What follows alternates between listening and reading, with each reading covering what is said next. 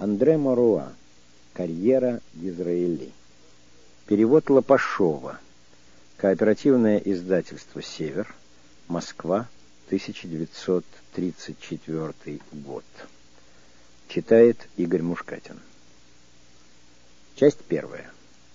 Эпиграф. Жизнь слишком коротка, чтобы быть незначительной. Дизраили. Глава первая. Два поколения. В 1290 году, в День всех святых, король Эдуард I изгнал из Англии евреев, до тех пор живших здесь свободно. То было время крестовых походов.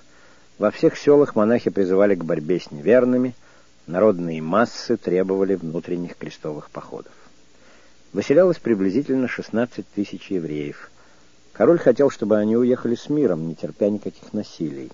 Почти так и было — только один судовладелец, высадив своих пассажиров среди моря на отмеле, заявил им «Зовите Моисея» и поднял якорь. Несколько дюжин евреев утонуло, но судовладелец был повешен. Изгнанники, которым посчастливилось спастись от моря и моряков, нашли приют во Франции. Впрочем, ненадолго. В 1306 году король Филипп Красивый, испытывая нужду в деньгах, решил конфисковать их имущество, а самих их вытеснить в Испанию – Два века прожили они здесь, в мире.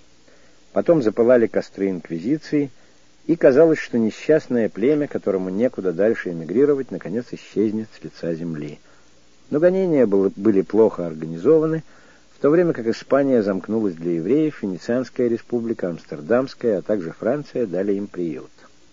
В самой Англии реформа, повлекшая за собой знакомство с Библией, вызвала к ним почти сочувственное любопытство. Пуритане охотно принимали еврейские имена и разыскивали исчезнувшие колена израильские. В 1649 году петиция о возвращении народа Израилева была представлена лордом Фэрфаксом. Кромвель отнесся к ней благосклонно, Карл II скрепил решение. Таким образом, к концу XVII века восстановилась в Лондоне немногочисленная колония португальских и испанских евреев. Многие из этих семей, именно Вилла-Реаль, Медина, Вара получили во времена сарацинского владычества дворянство. Они с презрением относились к польским и литовским евреям, которых казацкие погромы заставляли тогда массами двигаться на запад и отказывались даже допускать в свои синагоги этих неотесанных людей. В 1748 году в лондонском еврейском обществе появился молодой итальянец Бенджамен Израили, или Дизраили. Будучи уроженцем Чента в Феррари, он искал сначала счастье в Венеции, а затем решил, что дело пойдет лучше в более молодой и более богатой стране. Первые шаги оказались для него очень трудными. Он спекулировал, терял, казалось, совсем разорился. Потом, женившись вторым браком на женщине из рода Вилла-Реаль, принесшей ему приличное приданое, он вступил в фондовую биржу и быстро нажил довольно крупное состояние. Это был веселый и добродушный человек — в одном из лондонских кварталов он разбил сад на итальянский манер. Гостям за его столом подавали макароны, а после обеда он брался за мандолину и пел канцонетту. Легкий венецианский акцент, врывающийся в английское бормотание, придавал его речи живописное очарование. Когда он говорил, за желтыми туманами Сити вырисовывалось золото святого Марка, розовые дворцы, разукрашенные столбы перед ними, к которым привязываются гондолы.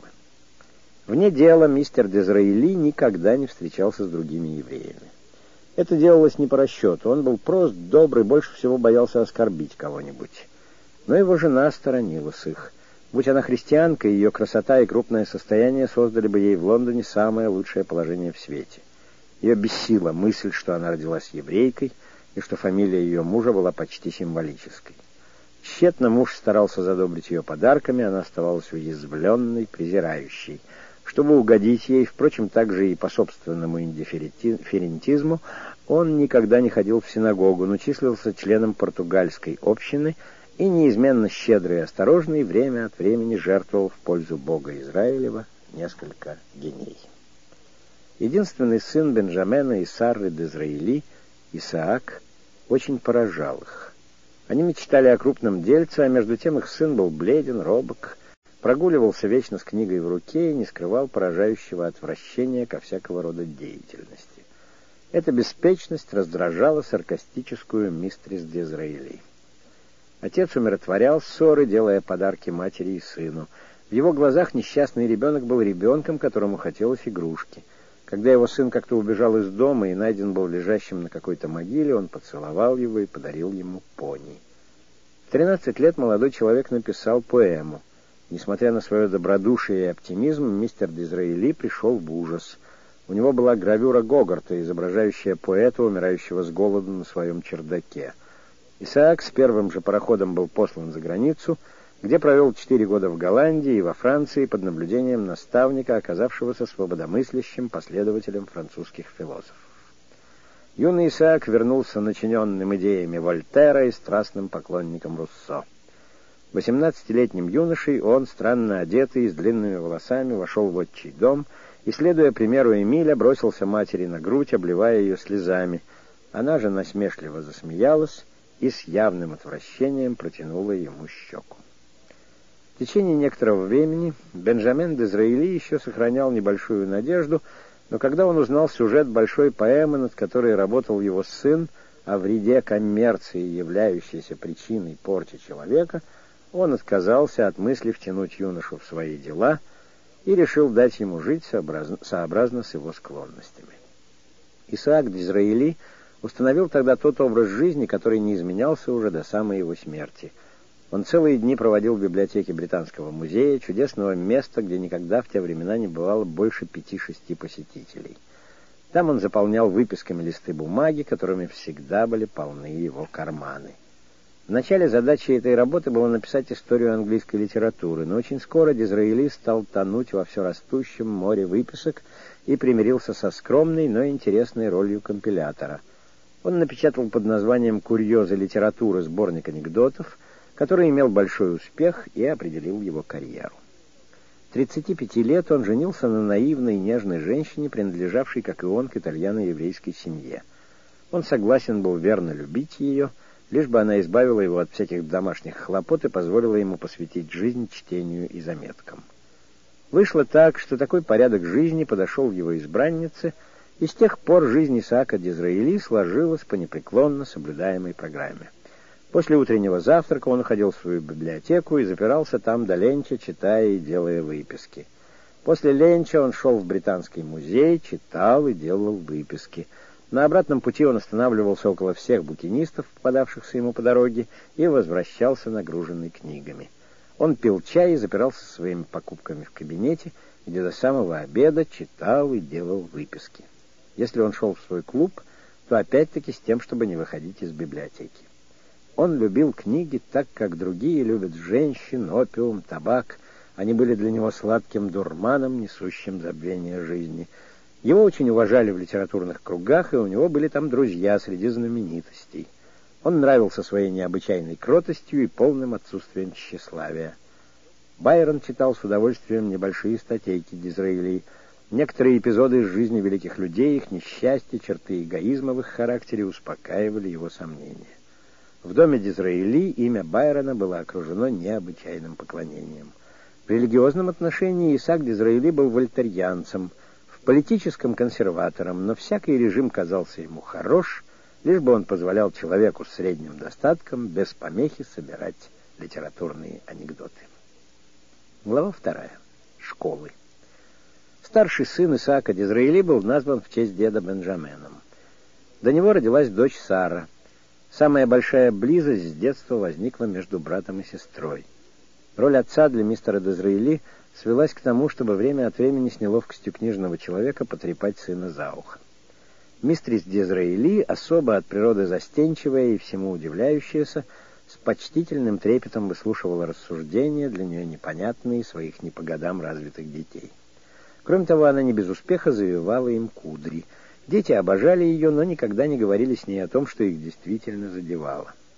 Они очень восхищались отцом, которого считали великим писателем, часто любовались его прелестным лицом, но рано поняли, что бесполезно ожидать, чтобы он занялся их воспитанием.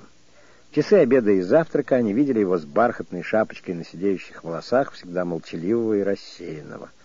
Они знали, что его единственное желание — скорее вернуться к книгам — когда его задерживали или мешали ему, он делался чрезвычайно вежлив, и заметно было, что он в отчаянии. Если он разговаривал с детьми, Все это были не разговоры об ежедневных делах, а рассуждения о его работах и изысканиях.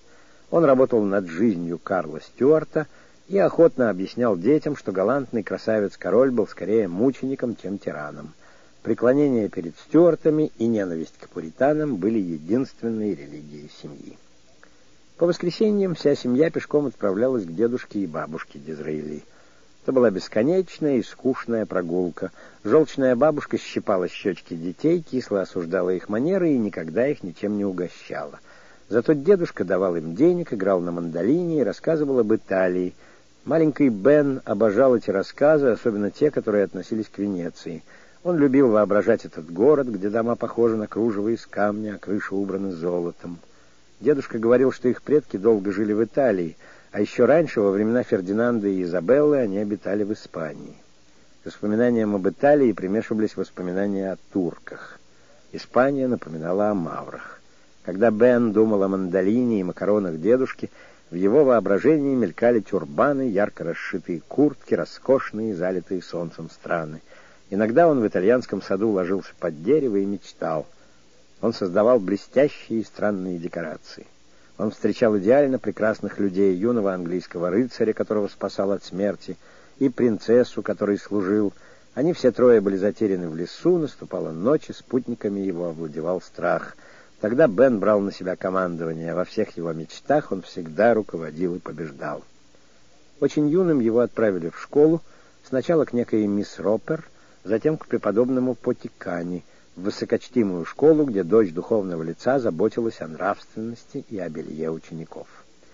Там Бен узнал нечто его очень поразившее. Он был другого вероисповедания и другой расы, чем его товарищи. Это как-то трудно было понять. Ведь дом Бена — этот дом из красного кирпича, греческий портик, три ступеньки, маленькая решетка вдоль тротуара, был бесспорно английский дом. Его отец со своей бархатной черной шапочкой — со своим розовым и тщательно выбритым лицом, с изысканной и шутливой речью, был английский писатель. Бен научился читать по английским книгам. Песенки, баюкавшие его в младенчестве, были английские песенки, но здесь, в школе, ему дали почувствовать, что он не ровня другим. Он был еврей, а его товарищи, за исключением одного, не были евреями. Как это было непонятно. Еврей — это народ, о котором рассказывает Библия, народ, который переходил через Черное море, жил в неволе в Вавилоне, строил Иерусалимский храм. Что общего было у него с этим народом? По утрам, когда весь класс преклонял колено для общей молитвы, Бен и другой маленький еврей, которого звали Сергий, должны были стоять в отдалении. Раз в неделю Раввин приходил учить их древнееврейскому языку, этому непонятному языку, буквы которого, похожие на шляпки гвоздей, пишутся справа налево. Юный Дизраэли знал, что эти уроки отстраняют его от какого-то таинственного причащения и придают ему в глазах учителя и других учеников отпечаток чего-то смешного. Он страдал от этого, он был очень горд. Он желал бы быть во всем предметом восхищения. Когда играли в лошадки, он никогда не хотел, чтобы его запрягали. Но особенно он страдал от того, что не любил Сергия. Было ужасно чувствовать себя связанным с существом, который он считал несравненно ниже себя. Мальчики, к которым влекло Бена, были белокурые с голубыми глазами. Они были менее сообразительны, чем он сам, но он любил их всем сердцем. С ними он был изумительно терпелив. Был в школе маленький Джонс, сын врача, которому Бен во время перемен рассказывал истории о разбойниках, о пещерах, иллюстрируя их быстрыми карандашными набросками. Когда у Бена была новая книга, маленький Джонс садился рядом с ним, и они читали вместе — но Джонс едва доходил до середины страницы, когда Бен, пробежавший ее сразу, готов был перевернуть ее. Он столько читал, столько слышал о книгах от отца, что запас слов у него был необъятен, и трудные тексты его не останавливали. Маленький Джонс вздыхал, торопился. Тогда Бенджамен Дизраили, понимая смущение приятеля, слегка улыбался и очень мило говорил «Я подожду». Вечерами в своей классной комнате Сара и Бен часто разговаривали о странной проблеме, о христианстве и иудействе. Почему им ставили точно упрек происхождения, которого они не выбирали и отказаться от которого было не в их власти? Когда они спрашивали объяснение у отца, Исаак Дизраили, философ-альтерьянец, пожимал плечами. Все это ничего не значило, предрассудки. Он лично нисколько не стыдился своего еврейства, наоборот, он всегда с гордостью говорил о древности своей расы.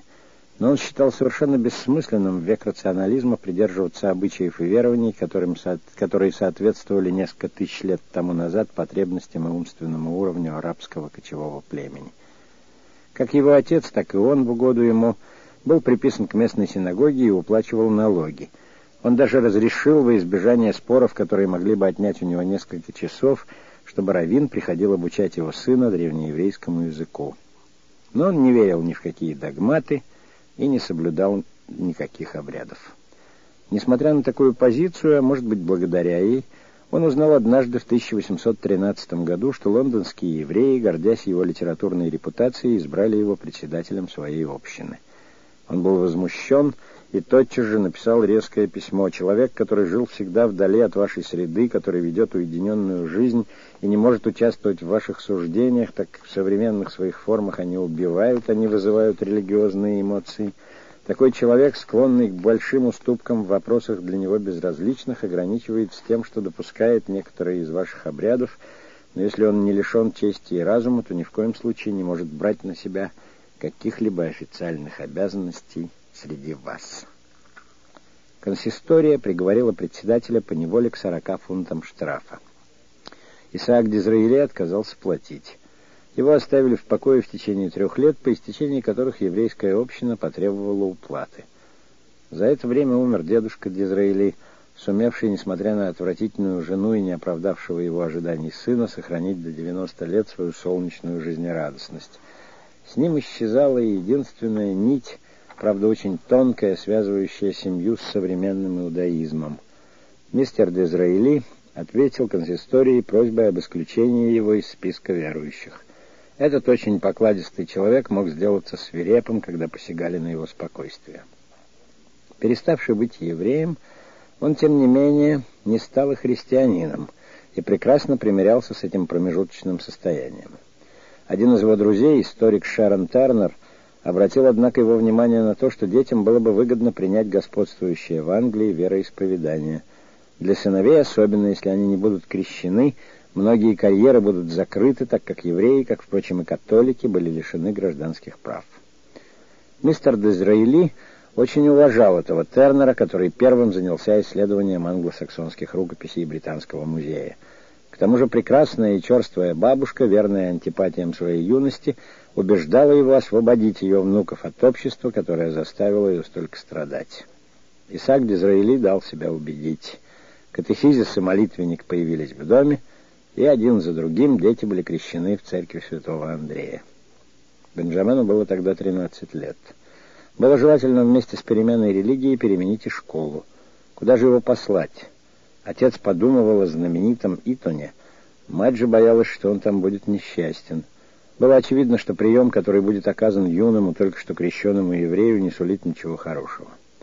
Бен готов был попытать счастье, но осторожность заставила его последовать советам матери. Случилось, что мистер Дизраили часто встречал у букинистов некоего преподобного Когана, который покупал редкие издания и слыл единственным пастором-неконформистом, знающим греческий язык. Человек, который столько читал, не мог не быть совершенством. Было решено, что Бен будет поручен ему. Школа доктора Когана помещалась в старом, покрытом плющом доме. По стенам пустых классных комнат, окруженных дубовыми скамьями, большие плакаты возвещали «Аз есть путь, истина и жизнь». Семьдесят учеников, критикующая и любопытная толпа, окружили новичка. Он был как-то вызывающе хорошо одет — Прекрасный костюм, матовый оливковый цвет красивого, но чуждого лица поразили их. Новые товарищи смотрели на него с несколько насмешливым интересом. Он смотрел дерзко и отвечал взглядом на взгляд. Он решил бороться на всех фронтах и на презрение отвечать дерзостью. «Это пустяк», — говорил он себе, когда волнение слишком усиливалось. «Это такие же мальчишки, как и я, которых я должен покорить». С первых же уроков стали ясны недостатки и достоинства его воспитания. Ученики школы были очень сильны в латинском и греческом, гораздо сильнее, чем Бен. Но как только дело дошло до сочинений, многие ученики убедились, что он открывает им целый мир новых мыслей и чувств. Повторяли его словечки, его фразы. Товарищи переписывали его стихи, чтобы показать их сестрам, кузинам. Около него образовалось нечто вроде модернистского общества. Хотя он ненавидел резкие движения, самолюбие взяло верх над темпераментом, и он методически заставлял себя делать успехи в физических играх. Его популярность была велика, и он быстро занял опьянявшее его положение вожака.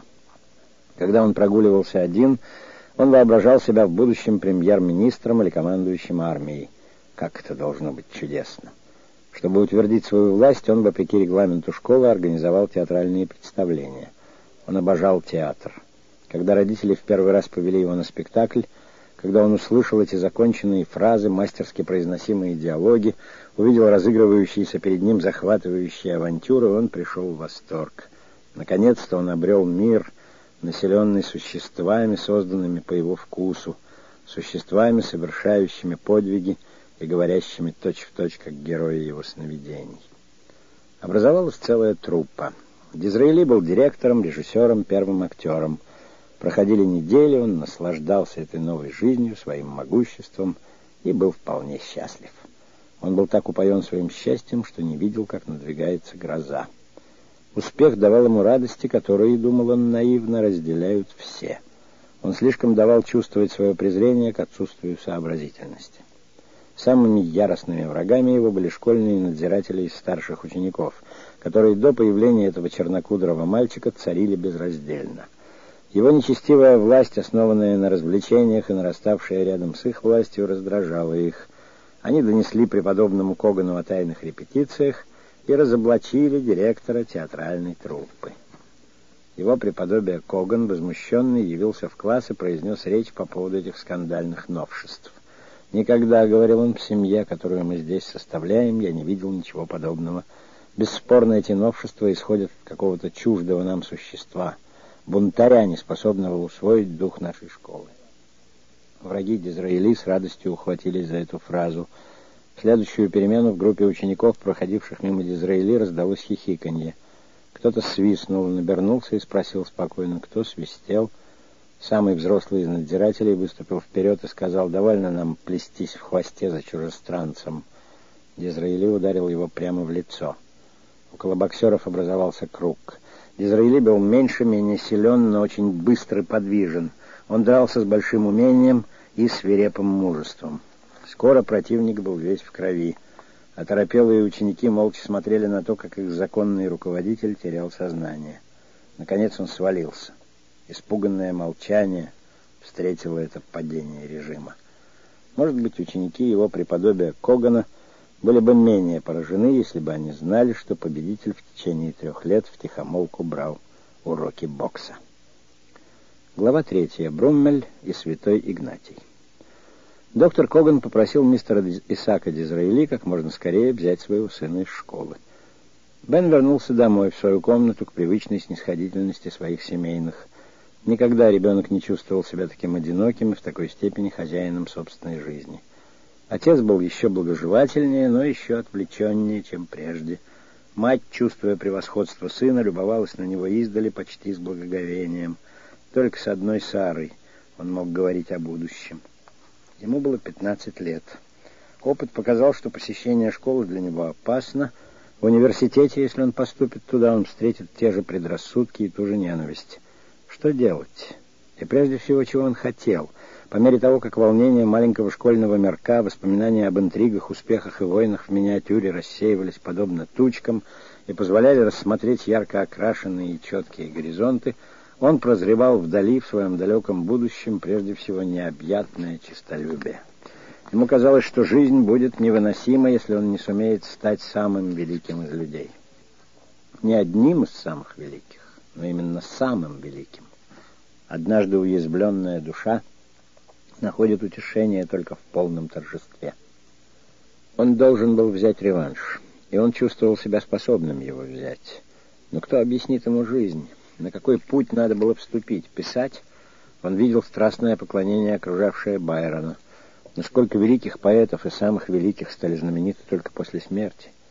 Бен мало заботился о посмертных успехах. Он хотел сам ощущать свою славу. Быть Гомером или Александром, можно ли тут колебаться? У него было два младших брата, для которых мать часто собирала их ровесников. Будущий Александр прогуливался среди них, заложив руки в карманы очень узких брюк, бледный, грустный, с мрачным видом. похожий на Гулливера среди, среди лилипутов. Несколько недель, последовавших за его возвращением из школы, были посвящены им беспощадному анализу самого себя. Первый сделанный им вывод был таков, он был абсолютно невежественен.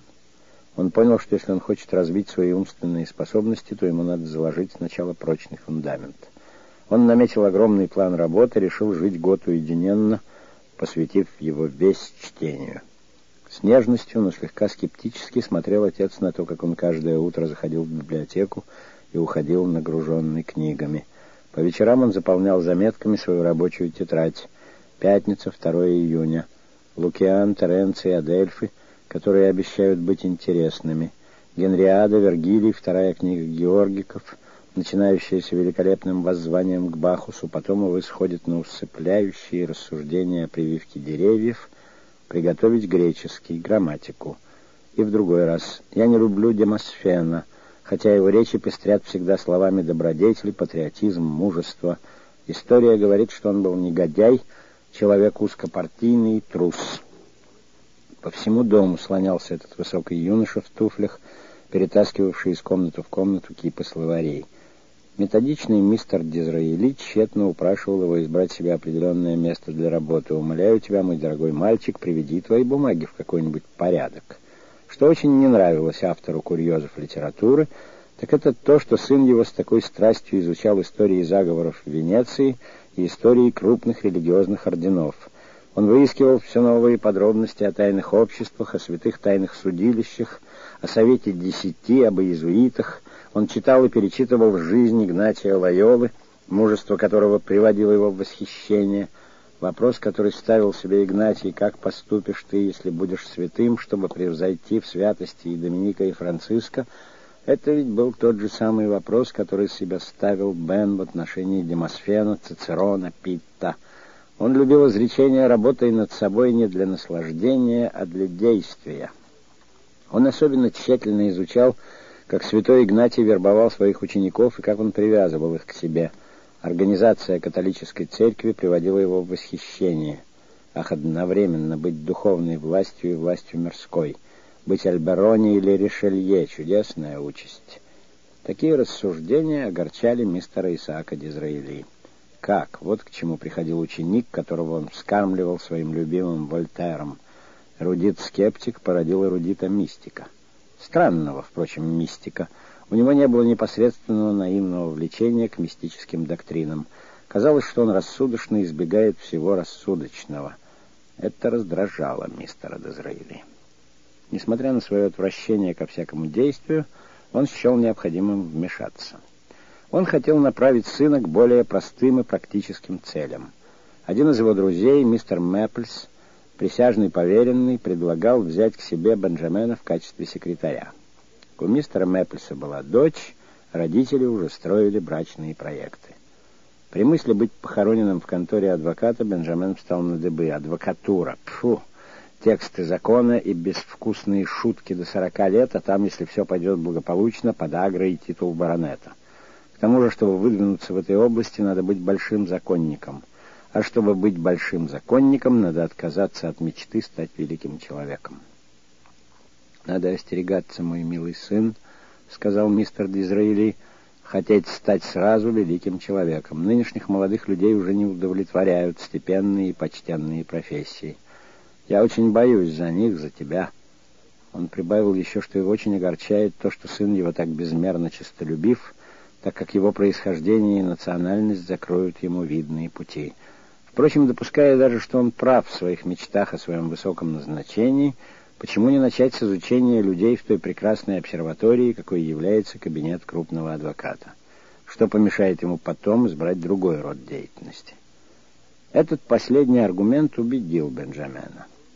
Было верно, что он не знал людей, но что он хотел их знать. Из книг он знал, что многие великие люди терпели неудачу исключительно потому, что мыслили уединенно — и пренебрегали изучением массы. Надо было, наоборот, смешаться с людским стадом, узнать его способ чувствования, его слабости. Миф о Юпитере, который для своих земных похождений принимал облик животных, показался ему хорошим символом. Он уступил. Контора адвоката кабинете на Фредерик Плесс смелькали государственные деятели, банкиры и коммерсанты. Вечера Бенджамен по-прежнему проводил за книгами в отцовской библиотеке.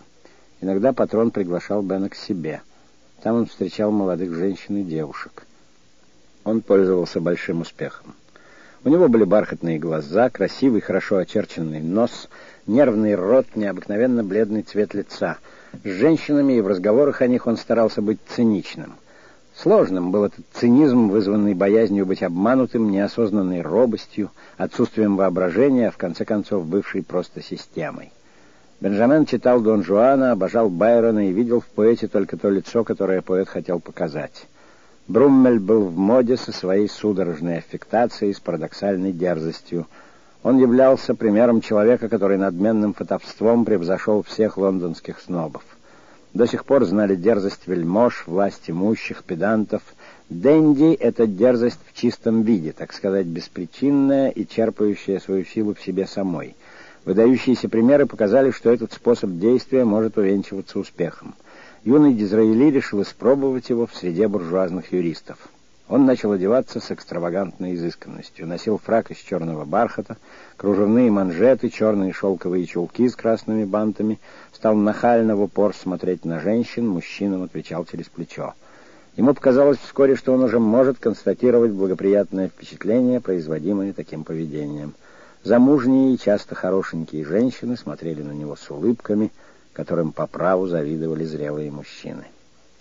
Часто обедал он с отцом у издателя Джона Муррея. Там он встречал известных писателей и слышал восхищавшие его разговоры. Он видел там Самуэля Роджерса, друга Байрона, Томаса Мура, приехавшего из Италии, где он встретился с поэтом. «Скажите мне», — спрашивал мистер Дизраэли, — «Байрон очень изменился?» «Да, лицо у него опухло, он нажирел». Волосы посидели, и он утратил то выражение духовной мощи, которым отличался раньше. У него портятся зубы, и он думает, что ему придется посоветоваться с английскими врачами. Юный Бенджамен слушал обе, обоими ушами, а вечером, возвратившись домой, записывал все слышанное. Наблюдая за другими, он критически приглядывался и к себе самому. Он видел, что некоторые друзья его отца забавляются его ранней развитостью и живостью его ответов, другие же шокированы его дерзостью. Некоторые находили его неестественным и несносным позером. Из боязни стать смешным он не решался быть искренним и оживлял разговор непрестанной шутливостью. Если он иногда пытался воздерживаться от сарказмов, воспоминания об оскорблениях, нанесенных ему в школе, подобно злому демону, овладевали его душой. Нет лучше цинизм, чем услужливость. Когда его необыкновенная способность подмечать все смешное наживала ему опасного врага, он упрекал себя и принуждал себя, подобно Лайоле, к духовным упражнениям. Он отмечал в дневнике решено быть всегда искренним и откровенным с госпожой Е, никогда не говорить того, чего я на самом деле не думаю. Не надо насмешливости, в которой я, по ее мнению, превосхожу всех. Скоро контора на Фредерикс Плесс начала ему надоедать. Девушка, которую ему прочили, сама сказала, «Ну нет, вы чересчур блестящий для этой профессии, это все невозможно». Ему не терпелось освободиться. Добиться успеха в конце карьеры — это все равно, что совсем не добиться его, или что достичь одновременно бессмертия и смерти. Подумайте о юном Цезаре, который видит, как бесполезно уходит молодость, и плачет, читая о подвигах Александра Македонского. Даже фарсала не была бы достаточной компенсацией за его мучения. Подумайте о безвестном Бонапарте, умирающем с голода на улицах Парижа. Что остров Святой Елены сравнительно с горечью подобного существования? Воспоминания о былой славе могут озарить самую мрачную темницу, но жить ожиданием того, что сверхъестественная энергия угаснет медленно, не совершив всех чудес, на какие, на какие она способна, какое колесование, какой застенок, какая пытка может сравниться с этим мучением. Летнее путешествие в Германию ускорило решение. Он с отцом объездил ряд маленьких германских дворов, наблюдал блестящее и веселое общество, хорошенькие театры, где сам великий герцог дирижирует из своей ложи оркестром. Их везде хорошо принимали. Во время обедов играла военная музыка. Старого мистера Дизраэли с его свежим цветом лица и седыми волосами принимали за английского генерала. Сыну это втайне льстило. Мир был слишком хорош, слишком разнообразен, чтобы можно было молодость посвятить возне со скучными делами. Спускаясь вниз по роскошным водам Рейна, любуясь таинственными холмами, над которыми возвышались поросшие плющом башни, он решил, что сейчас же по возвращении бросит юридическую тарабарщину. Глава четвертая. Делец. Последние месяцы своего пребывания в конторе на Фредерикс-Плесс Дизраэли мог наблюдать, как некоторые клиенты его патрона быстро обогащались, спекулируя на рудниках в Южной Америке. Испанские и португальские колонии, Мексика, Боливия, Перу, Бразилия были тогда почти целиком охвачены восстанием. Во имя либеральных принципов министр Каннинг поддерживал их. Английские финансисты получали там концессии на рудники – Английская публика, счастливая тем, что могла одновременно обслуживать свои доктрины и свою выгоду, набрасывалась на ценности, которые бешено повышались. С другим конторщиком, несколько старше его самого, Дизраэли, считавший повышение рискованным, решил спекулировать на понижение. Молодые люди сначала рискнули на небольшую сумму, затем, когда проиграли на большую. Так как повышение продолжалось, то они потерпели убыток в тысячу фунтов – Тогда они порывисто решили, чтобы вернуть свои потери, впредь играть только на повышение. Эти операции свели Дизраэли с Джоном Дейстон Поуэльсом, одним из финансистов, руководивших биржей южноамериканских ценностей. Поуэльс был поражен интеллигентностью этого двадцатилетнего юноши. Он заинтересовался им. Дизраэли же был счастлив проникнуть в мир финансовых королей, тайна могущества которых его давно интересовало. Для начала Пауэльс поручил ему составить и издать маленькую брошюру об американских рудниках, рассчитанную на широкую публику. Дизраэли отличался полным невежеством в вопросе о рудниках, но большой уверенностью в себе самом. Он ознакомился в несколько дней с вопросом, составил вполне удобочитаемую маленькую книжку и добился от издателя Муррея, друга своего отца, издания ее за счет Пауэльса. Муррей, не обращавший до сих пор внимания на этого бывавшего на его обедах красивого юношу, был теперь поражен его опломбом и необыкновенным даром убеждать других. Скоро он начал вести с ним интимные беседы о будущем своего издательства. Он издавал уже очень значительное обозрение «The Quarterly Review», но Муррей думал, что, может быть, было бы выгодно основать ежедневную газету по образцу «Таймса». Дизраэли загорелся. Муррей, человек по природе нерешительный и боязливый, сейчас же стал пытаться пойти на попятный, но он столкнулся с более решительным, чем он сам характером. Иметь газету — это именно было то, о чем мог только мечтать молодой Дизраэли. Руководить газетой — это значило держать в своих руках, правда, в замаскированном виде, власть. Конечно, надо было основать большую консервативную газету. Средства дадут трое — Муррей, Поуэльс и сам Дизраэли. Как же он уплатит свою часть? Об этом он не думал. Деньги найдутся. Что еще нужно? Редактора. У Дизраэли был план. Надо было пригласить Локкарта, зятя сэра Вальтера Скотта. Он живет в Шотландии, его выпишут в Лондон, Дизраэли поедет к нему, убедит его, надо было корреспондентов из-за границы, типографию, помещение. Дизраэли брался за все. Муррей, осажденный этими планами, не мог долго сопротивляться. Он подписал договор, которым обуславливалось создание большой ежедневной газеты. Капитал принадлежал троим. Половина Муррею, четверть Поуэльсу и четверть Дизраэли. Этот последний сейчас же отправился с поручениями в Шотландию. В дилижансе он читал Фруассара, чувствовал себя вполне счастливым и самодовольно говорил себе «авантюры для авантюристов». Он подготовил все с бесконечным старанием. Он пустил в ход все воспоминания о милых его сердцу тайных обществах. Он оставил Муррею ключ, который давал возможность переписываться, не называя имен.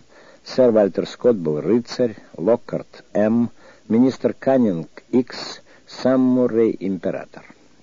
Сейчас же по приезде в Эдинбург он доставил свои рекомендательные письма к Локкарту, жившему в небольшом коттедже в прекрасном поместье своего тестя, Абботсфорд. На следующий день Бен получил приглашение.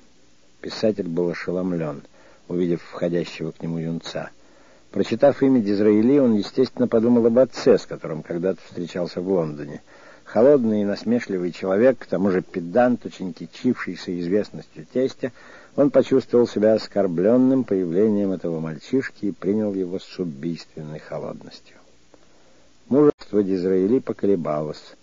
Но природа его была такова, что чем сильнее он был смущен, тем он делался развязнее.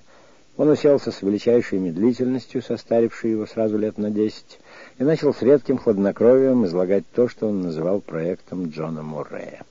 В действительности это был проект Бенджамина Дизраэли, но он уже знал, что едва ли кто-нибудь будет серьезно выслушивать мнение двадцатилетнего юноши.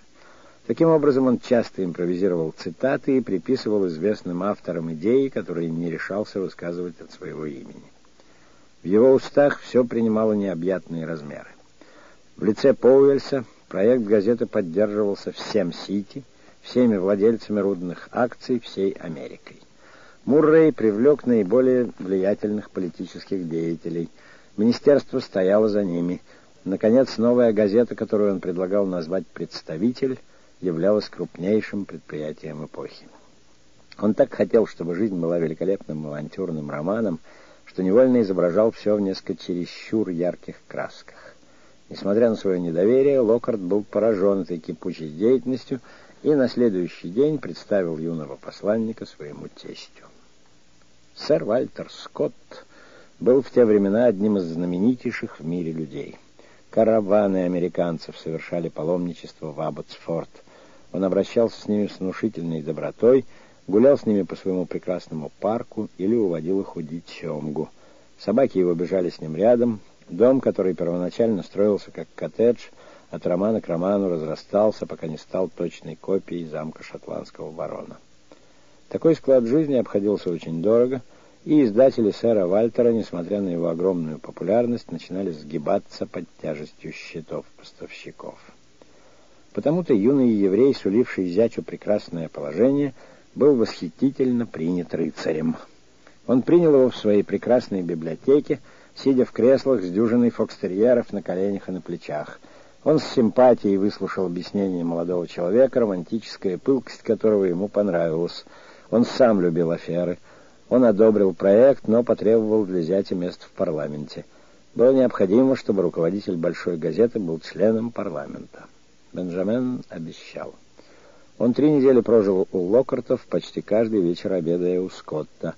Жизнь здесь ему очень нравилась. Вечерами Анна Скотт, аккомпанируя себе на арфе, пела шотландские баллады, или сам Вальтер Скотт рассказывал чудесные истории. Все были в восторге от Бенджамена — его отец писал Муррею, можно возражать только против его молодости, но это недостаток, который исправится несколькими годами опыта. Его проекты обширны, но полны здравого смысла, и он умеет совершенно серьезно браться за работу. Муррей писал Локарту, «Я направил к вам своего юного друга Дизраэли и убежден, что вы быстро сумеете оценить его. Я могу сказать, что никогда еще не встречал дебютанта, который так много обещал бы. И далее в письме Муррей продолжал расхваливать Дизраэли. Глубокое знание человеческой природы, писал он Локарту, практическая сторона всех его планов не раз поражали меня в юноше, который едва достиг двадцати лет. Уверяю вас, что он достоин полного доверия, так как сдержанность также является одним из его качеств. Если наш большой план осуществится, я уверен, что вы найдете в нем бесценного друга. Дизраэли вернулся и привез согласие Локарта взять на себя руководство The Quarterly Review и газетой за 2500 фунтов в год. Сейчас же по возвращении он нанял помещение под контору, нашел типографию, пригласил в качестве корреспондента знакомого ему по Кобленцу немца, уверив его, что эта газета будет очагом информации всего мира, отыскал других корреспондентов в некоторых столицах Европы, в Южной Америке, в Соединенных Штатах. Наконец, думал он, все идет как нельзя лучше. Газета должна была выйти в свет, как вдруг над головой торжествующего Бенджамена разразилась ужаснейшая гроза. Он не знал закулисной жизни издательства Муррея, не потрудился расспросить о ней или ознакомиться с ней лично, и совершенно не предполагал, что вступление в дело такого заметного человека, как Локарт, не может не наделать шума. Между тем Джон Вильсон Крокер талантливый писатель и политический деятель, младший статс-секретарь военного ведомства и видный сотрудник обозрения, но человек неблагожелательный и сварливого характера, Маколей говорил о Крокере, что он ненавидит его, как холодную вареную телятину. Впал в ярость, когда узнал, что без его ведома издательство строит какие-то проекты с двадцатилетним мальчишкой. Он устроил Муррою жестокую сцену, а тот напустился на Дизраили, обвиняя его в том, что он по своей болтливости разгласил планы, которые должны были быть сохранены в тайне. Почти в тот же день произошел на лондонской фондовой бирже крах с американскими ценностями. Первоначальные расчеты обоих молодых клерков были правильны, хотя и преждевременны. Теперь, когда они играли на повышение, с молниеносной быстротой произошло понижение южноамериканских ценностей. Пресловутый Поуэльс разорился окончательно, Дизраили и его друг Эванс потеряли огромную сумму в 7 тысяч фунтов стерлингов. Несчастный Дизраили лишался таким образом возможности принимать участие в газете, по крайней мере, как финансист. Он в 20 лет оказался обремененным такими долгами, что имел право спрашивать себя, как он их когда-либо уплатит. Он сразу терял друзей, кредит и положение. Он, конечно, мог бы остаться при газете, и это было бы вполне естественно, так как он был инициатором всего предприятия, но он очень не нравился Крокеру, а также, что его очень удивило, и Локарту, который только терпел его, считая полезным, но считал авантюристом, и поэтому он через несколько дней был отстранен от созданной им комбинации. Он был ошеломлен. В течение двух месяцев он жил в атмосфере успеха и похвал. Муррей, Скотт, Локарт, его отец обращались с ним как с чудо-ребенком. Он полагал, что все его обожают.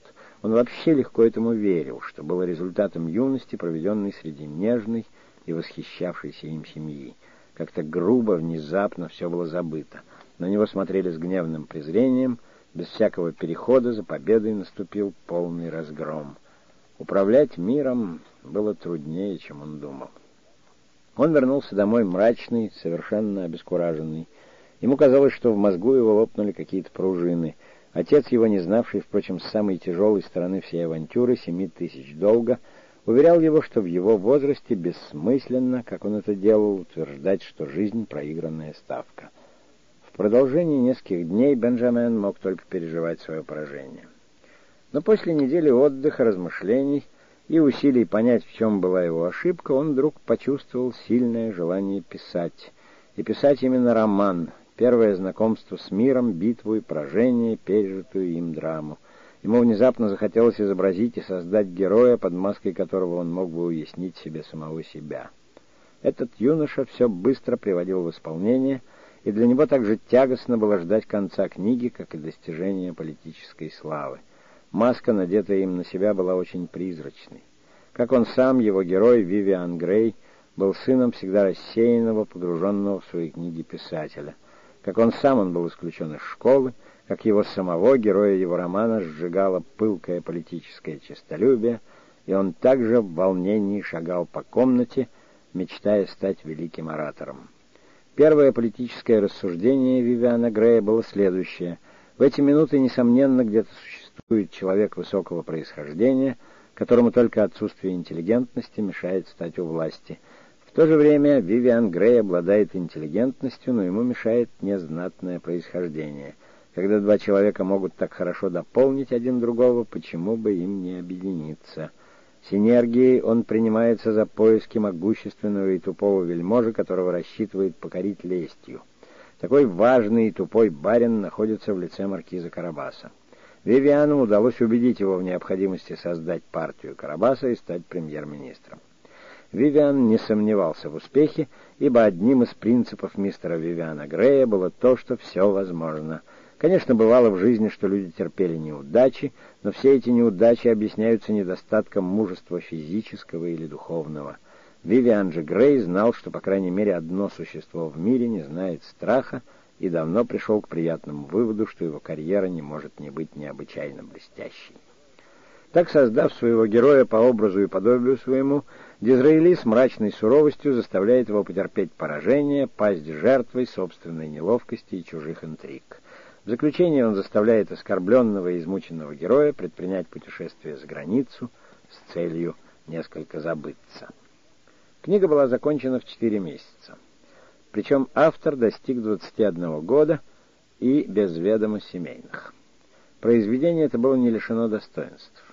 То, что Дизраэли мог наблюдать сам, молодость Вивиана, его отец, школа, было жизненно и правдиво. Тон был саркастический, проницательный критик обнаружил бы влияние Вольтера и Свифта, Диалоги были сделаны из того, что он слышал у Муррея и у сэра Вальтера Скотта. То, что он придумал сам, было довольно незрело.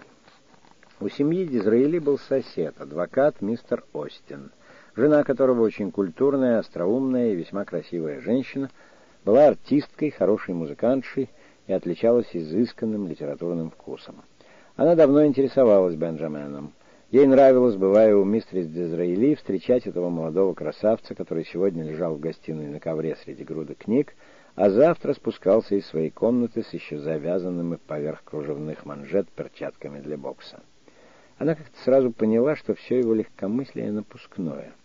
Она относилась к нему доверчиво и внушила ему доверие к себе. С ней он складывал оружие, снимал маску и нагрудник и откладывал в сторону свою блестящую дерзость. Он был прост и искренен. Он признавался в своих опасениях, неудачах и желаниях. Он знал, что она честная женщина, и ему это нравилось. Он боялся любви. Александр или Цезарь не могли бы плакать у ног женщины. Но странно, что вместе с тем он продолжал быть сентиментальным и продолжал искать, как в своих ребяческих грозах, грезах, таинственную принцессу, которой будет преданно служить. Мистер Состин вызвала в нем рыцарское волнение от дружбы с женщиной без тягости любовной связи. Это было очень приятно.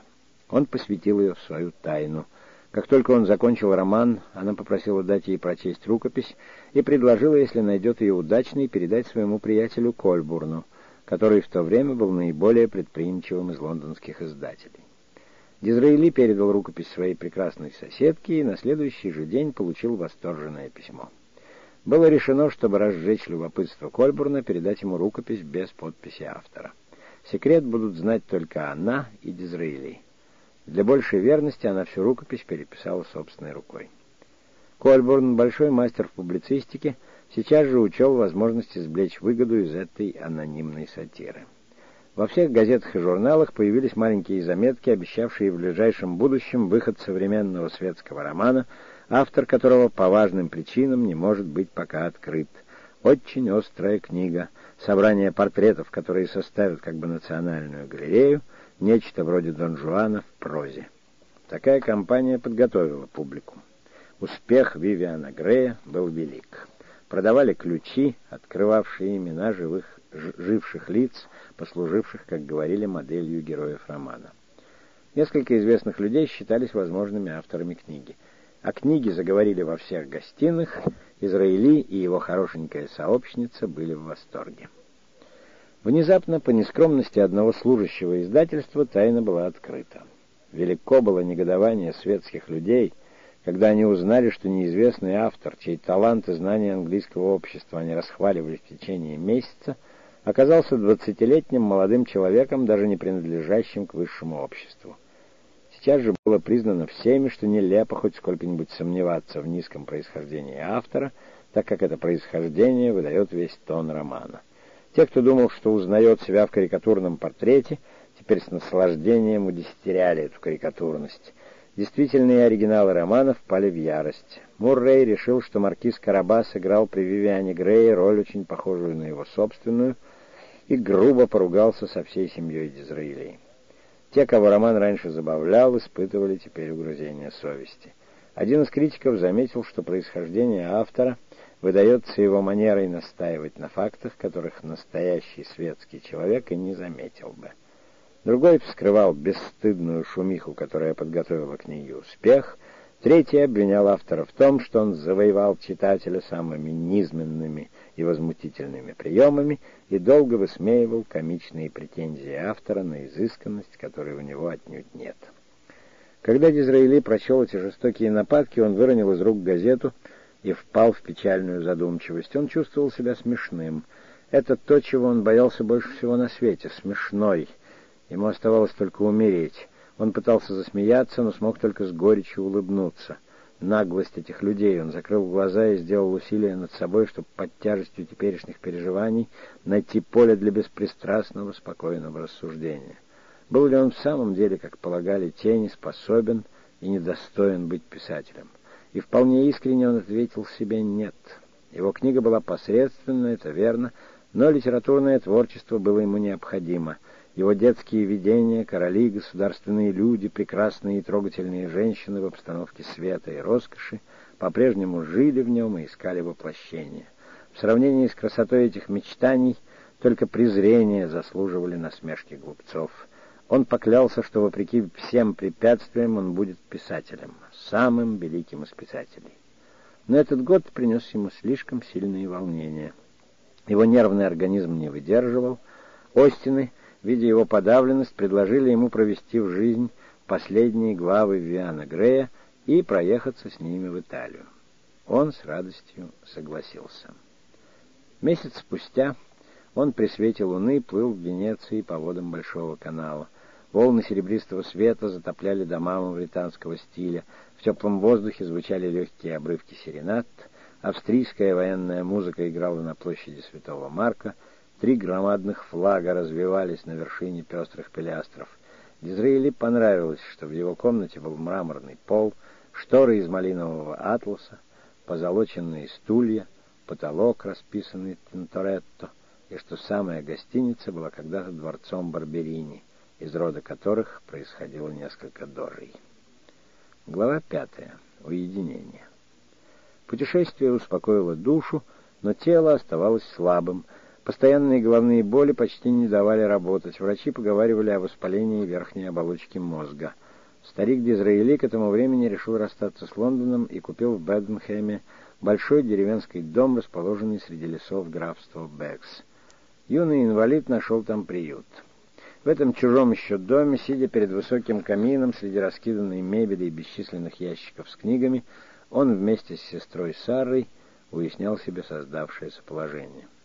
Он дважды потерпел поражение.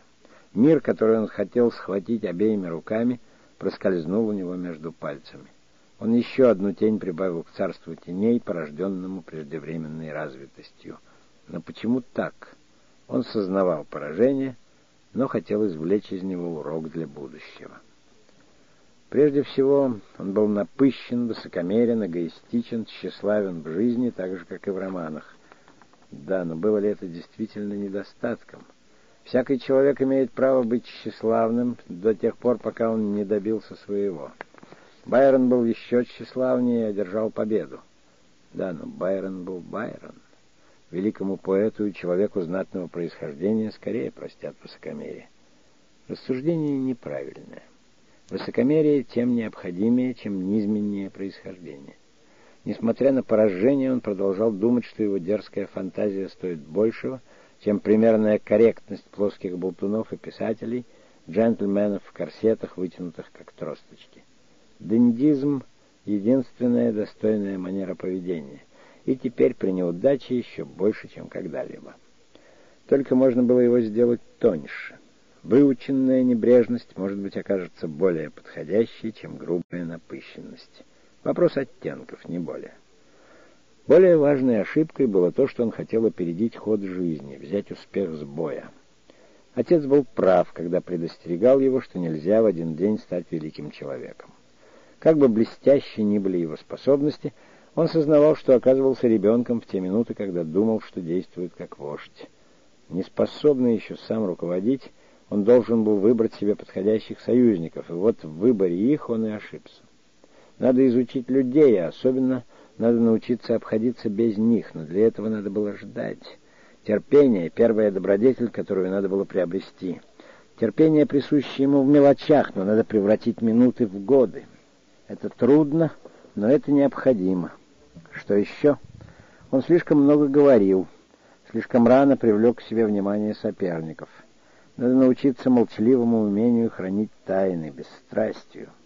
Надо приобрести изысканное, вежливое высокомерие. Трудная комбинация, но она удерживает любопытных на почтительном расстоянии.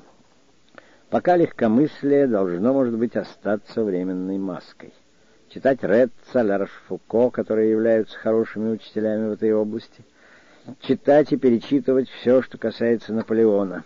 И никаких излияний даже самым близким людям — если после того он переходил к ревизии своих финансовых дел, то положение тут было еще менее блестящим. Вивиан Грей доставил 200 фунтов, но Дизраэли употребил их на то, чтобы оплатить Муррею брошюры о рудниках, которые разорившийся Пауэльс не мог оплатить. Он не должен был этой суммы, но было особое кокетство в том, чтобы, будучи без денег, быть великолепно щедрым. Долги на бирже были улажены частью сбережениями его сотоварища, клерка Эванса, частью, и притом значительно большей, займами, произведенными у ростовщиков. Эти последние гнались за ним по пятам, как только он появлялся в Лондоне. Он их не боялся, напротив, ему даже нравилось заходить к ним. С маской, деланной невинности на юном лице, он начинал разговор с невероятных неловкостей, затем внезапно вывертывался от них ловким юридическим выпадом. Откровенно говоря, он даже благодарен был своим кредиторам за то, что они вносили некоторое разнообразие в его довольно монотонную жизнь. Впрочем, он решил выплатить все до последнего пенни. Как, он еще ничего не знал, но не сомневался в том, что ему это удастся. Сара помогала ему сохранять веру в себя. Перед ней он не стеснялся фраз, полных такой наивной гордости, что их не перенес бы спокойно ни один собеседник. Но Сара, не теряя бесстрастия, принимала их как символ веры. Ему нравилось бродить вместе с ней по прекрасным окрестностям, окружавшим их новый дом — его восхищал Брэденхэмский парк. Из окна своей комнаты он видел широкие лужайки, окаймленные буками. Этот большой дом с барским въездом удовлетворял в нем какую-то несознанную потребность. Приезжая в Лондон, он встречался кое с кем из друзей. По переписке он свел знакомство с молодым писателем, своим ровесником, Эдуардом Лейтом Бульвером, который вскоре после выхода Вивиана Грея еще с большим успехом дебютировал романом «Пельгам». Бульвар, как и Дизраэли, жил и писал как Дэнди. Он был женат на прихорошенькой женщине, не имея никаких средств, вел роскошный образ жизни и принимал друзей в своем прекрасном доме на Гэтфорд-стрит. Приглашенный Бульвером Дизраэли явился в зеленых бархатных панталонах канареечного цвета жилете, с кружевными манжетами и в туфлях с пряжками. Его внешность многих обеспокоила вначале, но когда вставали из-за стола, все приглашенные уже были согласны с тем, что самым остроумным собеседником за завтраком был человек в желтом жилете. Бенджамен со времени обедов у Муррея сделал большие успехи в области светских разговоров. Верный своему методу, он отмечал этапы. Не говорить слишком много для начала, но если вы начали говорить, то вполне владейте собой. Говорите сдержанным голосом — и всегда смотрите на лицо, с которым разговариваете. Прежде чем быть в состоянии принять с некоторым успехом участие в общем разговоре, надо овладеть некоторыми незначительными, но занимательными сюжетами. Это нетрудно, если наблюдать и прислушиваться. Никогда не спорьте. Если кто-либо из собеседников не согласен с вами, сделайте поклон в его сторону и заговорите о чем-либо другом. Никогда не думайте о чем-нибудь в свете — Будьте всегда настороже, начеку, иначе вы пропустите удобный случай или наделаете неловкостей. Разговаривайте с женщинами столько, сколько хватит сил. Это лучший способ научиться говорить легко, потому что вам не надо обращать внимание на то, что вы говорите. Ничего нет полезнее для молодого человека, вступающего в жизнь, как если его слегка критикуют женщины. В семействе Бульвера он научился также тому, что представляет собой семейная жизнь литератора. Бульвер был влюбленным женихом. Он стал пренеприятным мужем, который сердился, как только жена появлялась в его заваленной бумагой берлоге. Прелестная мистерис Бульвера была небогата, и чита жила на заработок романиста. Потому-то ему и приходилось много писать и работать сверх сил. Благодаря этому он был нервен и раздражителен, особенно с женой. По вечерам, чтобы отдохнуть и освежить голову, ему надо было видеть собратьев по профессии, друзей. Он приглашал их к себе или уходил из дома. «Удивительно», — говорила мистрис Бульвер, — «просто удивительно, как мне наскучили писатели». Ее интересовали только собаки. Она звала мужа Пупс, а он ее Пудль. Все это, однако, не заполняло жизни. Бенджамен Дизраэли, человек романтический, но методичный, отметил в своем дневнике, что браки по любви могут быть гибельны для любви. Сам он работал в деревне. Деля день между лесом и своей комнатой, он написал два сатирических романа в духе Свифта или Лукиана и роман о светской жизни «Юный герцог». Это заглавие несколько шокировало мистера Дизраэли, который заметил Саре юный герцог. Но что Бен знает о герцогах? Сара резко отчитала отца. В действительности Бен ровно ничего не знал о герцогах, но ему доставляло удовольствие описывать царственно роскошные приемы, толпы лакеев в пурпуровых с серебром ливреях, столы, уставленные золотой посудой, бриллиантовое ожерелье на шеях женщин, играющие темными огнями наследственные сапфиры и рубины, изысканные меню, повозки, наполненные апельсинами и лимонами из оранжерей молодого герцога, овсянок, особенно овсянок, так как эта миниатюрная птичка вдохновила Бена на целую поэму в прозе. Что за вкус такой странный, божественный, еще одну, ах, последуйте моему примеру, прошу вас, открывается рай — Ах, если б я мог умереть под звуки нежной музыки, кушая овсянку. Было принято, чтобы Дэнди был лакомкой. Это было еще одно надуманное проявление легкомыслия. Кольбурн купил рукопись юного герцога за 500 фунтов. Этой суммой удалось на время утихомирить ростовщиков. Успех книги был невелик, но Сара писала, чтение твоей книги вознаградило меня за долгие месяцы ожидания. Это скажет тебе все, и ты знаешь, что сердце мое бьется только для твоей славы. Всюду, где мы бываем, у всех твоя книга в руках, и ее осыпают похвалами. я знаю, что ты не слишком ценишь успех среди родственников. Это было на самом деле одно из последних открытий Бенджамена. Он понял, какую абсолютно малую ценность представляет признание в кругу своей семьи. Но за отсутствием чего-либо другого он принимал и это. Иногда он заходил в парламент и слушал там ораторов. Он судил их без всякого снисхождения. Мистер Пиль делает успехи, но у него нет стиля. Я слышал Каннинга, это был великий оратор, но во всем том, что он говорил, было всегда слишком много общих мест. Палате лордов я восхищаюсь герцогом. В нем есть какая-то угрюмая наивность в духе Монтейня. Это ново, странно и производит впечатление. Одно мне ясно. Надо два совершенно различных стиля для палаты общин и для палаты лордов.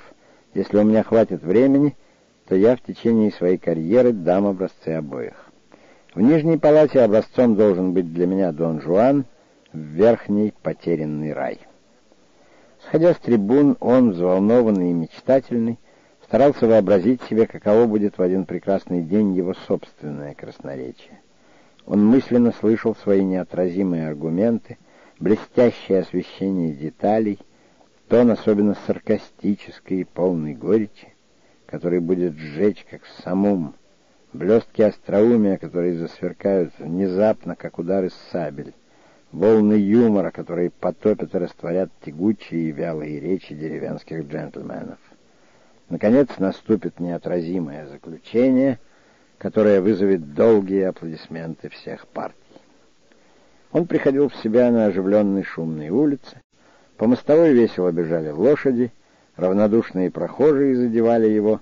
Для каждого из этих англичан Дизраили было только странное имя неведомого человека. Глава шестая. Паломничество. В 25 лет трудно обречь себя на полное одиночество. Надо было подумать о блестящем возвращении в лондонское общество. Как это сделать? После долгих размышлений Дизраэли пришел к убеждению, что по многим причинам ему следует прежде всего предпринять большое путешествие. Люди больших городов очень забывчивы. После нескольких месяцев отсутствия кто вспомнит о неудаче с журналом или о скандале с романом? Муррей и тот успокоится. Лорд Байрон ввел в моду поэмы, посвященные путешествиям, эпизоды которых связаны с этапами жизни самого автора, пример которому вполне можно последовать. В таких поэмах человек пользуется престижем виденных им стран. Наконец, Дизраэли чувствовал потребность погрузиться в страну, откуда вышли его предки. Еврейское происхождение было тяжелым препятствием в его карьере, но, может быть, в нем же была его сила. Во всяком случае, было необходимо разобраться во всем этом. Поэтому-то он решил не следовать обычному маршруту Франция, Швейцария и Италия, но отправиться непосредственно в Испанию, где долго жили его предки, потом через Средиземное море, Грецию и Турцию совершить паломничество в Иерусалим. Самым трудным оказалось получить разрешение от отца, которого шокировала мысль о двухлетнем путешествии сына. Но старика осаждали со всех сторон. Сара обручилась с молодым англичанином, другом Бенджамена, юным Вильямом Мередитом, который тоже хотел до свадьбы совершить большое путешествие и собирался сопровождать Бена. Мистер Дизраили, предпочитавший мир победе, уступил, и в конце июня 1830 года молодые люди отправились. Дизраили был взволнован. Он любил Брэденхэм, старого джентльмена в бархатной шапочке, немного нелепую болтовню матери, долгие задушевные разговоры с Сарой, почтительное восхищение обоих младших братьев Ральфа и Джима. Зачем покидать этот прелестный приют? Что ждет его в обширном мире? Как встретят его англичане Гибралтара, Мальты, более англичане, чем англичане Лондона? Он сознавал свою чувствительность и легко уязвимое самолюбие. Он овладел собой авантюры для авантюристов. Начиная от Гибралтара, первого этапа его путешествия, он начал удивлять молодых офицеров разнообразием своих запонок и рассчитанной экстравагантностью своих словечек. Он был первым путешественником, который кичился тем, что у него была утренняя и вечерняя тросточка. Он менял их с необыкновенной точностью, как только наступал полдень. Впрочем, все это делалось по системе и с усмешкой над самим собой. Испания понравилась ему. Белые дома, зеленые шторы, фигаро на каждой улице, розина на каждом балконе. При посещении Альгамбры он уселся на трон Абенсаражей с таким видом, что старая сторожиха спросила его, не потомок ли он Мавров. «Это был мой дворец», — ответил он. Она поверила. В Мальте следующая остановка появился соперник. То был англичанин Джемс Клей, который побеждал весь гарнизон в игре в ракетку — принца Пиньятелли на бильярде и русское посольство в Экарте. Человек бесспорно замечательный, но можно было бороться с ним и другим оружием. Чтобы управлять людьми, писал Бен отцу, надо или побеждать их на их же поприще, или презирать их. Клей делает первое, я второе, и мы оба одинаково популярны. Напыщенность, пожалуй, производит даже большее впечатление, чем ум. Вчера, когда я наблюдал за игрой в ракетку, к моим ногам упал мячик — я поднял его и, заметив необыкновенно чопорного молодого офицера, смиренно попросил его перекинуть мяч игрокам, так как я никогда в жизни не бросал мяча. Этот инцидент был сегодня повсюду предметом разговора. Мистер Дизраили покачал головой.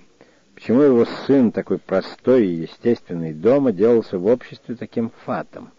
В действительности, Бенджамен стал настолько всем в Мальте противен, что общество офицеров перестало приглашать этого проклятого еврея-хвостунишку. Его это нисколько не огорчило, и он отправился по городу делать визиты, нарядившись в андалузскую расшитую куртку и в белые шаровары с поясом всех цветов радуги. Половина города шла за ним следом, и почти на целый день затихла деловая жизнь. В таком виде он рискнул явиться к губернатору, важному и холодному человеку, который при виде его расхохотался и принял очень благосклонно. Англичане, даже самые серьезные, любят экстравагантность и запасения скуки, такой могущественный среди них. Дизраили уехал из Мальты, одетый греческим пиратом, в кроваво-красной рубашке с большими, как шиллинги, серебряными пуговицами, с пистолетами и кинжалами за поясом, в красной феске, красных туфлях и широких ярко-синих шароварах, обшитых лентами и вышивками. Новая победа. Знаменитый Джемс Клей сопровождал его. С собой они увозили в качестве слуги Тито, прежнего гондольера лорда Байрона, восхитительного венецианца, который вербовал для поэта красивых девушек и зарезал для него двух или трех мужчин. После смерти Байрона он во главе полка албанцев сражался за греков, потом, сам не зная как, очутился в Мальте в большой нищете.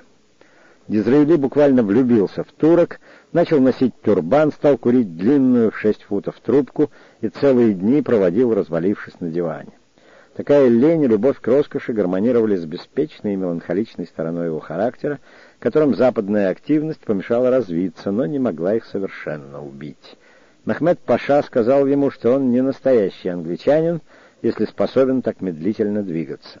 Он полюбил толкотню восточных улиц, пестроту типов и костюмов, яркость красок, зов Муэдзина, дикие звуки барабана, возвещавшие приближение каравана, декоративную торжественность верблюдов, вслед за которыми разбиваются бурнусы арабов. Он чувствовал, что в этой обстановке утихает его честолюбие. Мир внезапно предстал ему в более глубоком и призрачном облике. Было такое ощущение, точно человек окунулся в феерию или в сказочный мир тысячи и одной ночи. Впечатления стали более суровыми и значительными, когда, пересекши Сирию, он приближался к Иерусалиму. Без всяких усилий его настроение слилось с этими пустынными, выжженными солнцем местами. Он встретился с некоторыми племенами кочевников, шейхи приветствовали его и приняли его в свои палатки. Их благородная простота, совершеннейшая изысканность их манер, природная вежливость восхищали его — он с живой радостью представлял себе, что его предки три тысячи, шесть тысяч лет тому назад были такими же вельможами пустыни. Могла ли какая-нибудь английская фамилия похвалиться такой вековой культурой? Он пересек унылое плоскогорье, ни ручейка, ни травинки, ни птиц, только то там, то здесь вырисовывались на жгучем синем небе скрюченные силуэты оливковых деревьев. Почти неожиданно он оказался на краю мрачного обрыва — Наверху противоположного гребня вырисовывались суровые каменные груды города, окруженного зубчатыми стенами, над которыми местами возвышались башни. Окружающий пейзаж был до ужаса скуден. Этот город был Иерусалим, возвышенность, на которой находился юный пилигрим, была Елеонская гора. В Иерусалиме он прожил самые волнующие дни своей жизни. Его экзальтация не знала меры — он ходил на поклонение гробу Господню, он любил представлять себе Христа как молодого израильского князя, он не понимал, как еврей может не быть христианином. Это значило остановиться на полпути и отказаться от славы нации, из недр которой произошел Спаситель мира. Он долго размышлял, стоя перед гробницами царей израильских. Еще ребенком он был захвачен историей одного юного еврея, Давида Аль-Рои, который в XIII веке захотел освободить свой народ от власти турок. В те времена евреи, хотя и подпали под иноземное владычество, избирали еще сами своего правителя, носившего полный меланхолии титул князя пленения. Аль-Руи был одним из таких князей, а сам он, Бенджамен Дизраили, сын того же народа, изгнанник в нежно любимой стране, не мог ли он стать тоже князем пленения? Здесь, в этом узком дворе, высеченном в скале перед полуоткрытыми гробницами, он дал себе слово написать историю Аль-Руи и на следующий же день начал ее. Он покинул Палестину, чтобы в Египте догнать опередившего его будущего зятя.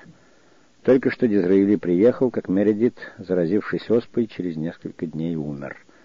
Обратное путешествие было омрачено мыслью о горе Сарры. На пароходе он заперся один в каюте и работал. Он вез с собой наброски двух книг. Одна была Аль-Руи, его роман, посвященный истории еврейства, другая, Контарини Флеминг, так же, как и Вивиан Грей, была историей жизни молодого человека. Вивиан Грей отразил политическое честолюбие своего автора, Контарини Флеминг изображал молодого поэта, каким иногда мечтал стать Дизраэли. Он был доволен последней книгой. «Я всегда буду считать эту книгу», — писал он, — одним из лучших достижений английской прозы и ее шедевром. Роман этот не был шедевром. Как и Вивиан Грей, он начинался блестяще, потом запутывался в дебрях. Весь во власти своей собственной жизненной авантюры Дизраэли в своих романах срывался так же, как и в своей деятельности. Но, как и он сам, Конторини не терял веры в будущее. Я верю в судьбу, которой поклонялись древние, Современное благосостояние породило в душе человека дух скептицизма, но я думаю, что в недалеком будущем наука вновь станет интуитивной, и что по мере того, как мы будем делаться глубже, мы будем возвращаться к вере. Судьба — это наша воля, а наша воля — природа. Все тайно, но только раб может отказаться от стремления проникнуть в тайну. Таково было восприятие мира, вынесенное Дизраили из его поездки на восток. Он увидел несметное разнообразие народов, множественность интересов, он понял, как трудно узнать их, предвидеть, разобраться в них, все тайно. Но он понял также, что, несмотря на бешеные удары волн, твердая рука может управлять ладьей. Еще он понял, что Бенджамен Дизраэли после тяжелого переезда приведет свою ладью к желанным берегам, лишь бы только достало у него смелости и твердости. В Брэденхэм он вернулся в октябре. Уже осыпались листья буков, мистер Дизраэли постарел, его утомленное беспрестанным чтением зрение слабело. Прекрасные мечтательные глаза казались померкшими. Сара, угрюмая и печальная, сказала брату, что никогда не выйдет замуж, и ему одному посвятит свою жизнь. Только присутствие удивительного Тито несколько развлекало всех. Привезя его с собой, Дизраэли очень им тяготился теперь. Но его отец был не из тех, кто мог оставить в нужде гондольера лорда Байрона.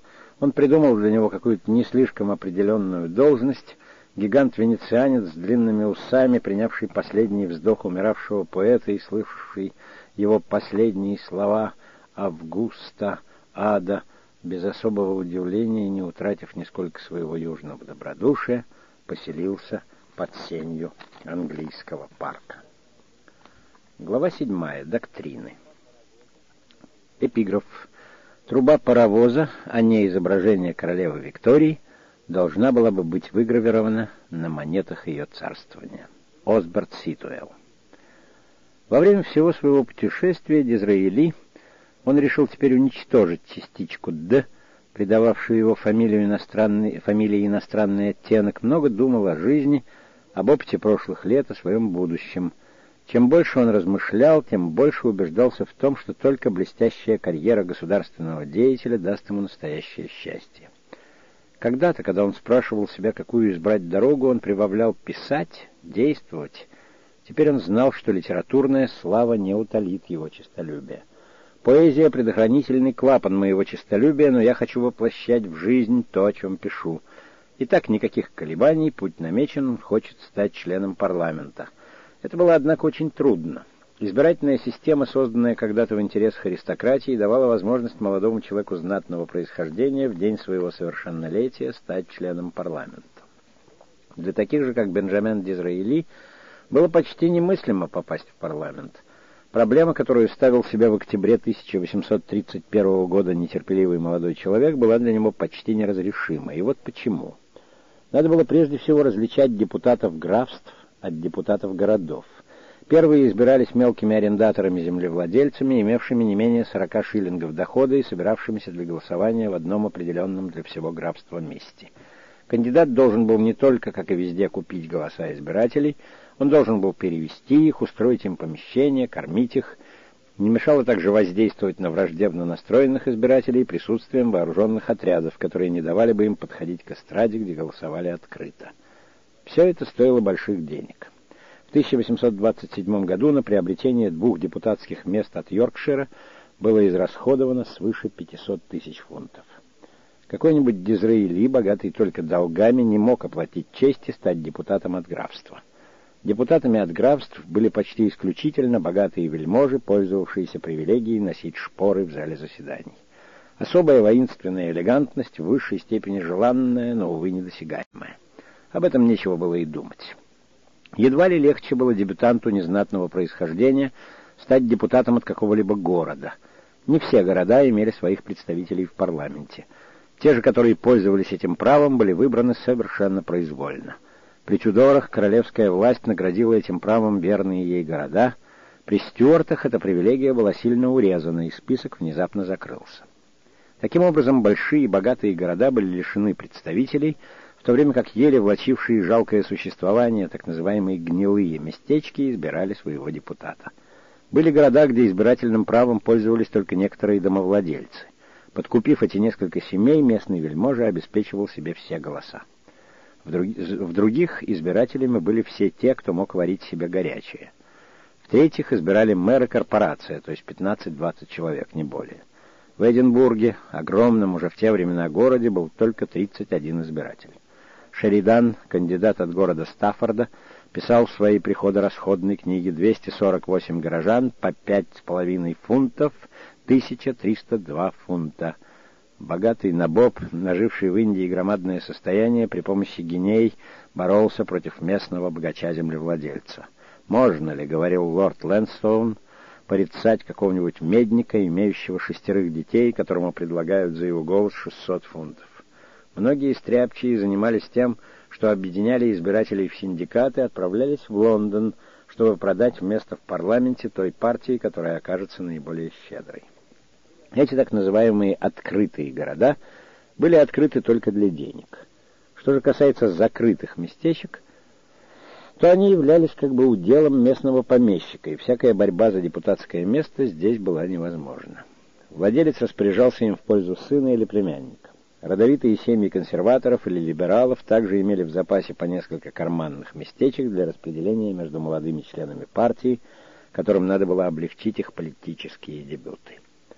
Наконец, министерство имело в своем распоряжении несколько округов, где только принадлежащая государству недвижимая собственность пользовалась правом голоса. В других же оно скупало голоса избирателей путем каких-либо льгот или раздачи должностей. Присоединив эти так называемые казначейские округа к тем, которыми распоряжались влиятельные консерваторы, можно было с уверенностью сказать, что две трети палаты общин без всякой борьбы назначались министерством. Поэтому ничего удивительного не было в том, что в продолжении 40 лет Тори стояли у власти, и трудно было представить себе, кто и как мог их лишить ее. Впрочем, начиная с 1815 года в стране нарастало недовольство. Мир, открывший иноземным купцам доступ в Англию, повлек за собой промышленный кризис, разорение ремесленников и понижение заработной платы. Население городов обвиняло во все растущей дороговизне жизненных припасов консервативное министерство, являвшееся представителем мелких землевладельцев и поддерживавшее поэтому протекционистские хлебные законы. Особенную же вину в народных бедствиях возлагали на существовавшую избирательную систему – Виги сумели основать на этом недовольстве свою предвыборную платформу и стали во главе движения, требовавшего расширения избирательных прав. Правда, им можно было бы возразить, что в те времена, когда они были у власти, они систему карманных и гнилых местечек считали прекраснейшей избирательной системой — но избирательная реформа была сейчас в моде, в ней видели спасение от всех бед. «Все молодые девицы, — говорил Сидней Смит, — думают, что как только пройдет новый закон, они немедленно выйдут замуж, школьники ждут, что отменятся латинские глаголы и подешевеют сладкие пирожки, капралы и сержанты уверены в увеличении окладов, плохие поэты рассчитывают, что начнут читать их поэмы, а дураки будут разочарованы, как, впрочем, всегда и везде». Ко времени возвращения Дизраэли из путешествия движения в пользу реформ дошло до открытых волнений. Легко было предвидеть, что правительство будет вынуждено произвести перевыборы. Был как раз подходящий момент, чтобы добиться избрания. Но как и где? Правда, было местечко Вайкомп, расположенное по соседству с Брэденхэмом, где у семьи Дизраэли были друзья, поставщики.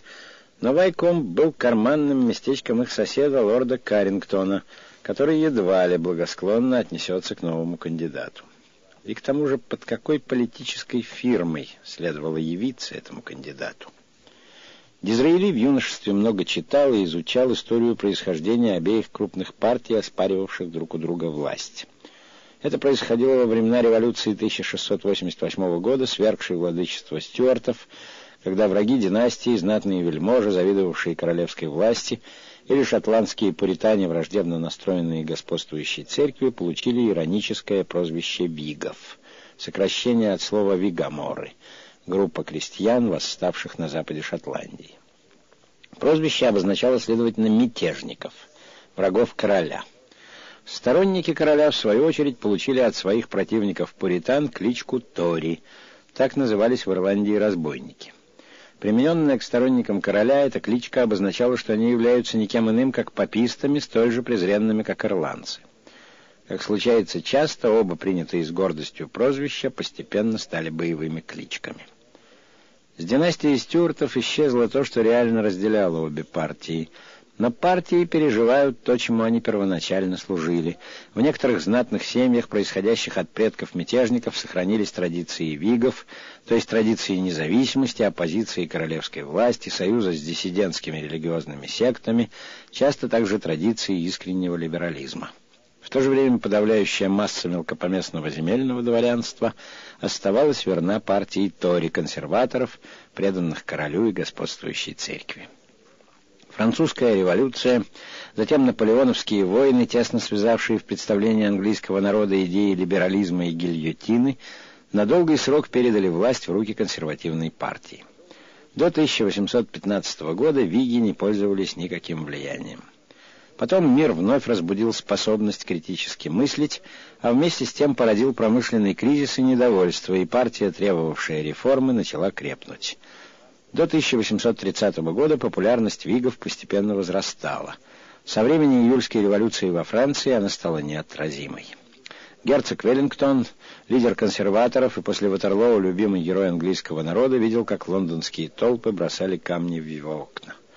Популярная легенда обвиняла старого воина в сообщничестве с Полиньяком и подозревала его в желании произвести государственный переворот. В Лондоне, в Бирмингеме были подняты трехцветные знамена — в деревнях крестьяне сжигали скирды вельмож. Десять тысяч рабочих осаждали Сент-Джемский дворец.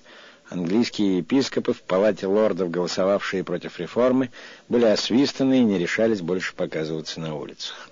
Маленький лорд Джон Рессел, лидер вигов-реформистов, был кумиром народа. С восхищением повторяли его фразу, когда меня спрашивают, дорос ли тот или другой народ до свободы, я отвечаю, а есть ли в мире человек, доросший до того, чтобы быть тираном? Когда он проезжал где-нибудь, целые селения выстраивались шеренгами, чтобы приветствовать его. Словом, если разобраться во всем, то казалось, что каждому кандидату в парламент в 1832 году было выгодно стать вигом. Но семейство Дизраили было издавна приверженцами консерваторов. В прошлом Тори были сторонниками Стюартов, столь любезных сердцу мистера Исаака Дизраили. Он всегда внушал сыну, что виги были только олигархами, взбунтовавшимися против мученика короля. К тому же молодой Дизраили не склонен был умиляться либерализмом вигов. Ему казалось, что в новом законе об избирательном праве все очень искусно подстроено, чтобы дать право голоса классу торгашей, промышленников, холодных расчетливых людей, естественных сторонников вигов в их борьбе против консервативных землевладельцев. Меньше всего, думал он, заботились о том, чтобы услышать голос подлинного народа. Ему не нравился этот союз циничных вельмож и алчных промышленников. Модной среди вигов и их союзников доктриной был утилитаризм, порожденный своего рода антиромантической реакцией в средних классах. Эти классы слишком хорошо видели, к чему приводят поэзия и чувства, какие беспорядки мог произвести во Франции Руссо, какой скандал мог вызвать Байрон. Изобретение паровой машины, механических станков, чудесное развитие железных дорог и английских рудников внушили им страстную веру в материальный прогресс. Новая наука, политическая экономия, научила их тому, что отношения между людьми не являются моральными отношениями, долгом, но управляются столь же точными и неизбежными законами, как закон падения тел или движения небесных светил. Закон спроса и предложения стал их Евангелием — локомотив их божеством, а Манчестер их священным городом. Дизраили, певец громадных парков, цветущих садов и сверкающих домов, ненавидел этот запах угля. Политическая экономия для него была скучна. Он не хотел верить тому, что люди, живые люди с выразительными лицами, его герои, Рец, Наполеон, Лайола — были осуждены на то, чтобы соединяться подобно атомам с целью производить, возможно, более дешевые хлопчатобумажные ткани в, возможно, более богатой стране. К тому же приняли ли бы его к себе виги? Их либерализм не простирался до выбора их друзей, и любовь к свободе была для них монополией рода. Можно было в случае необходимости сделаться Тори, но надо было родиться вигом.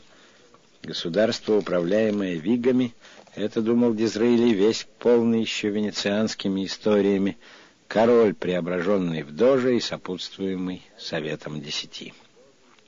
Может быть, надо было примкнуть к консерваторам, но не значило ли это в двадцать лет усвоить устарелые воззрения, подчиниться лидерам, которым толпа шикала на всех перекрестках, принять на себя тяжесть обвинения за ошибки, совершенные в течение пятидесяти лет, осудить себя на отказ от всяких реформ, даже самых благоразумных — не лучше ли было бы, следуя примеру Бульвара, присоединиться к радикалам и, опередив Вигов, быть готовым к тому, чтобы бороться с ними их же оружием?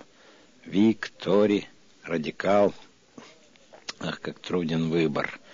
Самое простое было бы добиться депутатского места через какого-нибудь доброжелательного вельможу. Это не было невозможно, но для этого необходимо было, чтобы его узнали те, кто распоряжался этими местами, и прежде всего проникнуть в политические круги. Политические же круги в Англии 1831 года смешивались в одно с высшим светом. Дорога в парламент шла через салоны. Там надо было понравиться. Там надо было встречаться на обедах с герцогом Веллингтоном, с сэром Робертом Пилем, лидерами Тори, с лордом Мельбурном и лордом Джоном Ресселем, вождями Вигов, с лордом Дергамом, вождем радикалов. Вокруг обеденного стола, среди хрусталя, отражающего нежные отблески света, среди прелестных женщин, оживляющих улыбками деловые разговоры. Вот где надо было встречаться с теми, кто держит в своих руках власть. Итак, еще немного легкомыслия для того, чтобы завоевать право быть серьезным.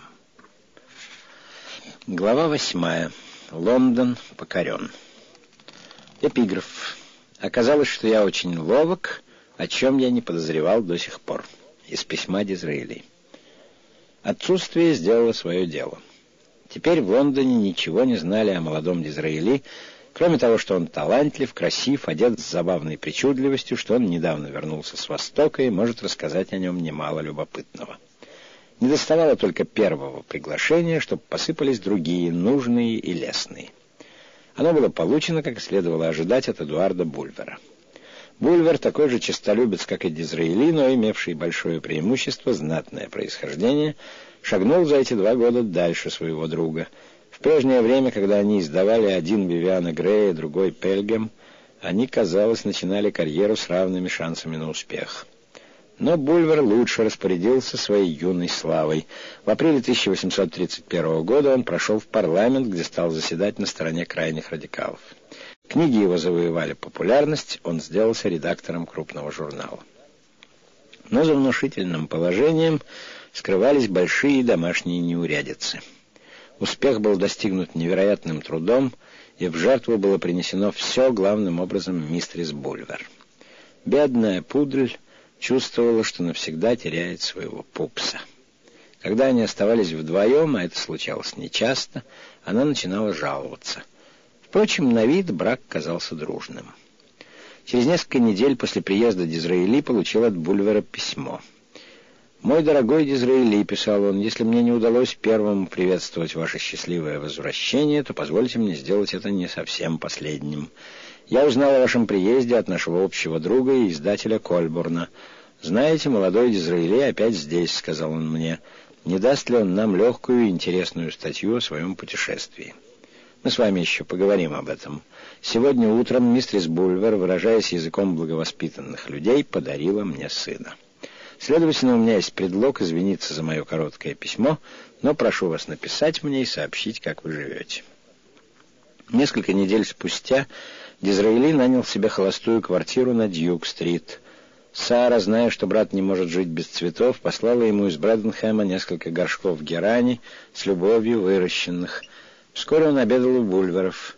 Дом и стол блистали величественной и нелепой роскошью — на коленях у мистерис Бульвер, красивой и нарядной, как никогда, сидела собачка не больше райской птицы и почти такая же ослепительная.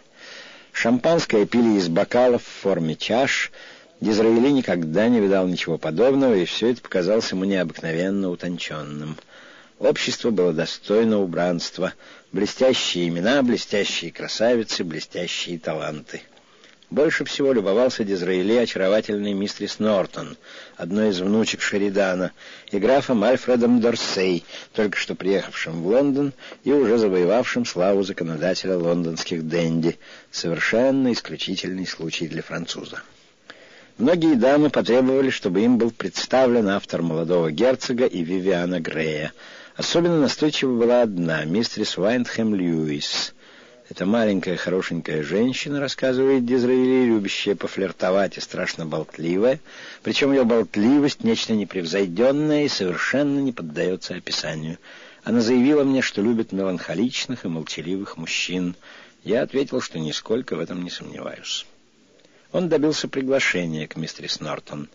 Дизраэли ей понравился. Он говорил немного, но блестяще, а она как раз искала интересных собеседников — у англичан того времени была привычка в каждой фразе заменять сказуемое жестом. Изысканная и совершенная речь молодого человека выделялась среди этого модного лепетания. Он явился к Каролине Нортон в черном бархатном фраке, в темно-красных, расшитых золотом панталонах, валом жилете, сверкая кольцами поверх лайковых перчаток. Нортон занимали в Сторой Гет такую маленькую квартирку, что в гостиной почти ничего не помещалось, кроме большого дивана. Белые муслиновые занавески украшали окна, а за ними был уставленный цветами балкон. С этого балкона Каролина Нортон каждое утро приветствовала своего знаменитого друга, лорда Мельбурна, проходившего мимо в парламент. Рассказывали, что сам Нортон смотрел сквозь пальцы на их сентиментальную дружбу, так как считал ее выгодной. Крохотная гостиная была битком набита политическими деятелями, знаменитыми писателями и в полном смысле слова озарялась необычайной красотой внучек Шеридана. В одном из кресел сидела их мать, о которой говорили, что она все еще красивее всех женщин в мире, если не считать ее дочерей. Их было три. Хозяйка дома мистерис Нортон, мистерис Блэквуд и самая прекрасная из них леди Джорджина Сеймур, затмевавшая красотой даже сестер. У мистерис Нортон были черные волосы, уложенные косами вокруг головы, прекрасный греческий профиль, обворожительная привычка краснеть. Если в разговоре ее затрагивала какая-нибудь фраза, внезапно розовое пламя смешивалось с чуть оливковым тоном лица, олело одно мгновение и потом исчезало. Глаза и губы были ослепительны, словно драгоценные камни. Алмазы, рубины, сапфиры — Леди Сеймур была совсем в другом роде. Лицо у нее было бледное, перламутровое, глаза сияли мягким блеском, как водоемы при лунном свете. Когда кто-нибудь говорил мистерис Нортон о том, какое впечатление производят все эти красавицы, она оглядывала с нежной и ясной улыбкой миниатюрную гостиную и свою блестящую родню, а потом отвечала «Да, пожалуй, мы недурно выглядим». Беседа с мистерис Нортон совсем очаровала Дизраэли. У нее была восхитительная манера говорить о каком-нибудь вздоре, скромно опуская длинные и густые ресницы. «Вчера обедал у мистерис Нортон», — пишет он Саре. «Были именины старшего брата, который, — сказала она, — один только солидный человек из всей нашей семьи, да и то потому, что у него болезнь печени. Сестра мистерис Блэквуд тоже очень хороша и вся в Шериданов». Она сказала мне, что ничего собой не представляет, потому что, видите ли, Джорджина красавица, Кэрри умница, а я должна была бы быть воплощенная доброта, но у меня к этому нет никаких способностей. Должен сознаться, что она мне бесконечно понравилась. Кроме того, она знает наизусть все мои книги и может повторять целые страницы из Вивиана Грея и молодого герцога. Три грации из семьи Шеридана внесли много очарования в жизнь молодого писателя. Все три они были вполне свободны. Мистерис Нортон в восторге, что избавилась от невыносимого мужа, с удовольствием позволяла Дизраэли сопровождать ее в театры на балы. Ему тоже нравилось появляться с ней. Лондон того времени был похож на картины Ватто. Обеды, балы, пикники на реке. Дизраэли поспевал всюду. Он успел позабавить, привлекал красивых женщин, только что вернулся из путешествия, его стали приглашать... Я легко пробиваю себе дорогу в самые изысканные гостиные, где не завидуют и не хитрят, но любят восхищаться и повеселиться. Стол Диззи, так прозвал его Майфер, был завален завидными приглашениями. Было приятно принимать их. В обществе этих блестящих, остроумных, приветливых людей он чувствовал себя гораздо больше на своем месте, чем среди мещанской обстановки своего детства. Он восхищался непринужденной и смелой грацией женщин и молодых лордов. Все они были воплощением его грез. Белокурые юноши, ослепительные и великолепные англичане и прекрасные породистые англичанки. Ему нравилась роскошь особняков, красота цветов, блеск женщин. Его черствая гордость таяла, таяла хотя бы с виду. Он становился доверчив, жил в лихорадке радости. «Хотелось бы мне, — писал ему отец, — чтобы ты смог написать письмо поспокойней». Но Бен был не способен писать спокойные письма, его опьяняла красота жизни. Интерес к истории толкал его в общество стариков — Одним из его лучших друзей была старая леди Корк, устраивавшая у себя приемы каждый вечер, несмотря на свои 87 лет. Это была самая миловидная и самая веселая из всех старушек. Герои и героини ее юности, зрелости, старости, фавориты, военные, поэты — все уже исчезли. Она успела повидать революции во всех странах света, помнила то время, когда город Брайтон был рыбацкой гаванью, а Манчестер — деревней, но она оставалась все той же любопытной, веселой, жадной до развлечений и до всего нового. Найдя, что молодой Дизраэли умен и любознателен, она помогла ему своей всемогущей протекцией. «Послушай хорошенькую историю», — пишет он Саре. «В понедельник лорд Корингтон явился к леди Корк с визитом» леди Корк. Вы знаете молодого Дизраэли? Лорд Корингтон. Хм, а что? А? Леди Корк. Как, а что? Он ваш сосед, правда? Лорд Корингтон, вернее, его отец. Леди Корк. Знаю его, отец один из моих лучших друзей. Я без ума от семьи Дизраэли. Лорд Корингтон. Молодой человек очень странная личность. Мне нравится отец, он спокоен и приличен. Леди Корк, почему вы считаете молодого человека странным? Просто я думаю, вы не способны его понять. Лорд Корингтон, он какой-то беспокойный. Впрочем, он сейчас никому особенно не надоедает. Он всегда в отъезде, кажется, опять за границей. Леди Корк, буквально. Ах, вы старый чудак. Он только сегодня прислал мне вот эту книгу. Не смотрите ее, пожалуйста, вы все равно не поймете. Это лучшая, которая когда-либо была написана за границей. Он здесь. Во всем Лондоне не найдете человека такого хорошего тона. Ни один удачный вечер не обходится без него. Герцогиня Гамильтон называет его несравненным. Леди Лоунсдель готова ручаться за него своей головой. Он и обедать бы у вас не стал, если бы вы его пригласили. Он ценит человека не за то, что он лорд. Он ищет или изящество, или красоту, или ум. А вы, конечно, очень милый человек, но и только. Старый лорд отнесся к этому добродушно и только посмеялся. Леди Корк прочла мою последнюю книгу от первой до последней страницы, и я не сомневаюсь в искренности ее похвал, так как она купила на целых 17 шиллингов алая бар, алого бархата, и ее горничная сейчас переплетает книгу. Рассказано все это специально для Сары. Было бы неосторожно поверить всему полностью. Семья мирилась с тем, что, описывая свои успехи, Бенджамен немного сгущал краски.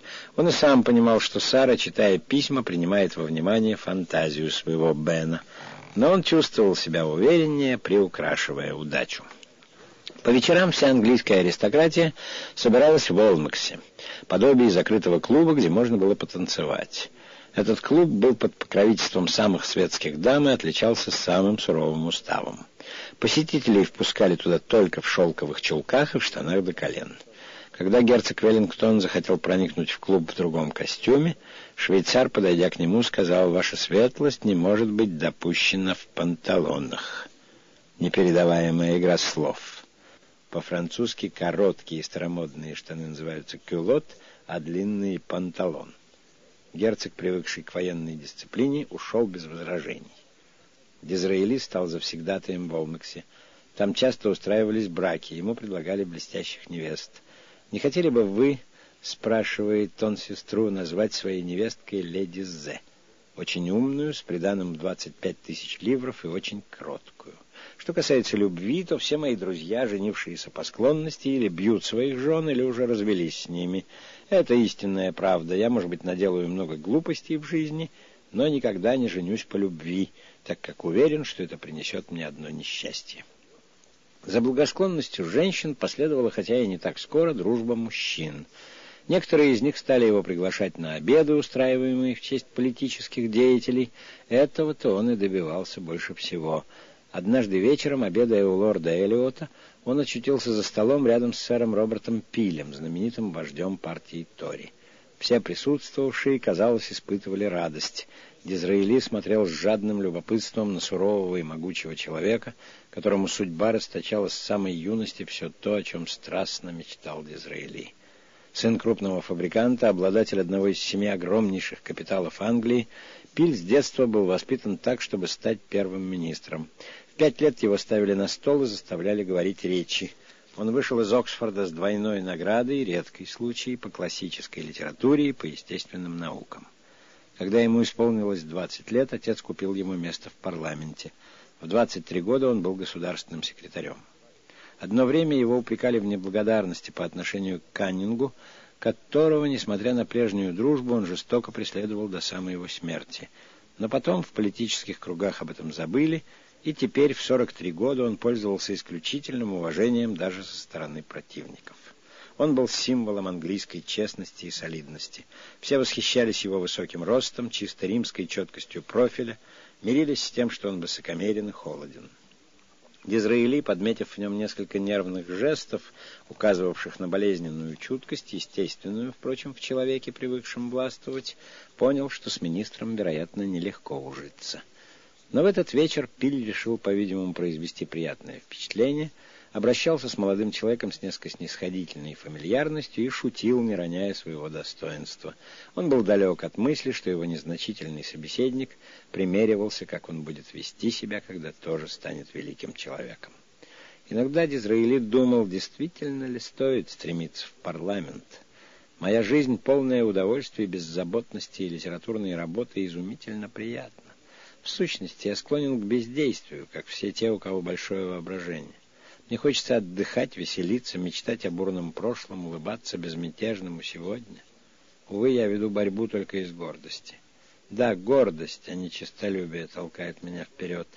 Обо мне не посмеют сказать, ему не повезло. Однажды, когда он поделился этими мыслями с Бульваром, Последний повернулся к нему, взял его за руку и сердечно сказал, «Правда, мой дорогой, мы жертвуем молодостью, временем удовольствий, сверкающими годами радости, но мы должны продолжать, должны. Вот бы обрадовались наши враги, если бы мы ушли со сцены. Да, конечно, необходимо было продолжать». Но когда вечер был восхитителен, когда после бала молодой человек возвращался ночью по Лондону, сверкавшему огнями сквозь туман, когда прелестная женщина дольше, чем надо, пожимала на прощание руку, он говорил себе, что чистолюбие, счета и безумие, что это пустая жизнь не маска, надетая на время, а сама истина и сама мудрость, и что он хотел бы вечно лежать у ног трех внучек Шеридана, как дерзкий и нежный паш. Глава 9. Независимый. Эпиграф. «Прощайте, дорогой лорд, вы показали мне самое прекрасное зрелище, какое можно увидеть на островах, вельможу у себя дома, в лоне семьи». Дизраэли. В июне 1832 года в Палате лордов был поставлен на голосование новый избирательный закон.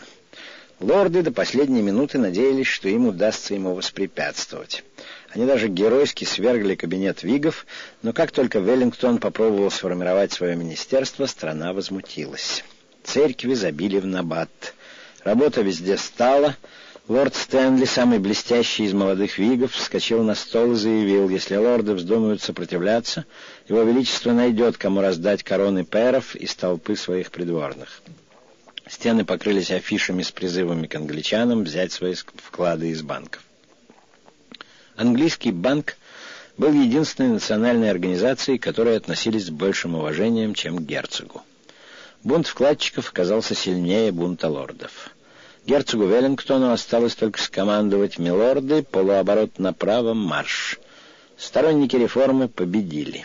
Выборы, которые должны были происходить по новому способу баллотировки, могли только подтвердить победу. Разгром Тори был очевиден. Можно себе представить, с каким интересом такой человек, как Дизраэли, должен был следить за важными событиями. В период смятения, казалось, было легко обеспечить себе место в парламенте. Как только реформа была принята, он уехал в Вайкомп, городок по соседству с имением его отца, и начал знакомиться с избирателями. Избирательный округ был в руках Вигов, и Дизраэли именно ждал случая выдвинуться как радикал – в глубине сердца он все больше и больше сочувствовал Тори. Ему казалось, что старая партия помещиков, дворян-фермеров полна живописного величия, которого другие не могли достичь. Он подружился с некоторыми из них.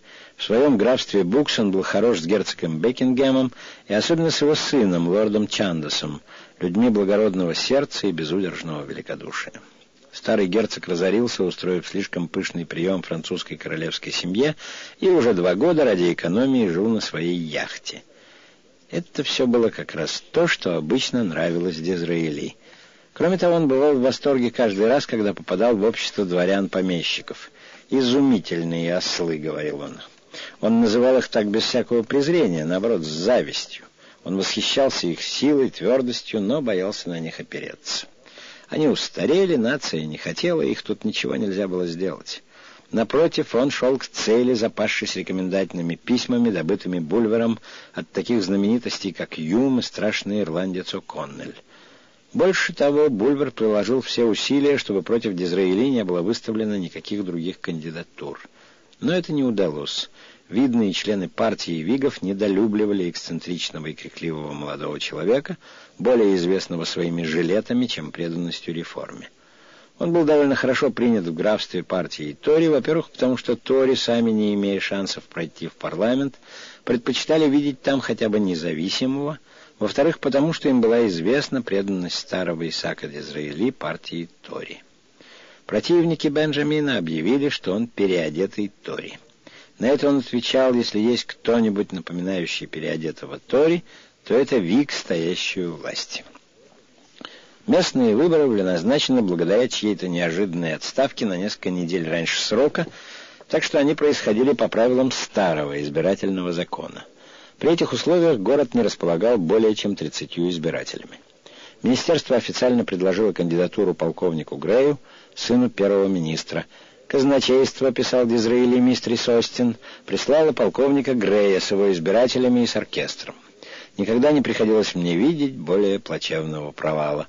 После того, как они все продефилировали по городу под оплаченные крики приветствий, Грей с высоты своего фаэтона пролепетал десятиминутную речь. Весь Уайткомп высыпал наружу. Чувствуя, что наступил критический момент, я вскочил на крыльцо гостиницы «Красный лев» и закатил им речь в течение часа с четвертью. Не могу вам описать ее эффекта. Я свел их всех с ума. Многие буквально плакали. Все женщины за меня и носят мои цвета, белый и розовый. Носите вы их. Увидев на балконе красного льва бледного молодого человека в черных локонах, в кружевных манжетах, который держал в руке трость с золотым набалдашником, а прежде чем начать речь, заботливо поправил себе локоны, обитатели Уайткомба подумали, что услышат от него детский лепет — но когда изумительно мощный голос загремел на всю улицу, произнося красноречивую саркастическую речь, громко и страстно обличающую Вигов, Вайкомп был охвачен волнением и энтузиазмом. Дизраэли же опьянел от впервые испытанной радости почувствовать свою власть над толпой, прислушиваться к собственным словам, восхищаться стройными и мощными фразами в нужную минуту, внушаемыми оратору божественным вдохновением — когда баллотировка пройдет, заключил он свою речь, указывая на хвост льва, украшавшего крыльцо дома, мой противник будет там, а я, он указал на голову льва, здесь. Обитатели Вайкомба никогда не видели своего старого льва в рамке такой пышной фразы. В день выборов Дизраэли сказал еще одну речь. Он заявил, что не принадлежит ни к одной партии, Тори поддерживают его, но еще раньше его поддерживал народ — он стремится улучшить жизнь бедняков, фраза редкая для предвыборных речей в Англии того времени, так как неимущие не имели права голоса. Он сам из народа, и в жилах у него нет ни капли крови Тюдоров или Плантагенетов. Вслед за этим 32 избирателя Ваткомба вошли один за другим на трибуну и заявили о том, кого они выбирают депутатом. Вскоре сообщили результат – Робкий и косноязычный полковник получил 20 голосов, а блестящий оратор Красного Льва только 12. Ему не пришлось уподобиться львиной голове. Он опять поднялся на трибуну и сказал, «Хорошо, Виги победили меня, они в этом раскаются». Но он был печален и разочарован. В октябре были объявлены расширенные выборы, и Дизраэли вернулся в Вайкомб. Опять он рекомендовал себя как независимого – у меня нет партии, мне нет дела до партии. Англичане, избавьтесь от политического жаргона. Виги, Тори, в этих наименований только один смысл — желание вас обмануть. Соединитесь, чтобы создать одну большую национальную партию, только она спасет страну от неминуемой гибели. Консерваторы по совету лорда Чандуса, как и в первый раз, сохранили по отношению к Дизраэли благожелательный нейтралитет. Дизраэли, кандидата со стороны радикалов, упрекнули за эту поддержку. Я, — ответил он, — консерватор постольку, поскольку хочу спасти все, что есть хорошего в нашей Конституции.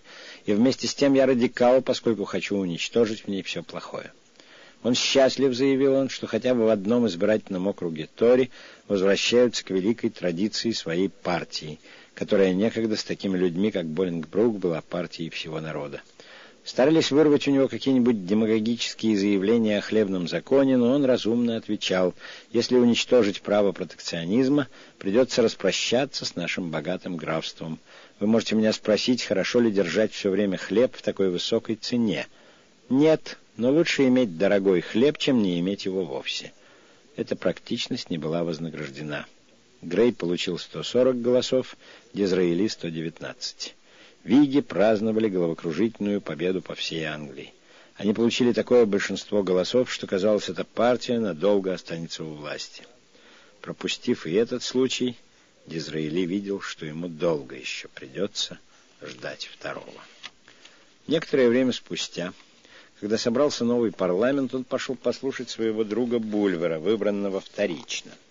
Вечером он писал Саре, Бульвер говорил речь. Физически он совсем не годится для роли оратора и, несмотря на все свои усилия, не будет иметь успеха. Маколей изумителен. Но между нами я бы их всех заткнул за пояс. Говорю это, конечно, только вам. Если я в чем-нибудь уверен, так это в том, что смог бы повернуть все по-своему в палате. Мое время придет. У себя в дневнике он отмечает, в обществе считают, что я слишком самоуверен. Они ошибаются. Все промахи моей жизни проистекали из того, что я жертвовал своими убеждениями в пользу чужих. В те минуты, когда со стороны казалось, что я особенно доволен собой, я нервничал и только иногда чувствовал приступы веры в самого себя. В будущем я буду всегда руководиться только своим инстинктом, он никогда меня не обманывал. Я велик только когда действую. Если я когда-нибудь действительно займу высокое положение, я докажу это. Я смог бы руководить палатой общин, но на первых порах против меня стали бы бороться, используя предрассудки. Когда-то, после неудачи с журналом, его потянуло написать роман. Теперь, после двух политических неудач, ему захотелось создать поэму. Он отправился в Брэденхэм, заперся там в своей комнате, иногда бродил один по парку в тени буков и обдумывал сюжет поэмы. Это был тот самый сюжет, который пришел ему однажды в голову во время путешествия по Востоку, когда он любовался долиной Трои. «Гомер», — сказал он себе, — «а почему бы не написать такой же великой поэмы, как поэмы Гомера?» На языке Дизраэли это означало «а почему бы мне не написать?» Все дело было только в сюжете, подходящем для современной эпопеи. Было совершенно очевидно, что надо остановиться на Наполеоне. В начале поэмы к Богу являются гений феодализма и гений демократии. Каждый красноречиво защищает свое право на власть, потому что Дизраэли восхищался феодализмом в прошлом и верил в неизбежность демократии в будущем. В первой песне должен был быть диалог между Дизраэли номер один и Дизраэли номер два. Труднее всего было заставить Бога сделать выбор, но Бог осторожно сообщал, что родился сверхъестественный человек — и что именно политика этого титана восторжествует. Человеком-чудом должен был быть Наполеон, а итальянский поход становился темой второй песни. «Что вы думаете об этом?» — писал автор мистер Остин. «По-моему, божественно задумано». Когда первая песня была готова, он отправился однажды вечером прочесть ее мистер Остин. Собрался еще кое-кто, и все нашли, что сцена чтения была более чем забавна — Высокий молодой человек стоял, прислонившись к камину, играл своими локонами, самодовольно любовался розетками из алых лент у себя на бальных туфлях и заявлял присутствующим, что он современный Данте и Гомер. Все это вызывало едва сдерживаемый смех. Вскоре были изданы две первые песни, публика встретила их холодно. Дизраэли, собственно, никогда особенно не дорожил званием Гомера. Поэма начинала ему надоедать, он забросил ее и перестал о ней думать. Глава 10. Женщины. Светская жизнь дает чистолюбцу, потерпевшему поражение в политике, возможность приятного и верного реванша. Общество обращается иногда с неудачником, особенно если он привлекателен, лучше, чем с победителем или министром. Женщинам нравится, когда у мужчины много свободного времени из-за того, что он не удел. Это влечет его к ним. Дизраэли с радостью обрек себя на сладкое рабство. Он был счастлив опять увидеть несравненных сестер трех граций из семьи Шеридана. Число окружавших его красавиц росло. Соседки по Брэденхэму, леди Честерфильд и мистер Сансон, тоже сестры, как-то пригласили его на прекраснейший костюмированный вечер.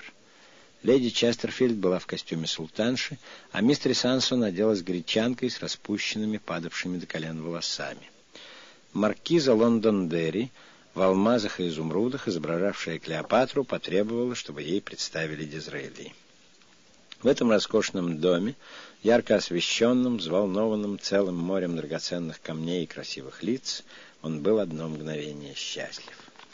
У него появилась возлюбленная, он привязался к ней и написал в честь ее роман «Генриетта Темпл». За ним последовал второй из жизни Байрона и Шелли «Венеция». Подлинная Генриетта была замужем, но тем не менее свободна. Она принадлежала к той изысканной компании, которую любил Дизраили. Им удалось собрать вокруг себя лучшее общество Лондона. Каждый день их куда-нибудь приглашали. То был пикник на реке, то гулянье по саду, достойному кисти Веронеза, с цветами, фонтанами, попугаями, то восхитительный ужин после оперы. Иногда он участвовал в охоте верхом на чудесной арабской кобыле, принадлежавшей его возлюбленной, перескакивал через все барьеры, завоевывая уважение самых искусных наездников.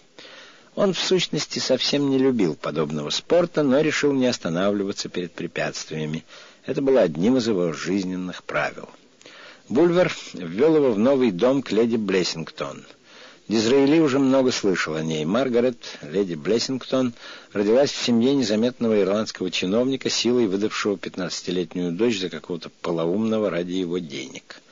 Лорд Блессингтон, вельможа и богач, человек со странностями, вдовец, имевший двух дочерей и годовой доход в 30 тысяч ливров, обрел где-то эту неизвестную красавицу, предложил ей уехать в Англию, развести ее с мужем и жениться на ней. Лорд и леди Блессингтон поехали в Италию, куда их сопровождал один молодой француз, граф Д'Орсей, образец красоты, обаяния и культуры.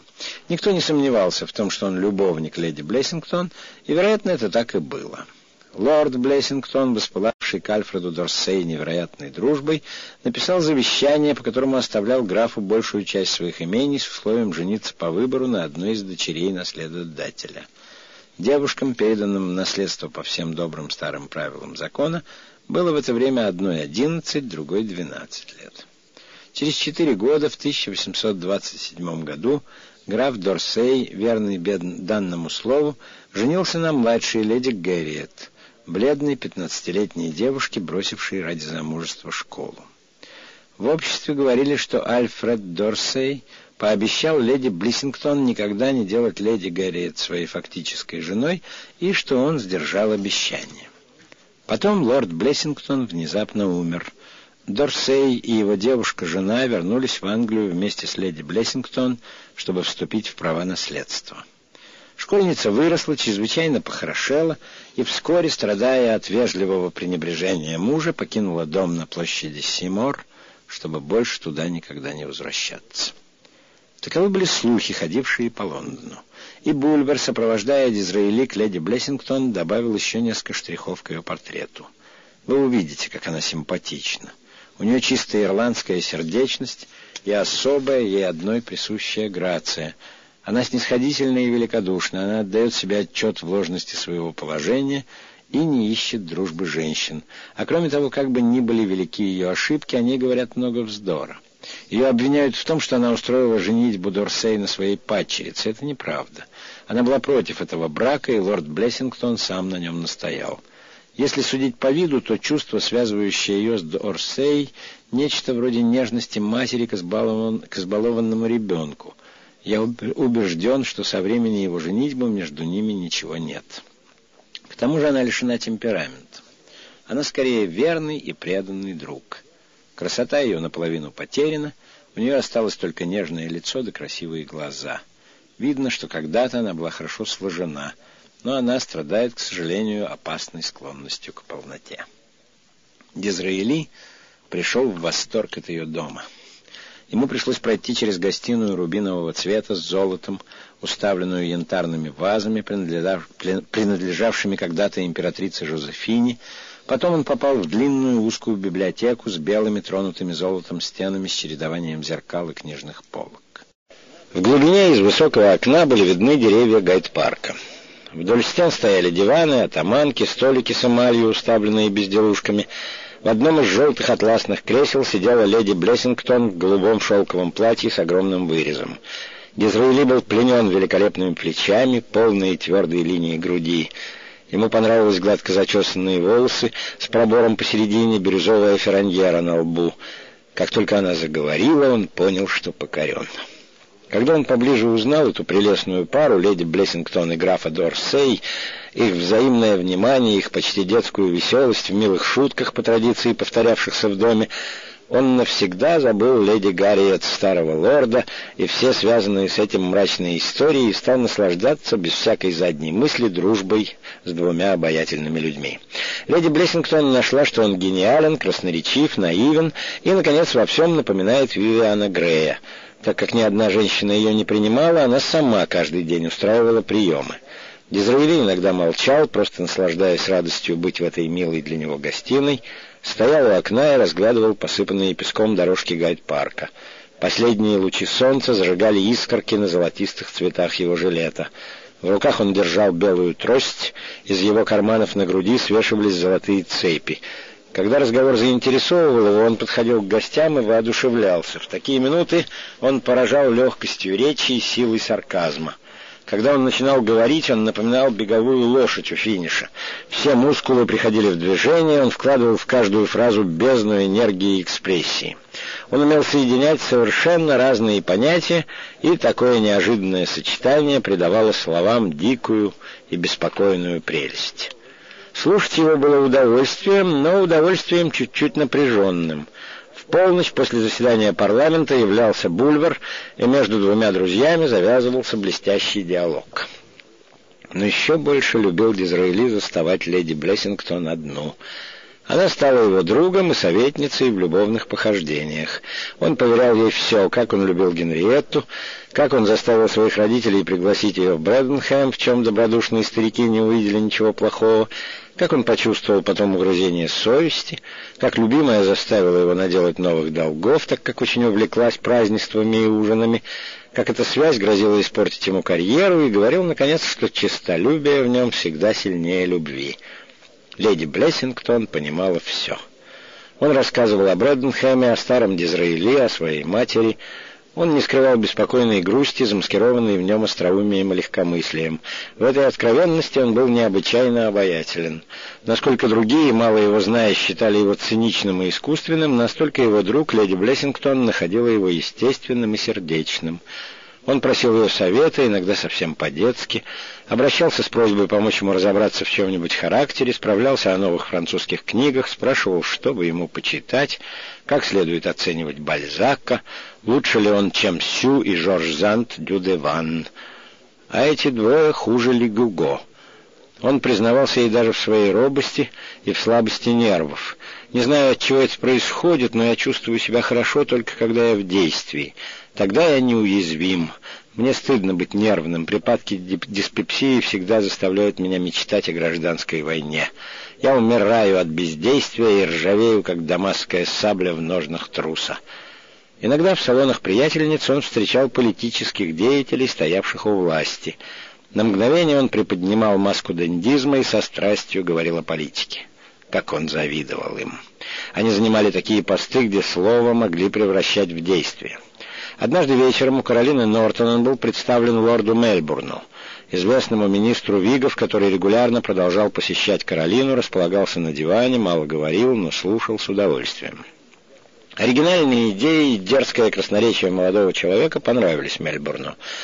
Внезапно, со свойственным ему угрюмым добродушием, он предложил ему свою помощь. «Ну, скажите мне, чего бы вы хотели?» «Быть первым министром», — последовал ответ. Мельбурн вздохнул и пожал плечами. «Нет-нет», — сказал он очень серьезно, — «вряд ли это станет возможным в течение вашей жизни. Все заранее распределено. Следующим первым министром будет Стэнли, он как молодой орел среди соперников.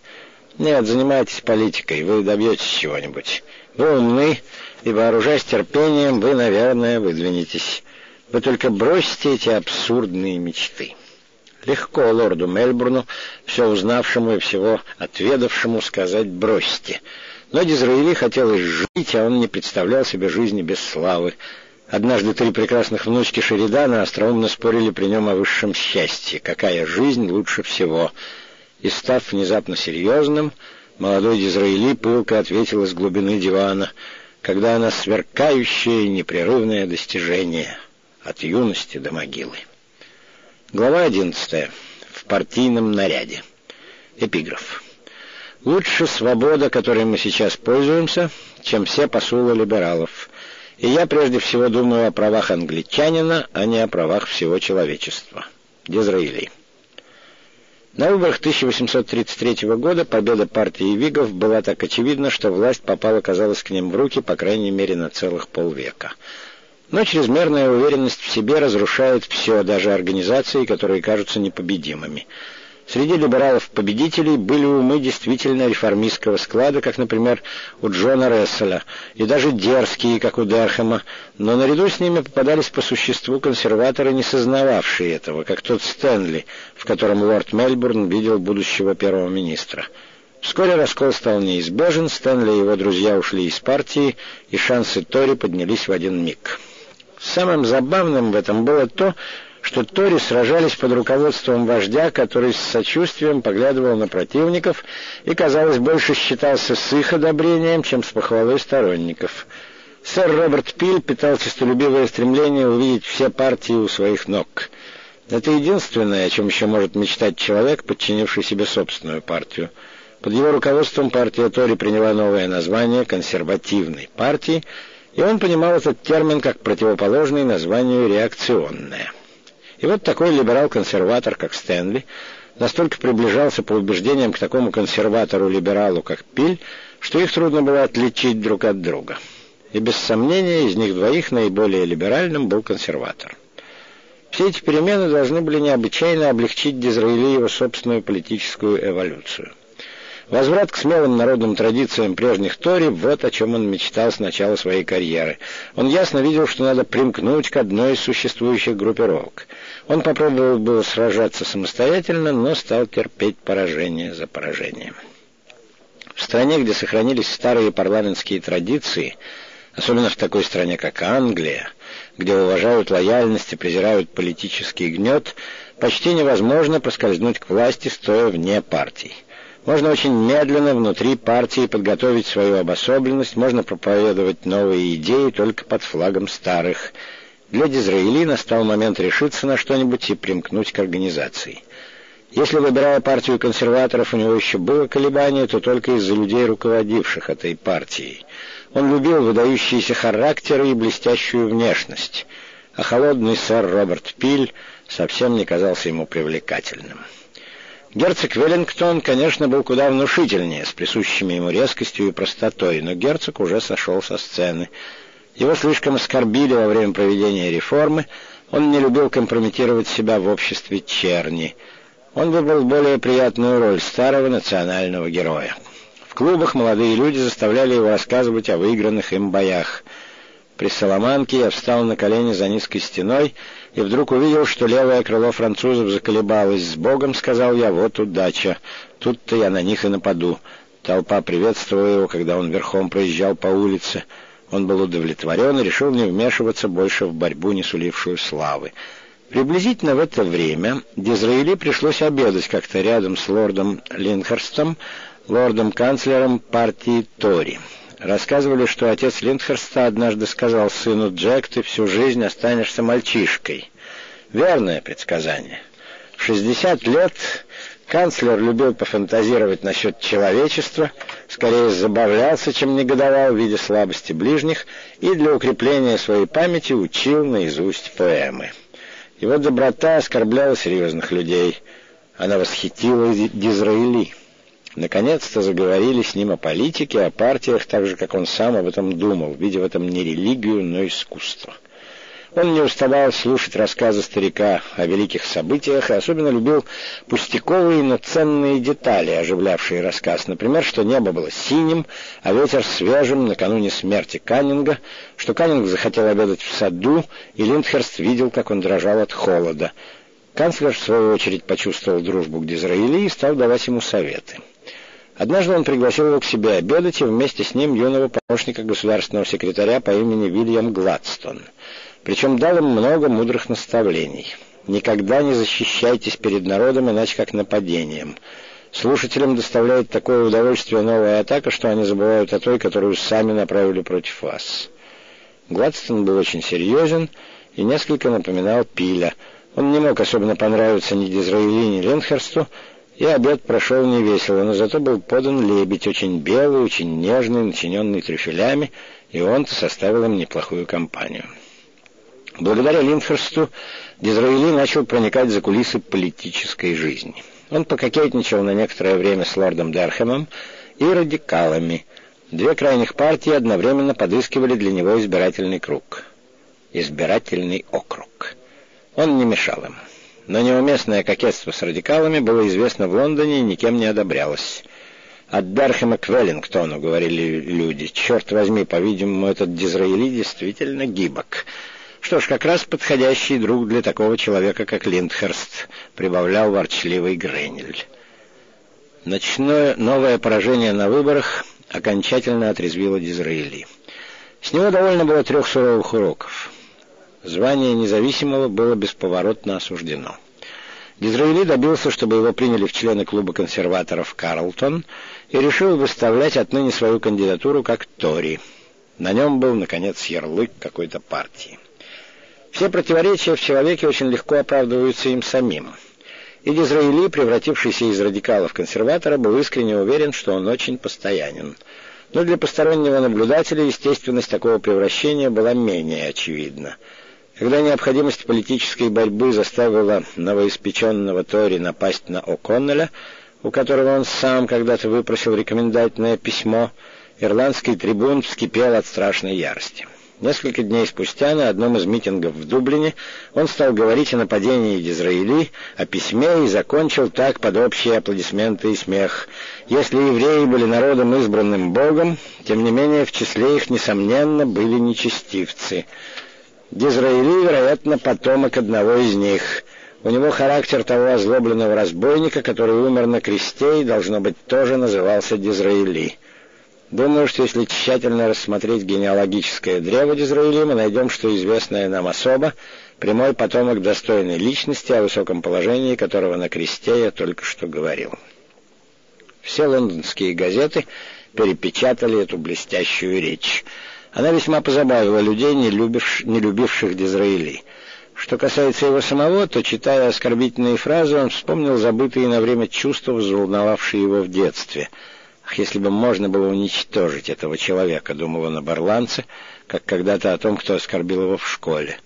Он побежал к Дорсей и попросил его устроить поединок, но О'Коннель, убив когда-то на дуэли противника, дал клятву никогда не драться. Дизраили вызвал его сына, Моргана О'Коннель, который ответил, что будет мстить за оскорбления, нанесенные отцу, но не может отвечать за все его речи. Тогда Дизраили написал О'Коннелю дерзкое письмо. «Хотя вы давно поставили себя за пределы цивилизованного мира, но мне не хочется выносить оскорблений даже от дикаря, не наказав его за это». Он строго осуждал отца и сына за отказ драться. «Мы встретимся при Филиппинах, и будьте уверены, что я воспользуюсь первым случаем, чтобы проучить вас так, что вы пожалеете об оскорблении, нанесенном Бенджамену Дизраэли». Написав письмо, он восстановил свое равновесие и уверенность в себе. Он надел самый ослепительный фраг, наиболее расшитый жилет и отправился в оперу, где все говорили ему, что он был очень храбр.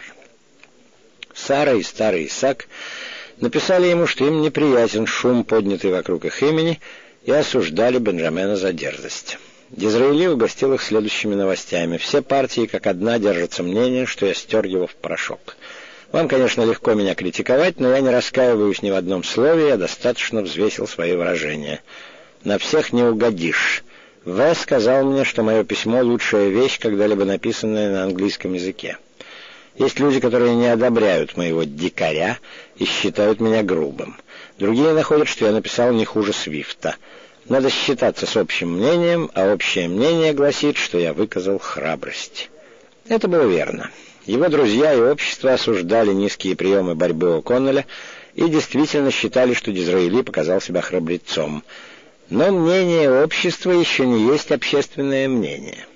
В Англии общественным мнением является мнение купцов за прилавками, священников в деревнях, всех широких недоверчивых масс, лишенных фантазий, называемых английской нацией. Для этих масс образ молодого политиканствующего писателя, выяснившийся из газетных статей, был одним из самых неприятных. Это был образ крикливого, пестрого существа, без политических убеждений, смешного и дерзкого.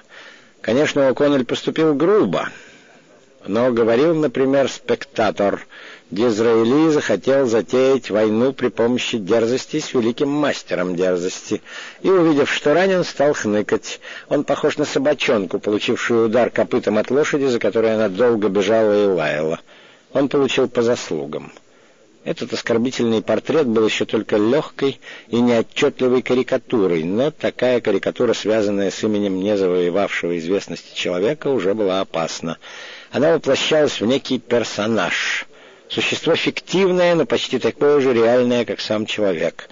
Стоит только общественному мнению создать такой фиктивный образ человека, как факты, отвечающие этому образу, удерживаются у всех в памяти, противоположные же факты пропускаются мимо ушей. Молодой Дизраили был бы очень удивлен, если бы ему пришлось где-нибудь встретить тот фиктивный персонаж, за который его принимали деловые англичане. Он отвернулся бы от него с презрением и ужасом. Он был бы далек от подозрения, что встретился со своим самым страшным врагом, с которым придется сражаться всю жизнь. Глава 12. Член парламента. Снова настал сезон балов.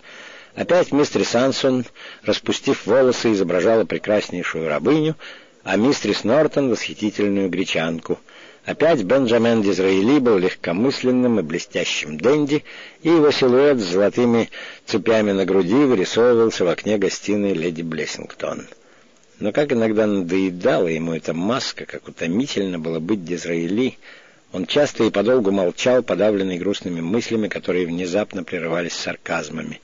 Время шло, 32 года, это уже старость для пажа.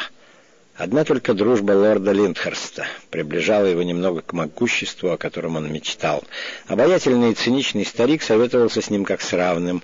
Они вместе сожалели о том неверном направлении, которое Пиль давал партии. Под таким руководством партия консерваторов была армией, лишенной веры, потому что вождь сам не верил в нее. На практике Пиру надлежало отстаивать традиционные учреждения страны, монархию, палату лордов, английскую церковь, но в теории он склонялся к мысли, что их невозможно защищать. Партия консерваторов была хорошо обеспечена. Многие из ее членов являлись владельцами замков, заводов, земель, но ей не доставало ни гениального руководителя, ни доктрины. Пиль много говорил о консерватизме, но что этим консерватизмом надо было охранять, он сам не знал. Наоборот, чем больше Дизраэли думал о политической жизни Англии, тем для него становилось очевиднее, что нужно храбро готовиться к бою. Для него быть консерватором совсем не значило поддерживать с виноватой улыбкой Конституцию, считавшуюся уже ветхой. Для него это была позиция, полная романтизма и достоинства, единственно разумная и единственная, которая честно считалась подлинной Англией, с деревнями, разбросанными вокруг замков, с крепким и упрямым классом помещиков, с древней и вместе восприимчивой ко всему новому аристократией, а главное с историей. Уважение к традициям, часто высмеиваемое поверхностными людьми, имеет, я думаю, свое основание в глубоком знании человеческой природы. Ему было ясно, что против теоретической доктрины либералов и утилитаристов надо было выдвинуть учение реалистического порядка — для него вся современная ему политическая борьба была борьбой исторической школы против философской. Он предпочитал историю. Страна — не отвлеченное понятие, и законы для нее не могут быть найдены простой гимнастикой ума. Нация — это произведение искусства и произведение времени.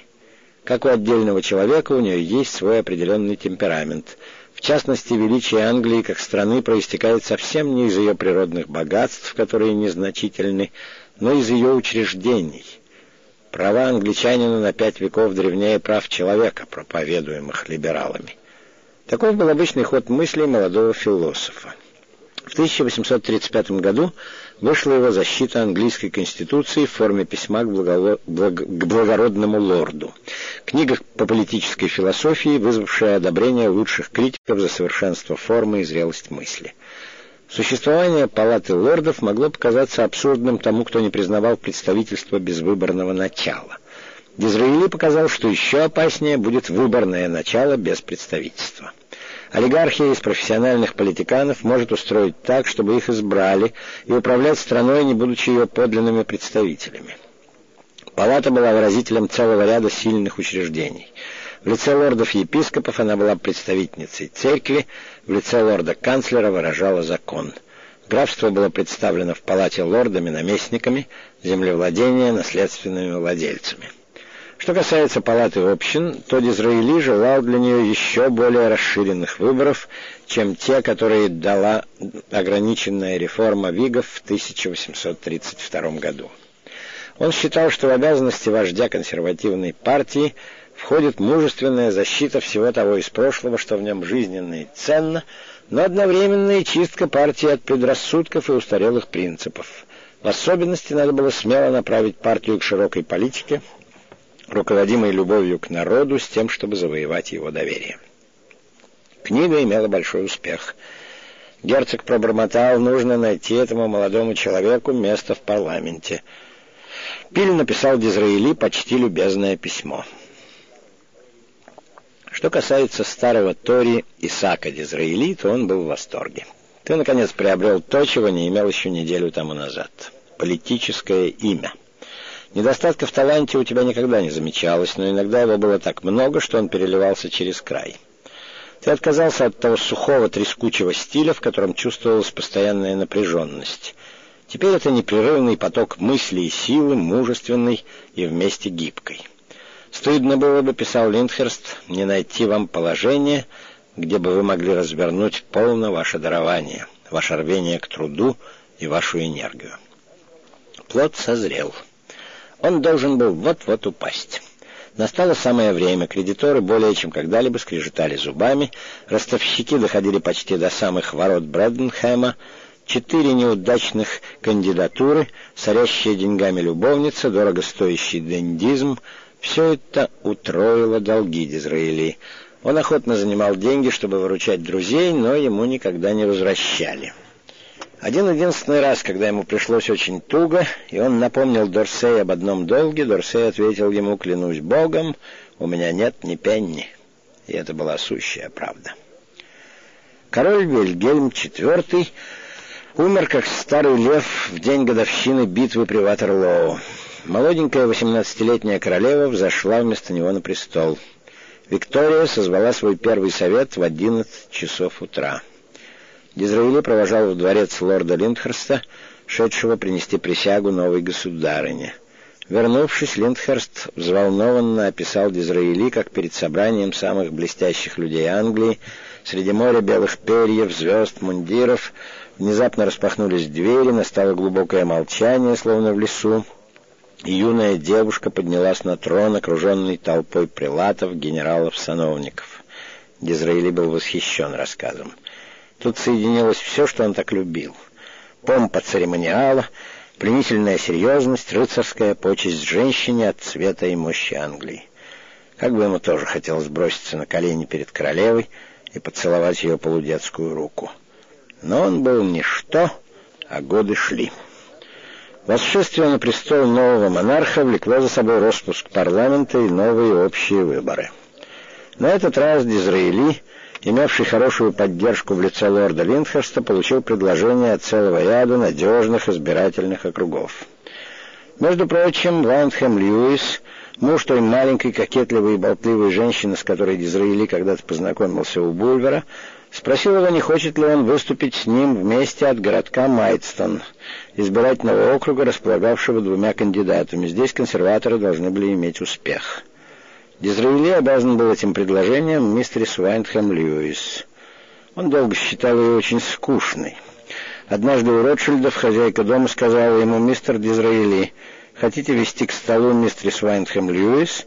На что он ответил, «Ах, кого хотите, но только не эту невыносимую женщину». Хотя, в конце концов, Аллах велик. и, заложив по своему обыкновению большой палец за вырез жилета, он пошел на казнь. Но после нескольких встреч ему пришлось изменить о ней мнение. У мистерс Льюис не было ни ума, ни особенного образования, но она судила о делах с большим здравым смыслом. Ее отзывы о политических деятелях были далеко не глупы. Она не раз давала ему хороший совет, в конце концов он стал милостиво принимать частые приглашения на обед в большой дом Льюисов в Лондоне против Гайд-парка. Было ясно, что мистерис Вайнхэм заинтересована Дизраилей. Она им восхищалась и была рада быть ему полезной. Женщина находит обычно удовольствие в подобного рода дружбе. Дизраили, в свою очередь, ухаживал за ней полусерьезно, полушутя, что было очень приятно этой слегка перезрелой красавице. Во время предвыборной кампании дружба с ней была для Дизраили чем-то вроде боевого крещения. Он писал ей любезные письма, где говорил, что ему приятно видеть их имена, поставленные рядом в списках. Он совсем забыл о своей былой антипатии. Никто, даже Сара, никогда не хвалили его так, как эта женщина. «Запомните мое предсказание», — писала она, — «мистер Дизраили через несколько лет будет одним из величайших людей своего времени». Его личное дарование при поддержке таких друзей, как Линдхерст и лорд Чандус, опираясь на влияние моего мужа, могущее поддержать его в парламенте, обеспечит успех. Все называют его моим протеже в парламент. Ее доброе мнение о новом кандидате разделялось уж во всяком случае одним человеком, а именно самим кандидатом. «Когда я вернусь сюда уже как ваш депутат», — сказал он избирателям Майдстона, — «каждый из вас посмотрит на меня с некоторой долей удовлетворения и, может быть, даже с гордостью». Выборы происходили 27 июня. Льюис и Дизраили были избраны. Таким образом, Дизраили почти без борьбы в несколько дней получил место в парламенте, о котором мечтал так долго. «Странная вещь, жизнь», — думал он. Пришлось несколько раз терпеть поражение в Вайкомбе, где, по его мнению, его знали и уважали. И вот неожиданно он добился успеха в Майдстоне, куда он попал всего неделю тому назад. Какой извилистый путь выбрала судьба, чтобы привести его к цели — Дизраили был обязан местом в парламенте материнским заботам маленькой болтливой женщины. Познакомился он с мистерис Вайнхэм благодаря дружбе с Бульвером. Предлогом к этой дружбе оказался Вивиан Грей. Вивиан Грей никогда бы не был написан, если бы не неудача с газетой и не спекуляции в Южной Америке. Спекуляции эти были задуманы в конторе на Фредерикс Плэс, Послали его в эту контору, потому что преследование в школе Когана закрывало, как показалось его отцу, возможность образования в университете. Так от звена к звену, возвращаясь мыслями к своему детству, он видел непрерывную цепь обстоятельств, где несчастные события были причиной счастливых, а эти последние, в свою очередь, толчком к несчастьям и неудачам. Как трудно было найти в этом постоянном и скрытом чередовании какую-нибудь последовательность или закон. Как все это было таинственно — Дизраили начинал смотреть на жизнь как на непрерывное чудо. Но все же в этом темном лесу тянулась сверкающая нить Ариадны, воля Бенджамина Дизраили. Он мог ошибаться в методах, плохо рассчитывать последствия своих поступков, и он почти всегда ошибался. Но он никогда не терял из виду ни ясной цели, ни твердого намерения достичь ее. Может, этого было достаточно? Вероятно, этого было довольно, так как он уже занес ногу в стремя. Бенджамин Дизраили, член парламента. Прекрасная аттестация, залог успеха в будущем. Через несколько месяцев восхищенное собрание будет слушать его совершенные периоды, сочные фразы, поражающие сочетание изысканных прилагательных с мощными существительными. А через несколько лет глубоко уважаемый мистер Дизраили будет управлять колониями или финансами великой страны. Позже. Сари Дизраили, Майдстон, 27 июля 1837, 11 часов. Дорогая, Льюис 707 голосов, Дизраили 616, полковник Томпсон 412. Все голоса почти использованы. Спешу. Диззи. Мистерис Вайнхэм Льюис. Брэденхэм, 30 июля. Мы все очень хотим, чтобы вы и мистер Уайнхэм посетили наш дом под Буками. Мы ничего не сможем предложить вам, кроме скромных развлечений, деревенского пейзажа и гостеприимного дома. Нежный привет моему коллеге и вам, Диззи. Мистер Уайнхэм Льюис, майору Эванс, своему зятю. «Я только что побывала в семье мистера Дизраэли. Они живут недалеко от Вайкомба в большом доме, где почти все комнаты длиной в 30 и в 40 футов. Много прислуги, лошадей и собак. Наконец, библиотека, полная редчайших книг. Как вам описать отца? Самый милый, самый достойный старик, которого я когда-либо встречала. Мисс Дизраэли хороша и умна. У нее два брата, старший ваш любимец в политике, обычно называемый Дизи, которого вам часто придется видеть, так как вы знаете, что Вайнхэм провел его в парламент вместе с собой. Дизраэли, мистерис Эдуард Бульвер Литтон. Любопытно, что я кончаю избирательную борьбу, став депутатом от Майтстона. Мы дети богов и рабы обстоятельств именно тогда, когда считаем себя господами. Какова будет следующая сцена в сверкающей комедии моей жизни? Только судьба это знает. Дизраэли. Д'Орсей, Дизраэли. Только, пожалуйста, без любви и без интриг. У вас есть место в парламенте, поэтому не рискуйте более, а если встретите вдову, женитесь на ней. Он провел в Брэденхэме три месяца, оставшихся после выборов до созыва нового парламента. Ему надо было обдумать прошлое и приготовиться к будущему.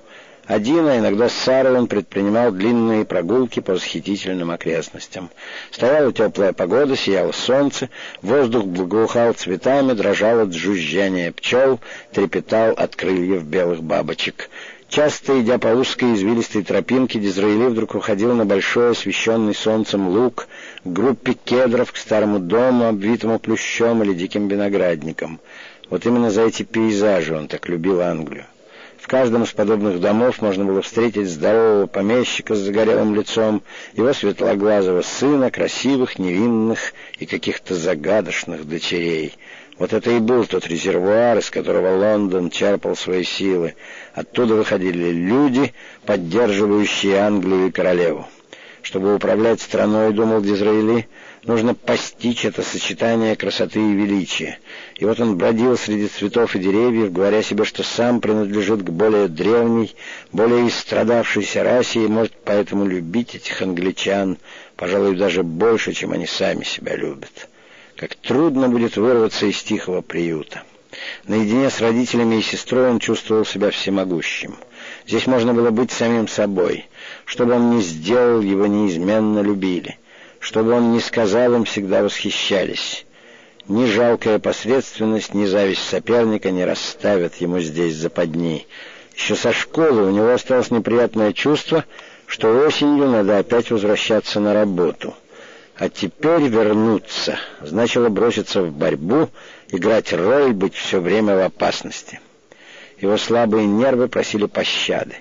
Всегда, чтобы преодолеть препятствия, он должен был пришпоривать себя, но все-таки чувствовал и беспокойство, и усталость. В особенности на этот раз, думая о будущих схватках в парламенте, он тревожно спрашивал себя, чем будет для него эта новая школа и кто его товарищи, которых он боится какой мере придется ему броситься, выйдя из тихой, в какое море придется ему броситься, выйдя из тихой гавани. Часть вторая. Глава первая. Первая речь. В Брэденхеме было так легко поверить, что вся Англия только и говорит об избрании Бенджамина Дизраэли в парламент. На самом же деле в Лондоне много говорили о юной королеве, об ее уме и непринужденности, о расположении, которое она, по-видимому, чувствовала к премьер-министру Мельбурну. Многие, вернувшись из отпуска, рассказывали о своей первой поездке по железной дороге. Вначале, признавались путешественники, они испытывали некоторые чувства страха, но чувство это легко удавалось преодолеть. Сейчас же Дизраэли навестил своих коллег. Вайнхэм Льюис, мистрис Вайнхэм, гордая своим протеже, повела его в театр, где, сидя в хорошо натопленной ложе, они смотрели кино. Дизраэли принял поздравления от Линхерста и сам поздравил его, так как этот крепкий старик только что женился на молоденькой девушке и мечтал теперь о сыне. Потом Лэндхэм Льюис показал Дизраэли парламент. Старинный Вестминстерский дворец сгорел от пожара, и лорды и общины заседали пока во временных помещениях. Было немного тесно, но Дизраэли сумел найти себе место как раз позади лидера своей партии, сэра Роберта Пида. Этот последний сердечно принял нового члена и пригласил его отобедать в следующий четверг в Карлтоне. Обед для членов палаты общин, больше никого. К этому времени мы кое-что уже выясним о настроениях этой новой палаты. Было очень приятно слышать это «мы». Вайнхэм Льюис по возвращении домой заметил жене Пиль самым сердечным образом говорил с Дизраэли. С первых же голосований стало ясно, что у власти останется либеральное министерство лорда Мельбурна, которое поддерживали и ирландцы. В течение двух недель Дизраэли оставался немым зрителем прений. Ему очень хотелось говорить, но он ужасно робел. Он видел кругом столько великих людей. Прямо против него на министерской скамье и перед официальным красным ящиком сидел лидер Вигов Джон Рассель. Каким он казался маленьким в своем старомодном черном сюртуке. Лицо, наполовину скрытое огромными полями шляпы, выражало отчаяние. Истинный представитель своей партии, он самые смелые идеи облекал в архаические фразы и аристократическим голосом выговаривал слово «демократия». Около лорда Ресселя лорд Пальмерстон, министр иностранных дел, с большими, тщательно расчесанными и накрашенными бакенбардами. О нем говорил Гранвиль, что он похож на старого отставного баденского крупье. А либералы считали его крайне вульгарным, так как в нем не было того традиционного уважения к престолу, которое всегда обнаруживали виги, особенно когда они с этого престола свергали королей. Ближе к себе Дизраили видел со спины внушительную фигуру Роберта Пиля, которая вырисовывалась над массивным столом, отделявшим министров от оппозиции. Сбоку от него виднелся тонкий горбатый нос, насмешливый рот, завитые и слегка растрепанные волосы блестящего лорда Стэнли, такого беззаботного, надменного, остроумного и одетого с такой нарочитой небрежностью, какой только мог позавидовать Дизи. Ближе к выходу среди радикалов он увидел приятеля Бульвара — среди группы ирландцев страшного недруга О'Коннелля. Что еще смущало Дизраэли, так это смешение в этом собрании величавых обычаев и небрежного поведения. Слушали ораторов невнимательно. Болтали во время речей, то и дело входили и выходили, но спикер был в мантии и парике, судебные пристава размещали и перемещали толпу, и, упоминая о ком-нибудь из коллег, депутат называл его не иначе, как достопочтенным джентльменом. Все эти мелкие подробности восхищали новичка, который так долго наблюдал их со стороны. Как он уверен был, что если выступит, то не сделает никаких промахов. Он будет согласно здешнему обычаю обращаться к одному спикеру, он каждого депутата-адвоката будет называть достопочтенный и ученейший джентльмен, а всякого депутата-офицера достопочтенный и отважный джентльмен, сэра Роберта Пила достопочтеннейший баронет и лорда Джона благородный лорд из оппозиции. Его фразы, когда он мысленно составлял их, падали как литые, выкованные в, парламентской, в парламентской формовке — если он сделается министром, как он сумеет после речи, вызвавшей шумные одобрения, небрежно опуститься на скамью казначейства, проводя по губам платком из тончайшего полотна. Но с тех пор, как он вблизи увидел могучую неподвижность этого громадного учреждения, к его нетерпению выступить, начало примеш... начало примешиваться и некоторое беспокойство. В палате общин обсуждался вопрос о подписке, организованной неким мистером Споттисвудом с целью доставить протестантским кандидатам в Ирландии нужные средства для борьбы с католиками. Этот сбор очень не нравился не только ирландцам, но и либералам, которые полагали, что эта подписка противоречит свободе выборов. Только что Коннель закончил свою пламенную речь, как встал Дизраили. Лорд Стэнли должен был отвечать от имени консерваторов, но Дизраили попросил уступить ему слово — и удивленный, но ко всему равнодушный Стэнли уступил. Ирландцы и либералы с любопытством осматривали внезапно выросшего перед ними нового оратора. Многие слышали, что это какой-то шарлатан, бывший радикал, ставший консерватором, сочинитель романов, напыщенный оратор. Знали к тому же, что у него была крупная ссора с О'Коннелем, и несколько друзей последнего немедленно сгруппировались около него, как только Дизраэли встал. На скамьях консерваторов деревенские джентльмены с беспокойством осматривали это такое чуждое английскому типу лицо. Их раздражали кудри и костюм. На Дизраэли был бутылочного цвета фрак, белый жилет, увешанный золотыми цепями. «Зачем же столько цепей, Диззи?» — говорил ему Бульвер. «Уж не собираетесь ли вы стать лорд-мэром?» Большой черный галстук, подчеркивающий бледность лица.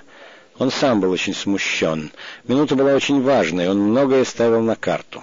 Он хотел показать либералам, какого человека они потеряли в нем, консерваторам, чтобы его лице они обрели будущего лидера. О'Коннеллю, что пробил час расплаты. У него были кое-какие основания быть уверенным в себе.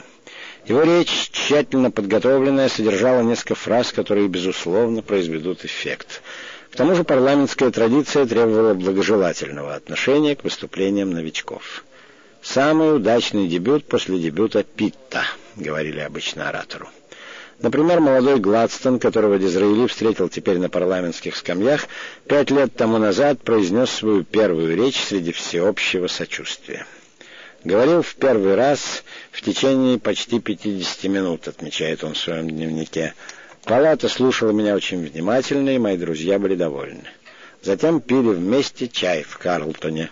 Но Гладстон воспитывался в Итоне и Оксфорде. У него было прекрасное чисто английское лицо с твердыми и банальными чертами. Он одевался в темное, и манеры его были степенны. Несколько напряженный голос Дизраили удивил всех и сразу не понравился. Он пытался доказать, что ирландцы, в частности О'Коннель, сами пользовались совершенно такими же сборами. «Это величавое попрошайничество», — сказал он. Палата не привыкла к высокопарным словам, и послышался легкий смех. «Я не хочу», — продолжал он, — «притворяться, будто не сознаю трудности своего положения». Новый смех. «Я уверен в снисходительности почтенных джентльменов. Смех и ближе к делу. Но если они не пожелают меня выслушать, я безропотно сяду на свое место» аплодисменты и смех. После минутной очень сомнительной тишины неожиданная ассоциация слов снова вызвала бурю. Из группы ирландцев раздались свистки, топот ног, подражание крикам животных. Дизраили хранил невозмутимость. Говоря откровенно, я бы хотел, чтобы палата дала мне лишние пять минут. Общий смех. Я здесь сегодня неформально, но, так сказать, по существу, являюсь представителем большого числа членов парламента безудержный смех. Зачем улыбаться? Смех. Зачем завидовать мне? Общий громкий смех. С этой минуты шум так усилился, что можно было разобрать лишь отдельные фразы. «Сэр, в момент, когда колокол нашего собрания известил нас о кончине монарха, охо-хо и громкий смех. Мы читаем тогда, сэр, рычание, рычание и крики охо. Если достопочтенные члены палаты полагают справедливым помешать мне говорить, я подчиняюсь. Безудержный смех. Я только могу еще сказать, что я лично не позволил бы себе таких выходок против кого бы то ни было. Смех.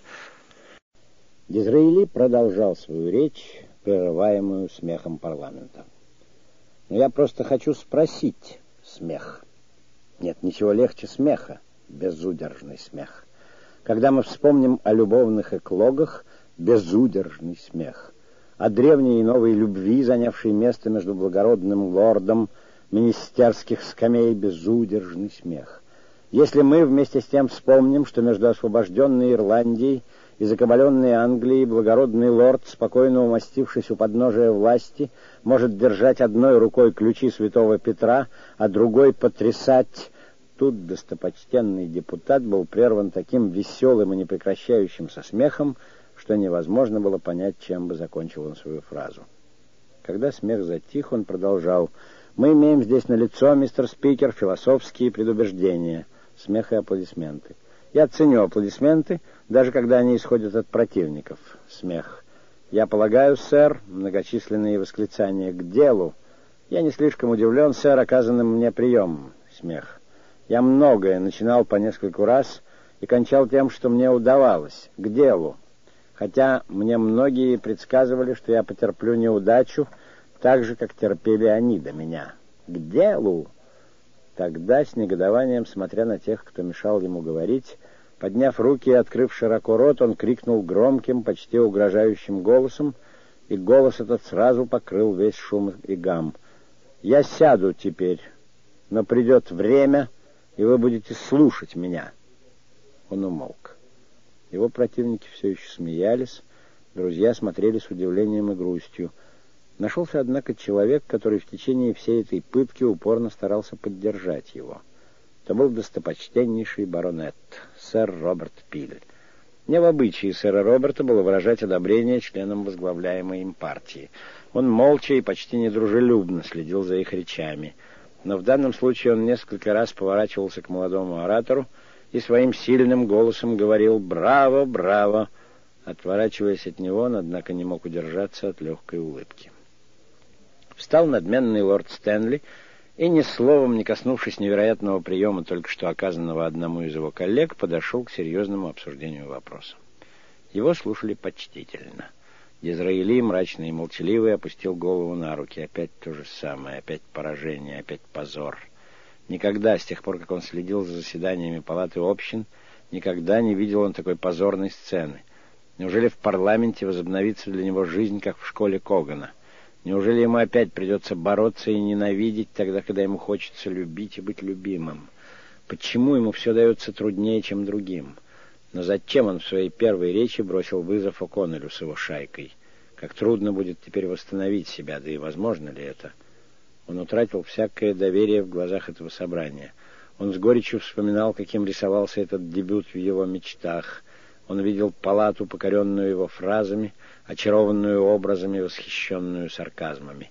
Непрекращающиеся аплодисменты, быстро завоеванный непоколебимый успех. Но этот оскорбительный смех — поражение. Ах, бежать под сень Брэденхэма! Голосование заставило его встать. Прений он не слышал. Добрейший лорд Вайнхэм подошел к нему и поздравил. Он возразил, что не видит повода для поздравлений, и пробормотал «это неудача». «Да совсем нет», — сказал Вайнхэм, — «вы очень ошибаетесь. Я только что говорил с Пилем и спрашивал его, теперь скажите мне откровенно, что вы думаете о Дизраили». Он мне ответил, некоторые из моих друзей разочарованы и говорят о неудаче. Я убежден в противном. Он сделал все, что мог в подобных условиях. Я лично думаю, что здесь все, что хотите, но только не неудача. Ему необходимо было проложить себе дорогу коридоре лидер либералов остановил Дизраэли и приветливо спросил. «Теперь, господин Дизраэли, вы можете мне сказать, как кончалась эта фраза вашей речи? Нас всех это очень интересует. В одной руке ключи святого Петра, а в другой... В другой фригийский колпак, сэр Джон». Тот улыбнулся и сказал «Прекрасный образ». «Да», — с горечью возразил Дизраэли, — «но ваши друзья не дают мне закончить мои образы». «Уверяю вас», — сказал лидер Вигов, что у нас было самое сильное желание дослушать вашу речь. Это была небольшая группа около барьера, укрывшаяся от нашего контроля, но вам нечего бояться. Что же это такое? Неужели у других не было того же впечатления непоправимого поражения? Как многие нервные люди, Дизраили так же легко обретал мужество, как и терял его. Уже проходило отчаяние. На следующий день в письме к Саре он определяет размеры поражения. Я хочу дать тебе точное понятие о том, что произошло, и сразу сообщаю, что мой дебют прошел неудачно, в том отношении, что мне не удалось сказать всего, что я хотел. Но неудача была вызвана не моим провалом или неспособностью, а исключительно чисто физическим превосходством моих противников. Я не умею сказать тебе, до какой степени они были озлоблены, несправедливы и несдержаны. Я сражался все время с неукротимым мужеством и непоколебимой бодростью, ловко направляя удары то в ту, то в другую сторону, каждый раз, как водворялось молчание, и закончил, когда убедился, что больше не о чем говорить. Он подписался «Твой прекрасно настроенный Д». В тот же вечер Бульвер, зайдя в Атенеум, встретил там старого Шейля, знаменитого ирландского депутата, и лейтенанта О'Коннеля. Их окружала группа молодых радикалов, злорадствующих по поводу инцидента с Дизраэли. Бульвар подошел молча. Резко отбросив газету, Шейль внезапно сказал своим пронзительным голосом, «Джентльмены, я слышал все, что вы могли сказать. Больше того, я слышал и самую речь мистера Дизраэли, и я говорю вам, если в ком-либо есть признак красноречия, то это именно в нем. Ничто не помешает ему стать одним из лучших ораторов палаты общин. Определенно. Думаю, что я немного знаю эту палату, и вот что я вам еще скажу. Не будь всех этих помех, мистер Дизраэли мог бы еще провалиться. Но вчерашний инцидент не был провалом, это был погром. Мой дебют когда-то прошел неудачно именно потому, что меня слушали. Ко мне отнеслись пренебрежительно. Его освистали со злобой. Речь новичка должна быть бесцветной. Палата не допускает, чтобы человек показал себя оратором и умницей, прежде чем она доставит себе удовольствие самой догадаться об этом. Эта маленькая речь, сказанная политическим противником, всех поразила. Молодые люди, слегка сконфузившись, разошлись в разные стороны. Бульвер, подойдя к Шейлю, сказал, «Дизраили обедает со мной сегодня. Не хотите ли вы его повидать?»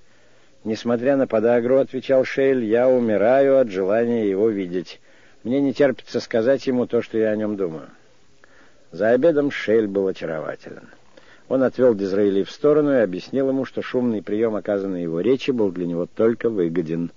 «Потому что, — сказал он, — если бы вас выслушали, каков бы был результат, вы могли произнести лучшую в вашей жизни речь, ее приняли бы холодно, и вы отчаялись бы в себе самом.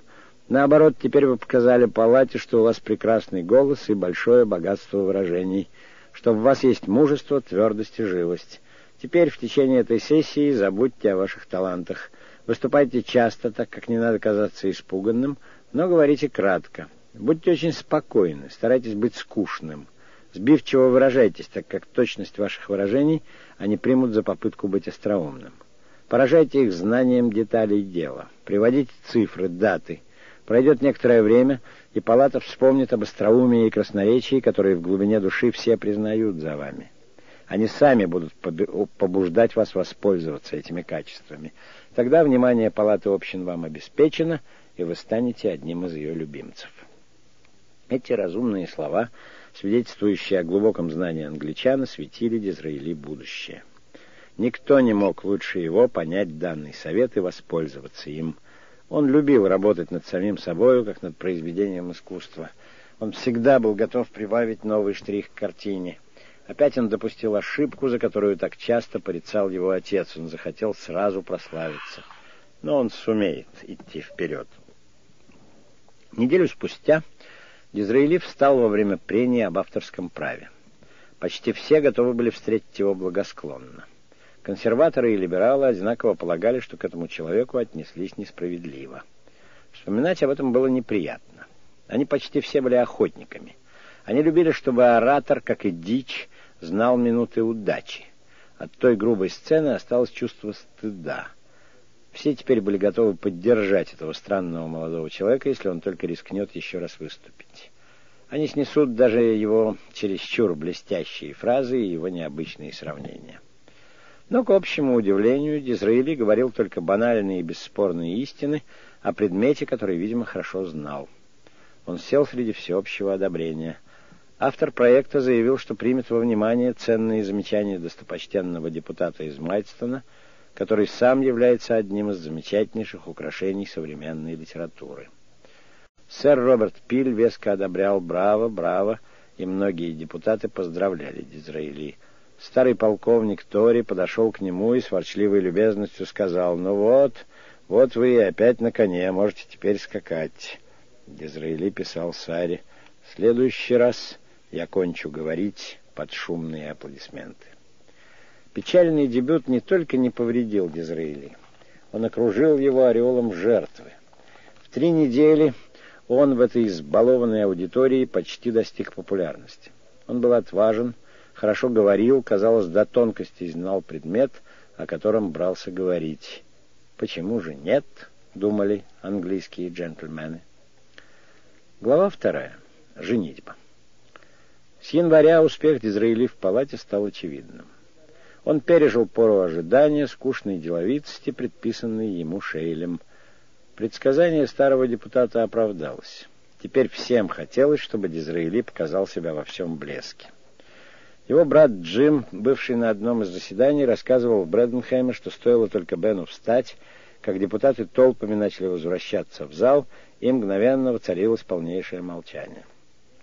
Старый Исаак с умилением выслушал этот рассказ. Сара прошептала, «Бог да благословит тебя, мой дорогой». Она всегда была уверена в том, что ее брат — великий человек.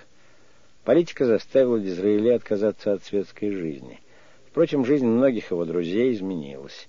Блестящая и хрупкая семейная жизнь Бульверов разбилась. Бульвер в надежде на примирение увез жену в Италию. Но в Неаполе он задумал писать роман — взялся за сюжет «Последние дни Помпеи» и, как в Лондоне, совершенно забросил Розину.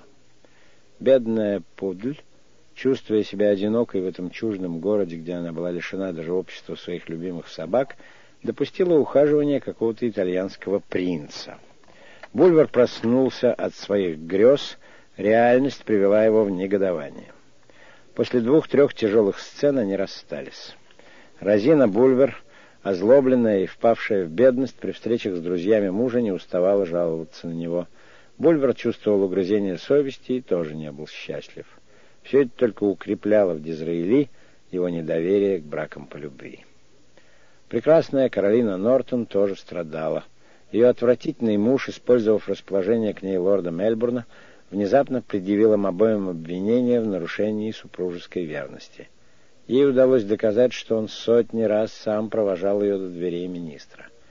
Суд оправдал ее, но Нортон, тем не менее, оставил жену и взял к себе детей, которые по английским, которых по английским законам мистерис Нортон не могла требовать обратно.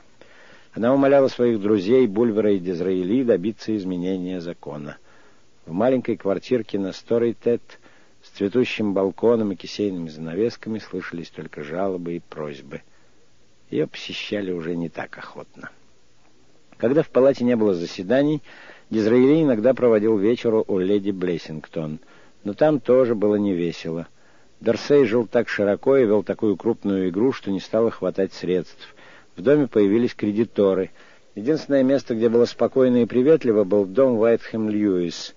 У мистерис Уайтхэм не было ни очарования сестер Шеридан, ни их ума, но, может быть, молодой, честолюбивый и обидчивый член парламента больше нуждался в дружбе, чем в очаровании. Дружба мистерис Уайтхэм была драгоценна для Дизраэли.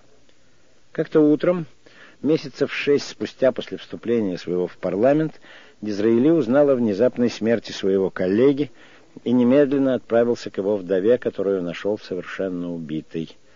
Дизраэли, мистерис Вайнхэм Льюис. Мне кажется вполне естественным, что после постигшего вас тяжелого испытания вы предаетесь одиночеству и тоске. Это естественно и неизбежно, но вы не должны погружаться в это состояние и должны заставить себя не думать о прошлом. Будущее может сулить вам еще много надежды и счастья. О себе лично скажу, что постигшее вас несчастье, и сознаюсь вам неожиданные для меня редкие душевные качества, с которыми вы его переносите, ваша стойкость, мягкость вашего характера сделали из меня вашего верного друга. И поскольку мои советы, моя поддержка или мое общество могут хоть сколько-нибудь облегчить вашу скорбь, всегда рассчитывайте на меня. Он продолжал на самом деле быть ее самым верным посетителем — Розина Бульвер, подруга мистерис Уайнхэм, с презрительным беспокойством наблюдала за посещениями этого приятеля ее бывшего мужа. Мэри Анн признались, признались, призналась ей, что Дизраэли питает к ней более чем дружеское расположение. Розина научилась не доверять литераторам и советовала быть очень осторожной. В память коронации королевы каждый депутат получил золотую медаль. Дизраэли преподнес свою не Саре, а мистерис Вайнхэм. Заключительные фразы писем делались все более пылкими. «От ваш всегда преданный друг» он перешел к «прощайте, я счастлив, если счастливы вы». Знаменательно, что он между нею и Сарой начал делить полные нескрываемой гордости рассказы о своих успехах. И перед ней также снималась маска и опускался щит. Все лондонские газеты, либеральные и консервативные, с самыми большими похвалами отзываются о моей последней речи. Лорд Чандес устраивает для герцога Веллингтона большой банкет. Все приглашенные, по меньшей мере, министры. Вы, вероятно, удивитесь, узнав, что и я среди приглашенных, но Чандес — добрый приятель и радуется моим успехам в парламенте. Лондон-Дерри дают обед на 150 человек. Сливки Лондона. Фанни, верный друг, пригласила меня, и я попал в Морнинг-Пост. Я нахожу, что было чрезвычайно мило с ее стороны пригласить меня. По правде сказать, я этого не ожидал. Описание комнат, украшенных апельсинными деревьями, столов, заставленных изумительным хрусталем, копченой семгой, икрой и гусиной печенкой, одновременно посылались Саре и мистерис Вайнхэм Льюис.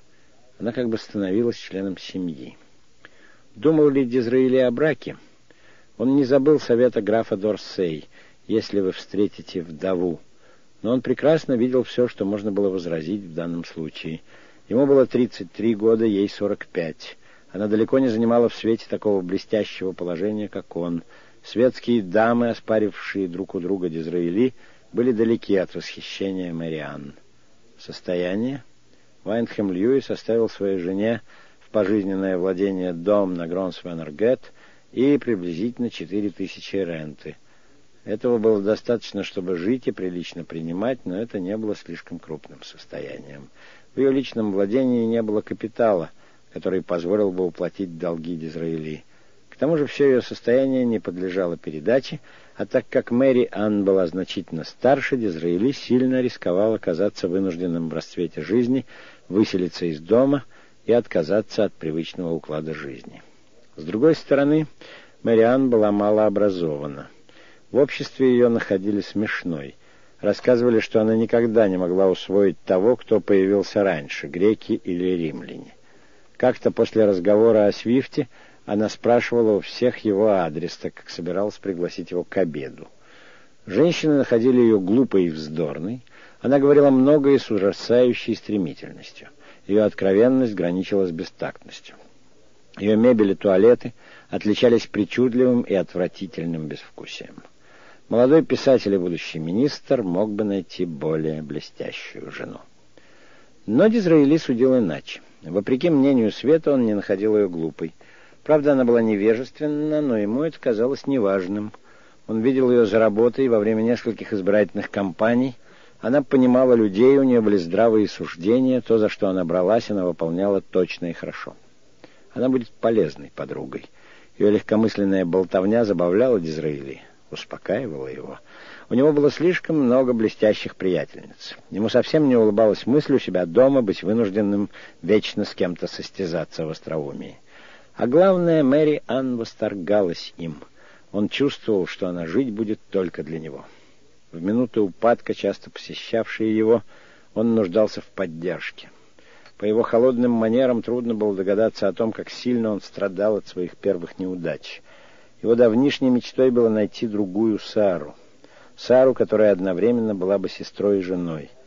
Некоторые мужчины дорожат своей свободой, она нужна им для романтических похождений. Дизраэли испытал любовь страсти, нашел, что она мешает честолюбию. Ему заманчивее казалось укрыться в объятиях спокойной привязанности. Он был порывист во всем. Как только он убедился, что Мэри Анн будет подходящей для него женой, он сказал ей об этом. Его признание было неплохо принято.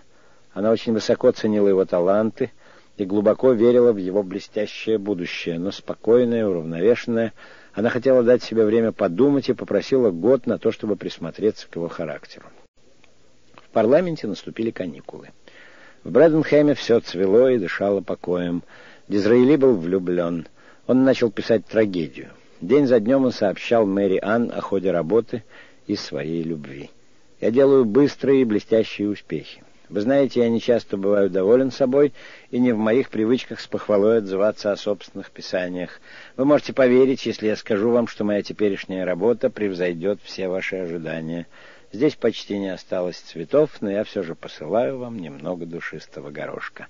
Четыре дня спустя пишу вам в добром здравии и в хорошем настроении. Работа идет хорошо, я доволен тем, что сделал. Я смотрю на свое произведение и вижу, что оно удалось. Здоровье, ясность мыслей и ваша бесценная любовь убеждают меня в том, что я могу завоевать мир. Шесть дней спустя. Я не умею примирить мысли о любви с разлукой. Я представляю себе любовь как постоянную радость общения с милой женщиной, которой я предан, как радость делить с ней все мои мысли и фантазии, все мои радости и заботы. Я хочу быть с вами, жить с вами, никогда не расставаясь. Все равно где, на небе или на земле, или, может быть, в подводной глубине. Скоро, однако, ответы на письма Дизраэли делаются более редкими и более холодными. Неожиданное и длительное молчание заставляет его усомниться в чувствах Мэри Анн. В чем дело? Она просила дать ей год, чтобы изучить его характер. Может быть, ее заключительные суждения неблагоприятны для него. Он просит свидания, добивается его, и происходит довольно неприятный разговор. Мистерис Вайнхэм Льюис окружена друзьями, которые не одобряют этого брака. Все знают, что молодой Дизраили запутался в долгах. Как поверить, что он влюбился в женщину на 12 лет старше его самого? Конечно, он ухаживал за ней только для того, чтобы успокоить ростовщиков слухами о своей женитьбе. Розина Бульвер часто говорила о великой любви Дизи к четырехтысячной ренте Мэри Анн. Это был последний штрих в портрете этого не слишком разборчивого в средствах красавца-авантюриста. Он ухаживал за всеми партиями, чтобы попасть в парламент. Он кончает теперь тем, что женится на старой женщине с целью приобрести дом и ренту. Сплетни о Дизраили дошли до Мэри Анн и обеспокоили ее. Эта женщина любила порядок и умела вести счет своим деньгам. Она была влюблена, но не хотела быть обманутой, и довольно грубо высказала ему все это. Уйдя от нее, Дизраили писал ей, «Клянусь вам, что в отношении мирских благ женитьба на вас мне ничего не дала бы. Все, что может дать мне свет, я всем этим владею. Ведь не кажущееся обладание доходами создает человеку положение. Я могу, не лишаясь чести, жить так, как жил до сих пор, и спокойно ждать, пока неизбежный ход событий не принесет мне независимости, единственного, к чему я стремлюсь». Я касаюсь всех этих неприятных подробностей только потому, что вы заподозрили меня в корысти. Нет, я не унижусь для того, чтобы стать фаворитом принцессы, и все золото Оффера не повлечет меня к алтарю. Совсем не того жду я от нежного создания, которое станет моей подругой. Моя природа требует, чтобы жизнь моя была постоянной любовью. Прощайте, я не буду притворяться, желаю вам счастья, не в вашем характере его искать.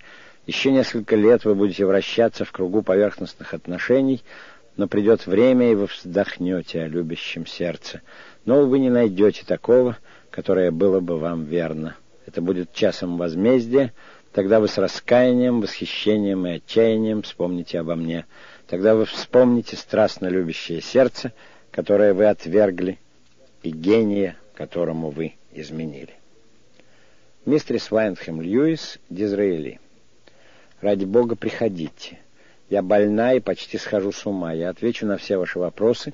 Я никогда не хотела, чтобы вы оставили мой дом, никогда не хотела разговора о деньгах. Еще года нет, как я вдова, и мне часто приходится страдать от кажущейся двусмысленности моего положения. Я вам бесконечно предана. 28 августа 1839 года они были обвенчаны в церкви святого Георгия. В своей приходорасходной книге Мэри Анн отмечает «Перчатки, 2 июля. В кассе 300 фунтов стерлингов. Вышла замуж 28 августа 1839 года. Милый Дизи стал моим мужем. «Я знаю», — писал он ей несколькими днями раньше, что никогда еще двум человеческим существам не выпадало на долю такого полного и беспрестанного счастья. О дне нашего брака я думаю, как об эпохе в моей жизни, которая закрепит мою карьеру. Ничто, что бы отныне не случилось, не потрясет моей души, ибо в минуты огорчения и разочарования я найду прибежище в вашем сердце, а ваш верный и быстрый разум сумеет руководить мной в благополучии и торжестве. Как раз этого он действительно искал в браке. В том же году женился и другой член парламента, более молодой, но не менее блестящий, Вильям Гладстон, с которым Дизраили обедал у Линдхерста в тот день, когда подавали лебедя с трюфелями. Женитьба Гладстона произошла совсем иначе и не лишено интереса привести коротко ее обстоятельства. Гладстон встретил свою невесту во время путешествия по Италии. Она была дочерью леди Глен и путешествовала с матерью, сестрами и целой свитой в большой дорожной Берлине. Во Флоренции им поклонился молодой человек с властными и правильными чертами лица. Катерина Глин спросила, кто это — вы не знаете его? Это молодой Гладстон, человек, который, по мнению всех, должен стать премьер-министром. Молодой государственный деятель в отпуску быстро сблизился с прекрасной и набожной девушкой. Он долго разговаривал с ней в Санта-Мария-Маджиоре. Они беседовали о контрасте между скупостью англичан в убранстве церквей и роскошью их частной жизни. Она спросила его, «Вы думаете, мы имеем право так жить?» Он отметил в своем дневнике, «Я полюбил ее за этот вопрос». Сладостно думать, что ее сердце и воля всецело в руках Божьих, да не оставит он ее во всех ее делах. Он просил ее руки в светлую лунную римскую ночь, когда оба они были в Колизее. Она колебалась, Но в Англии они снова встретились, гуляя в саду около реки.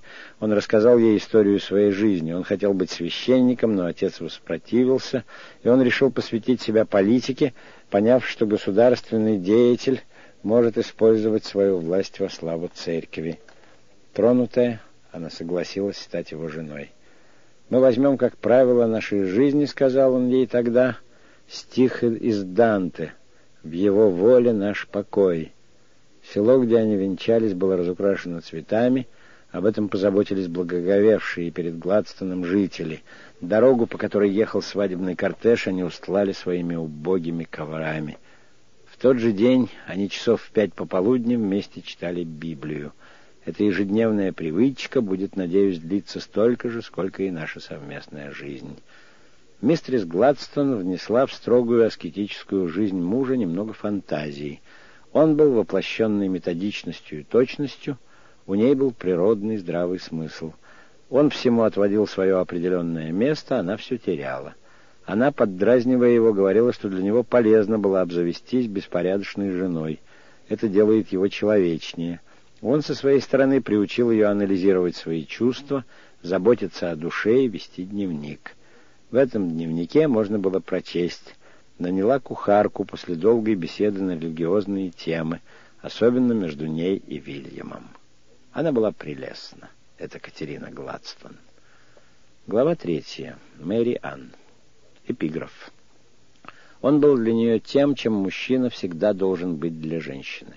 Очень нежным, но все же руководителем. Дизраэли. Женатый человек. Прекрасный дом в Парклейн — Обеды на 40 персон для его коллег, несколько меньше цепей, меньше кружев. Дизраэли очень изменился за несколько месяцев. Мэри Анн могла иметь в глазах других тысячи недостатков. Она была той именно женой, какая нужна была этому гордому и чувствительному человеку. Она окружила его несколько комичным восхищением, но верность ее чувства умиротворяла мучительное и деятельное беспокойство его души. Спустя некоторое время после свадьбы Мэри Анна бросала их двойной портрет. Он очень тих, она очень бурна. Он манеры важны, почти печальны, она весела и счастлива, когда говорит. Он почти никогда не раздражается, мрачно настроен, пылок в любви, холоден в дружбе. Она очень раздражительна, всегда весела, холодна в любви, пылка в дружбе. Он очень терпелив, у нее ни капли терпения. Очень трудолюбив, очень ленива. Очень щедр, щедра для тех, кого любит. Часто говорит то, чего не думает, она никогда не говорит того, о чем не думает. Невозможно догадаться, кого он любит и кого нет, не показывает своих чувств. Она совершенно несходна и показывает свои чувства тем, кого любит. Он доволен собой, она недовольна. У него нет эгоизма, она очень эгоистична. Мало что его забавляет, ее забавляет все. Он гениален, она простушка. На него можно положиться до известного предела, на нее нельзя положиться. Его душа вся отдана политике и честолюбию, у нее никакого честолюбия и ненавидит политику.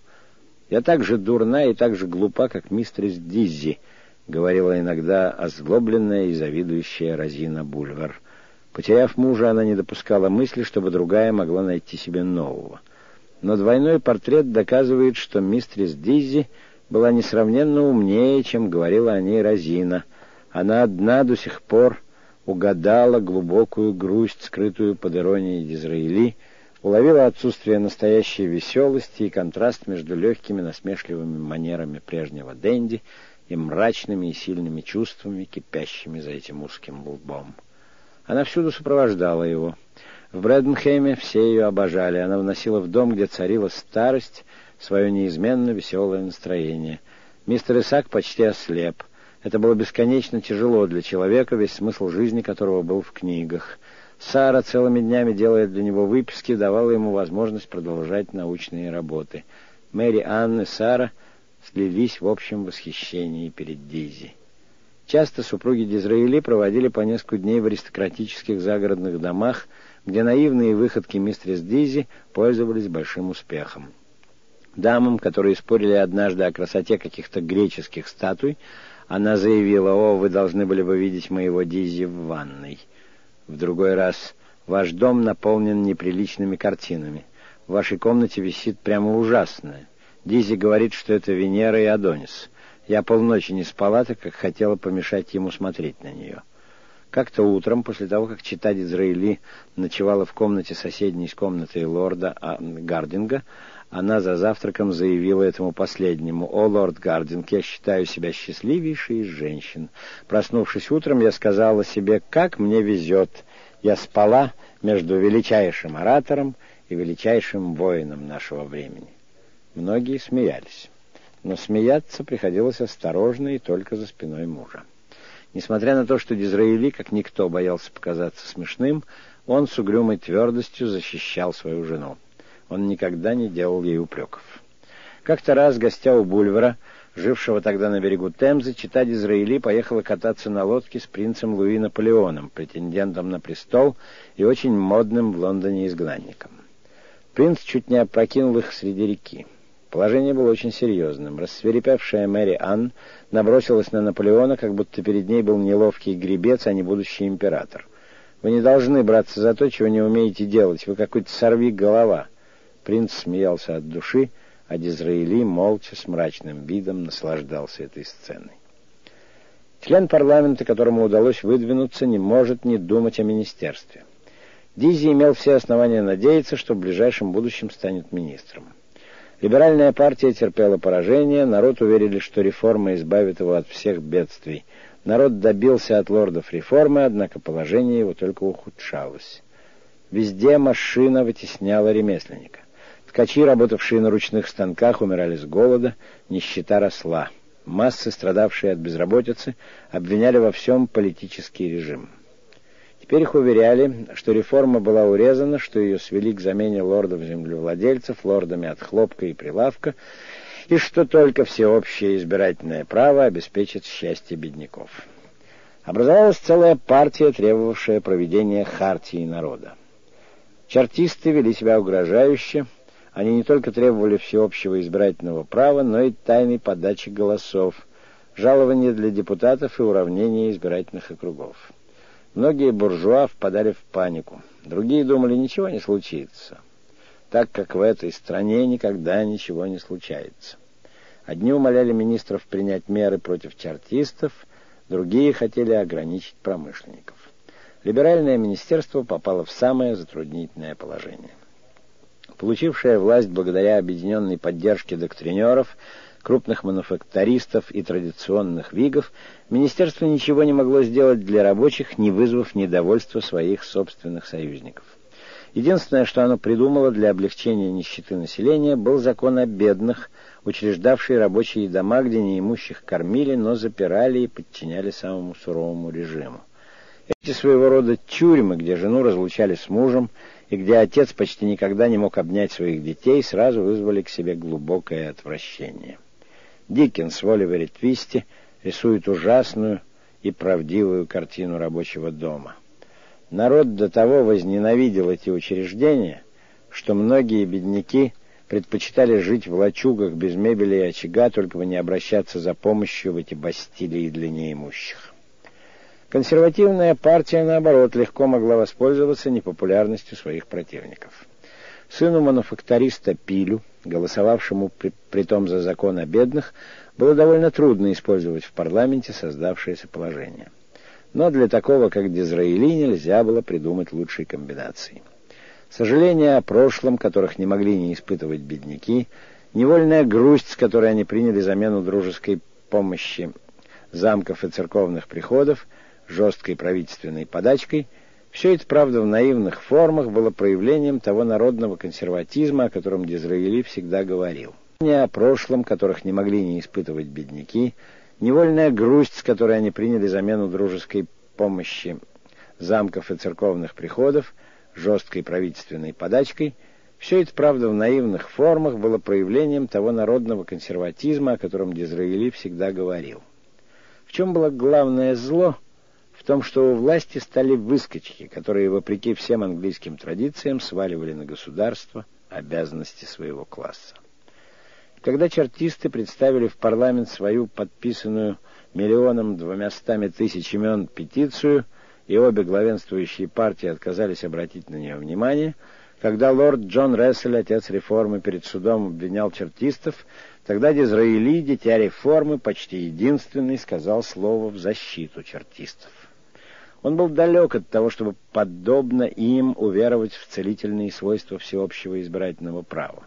Он думал, что социальное зло можно лечить только социальными же мерами, но он выразил свое сочувствие и свое удивление по поводу того, что лорд Джон Рессель, сам натолкнувший чертистов на их требования, теперь нападает на них.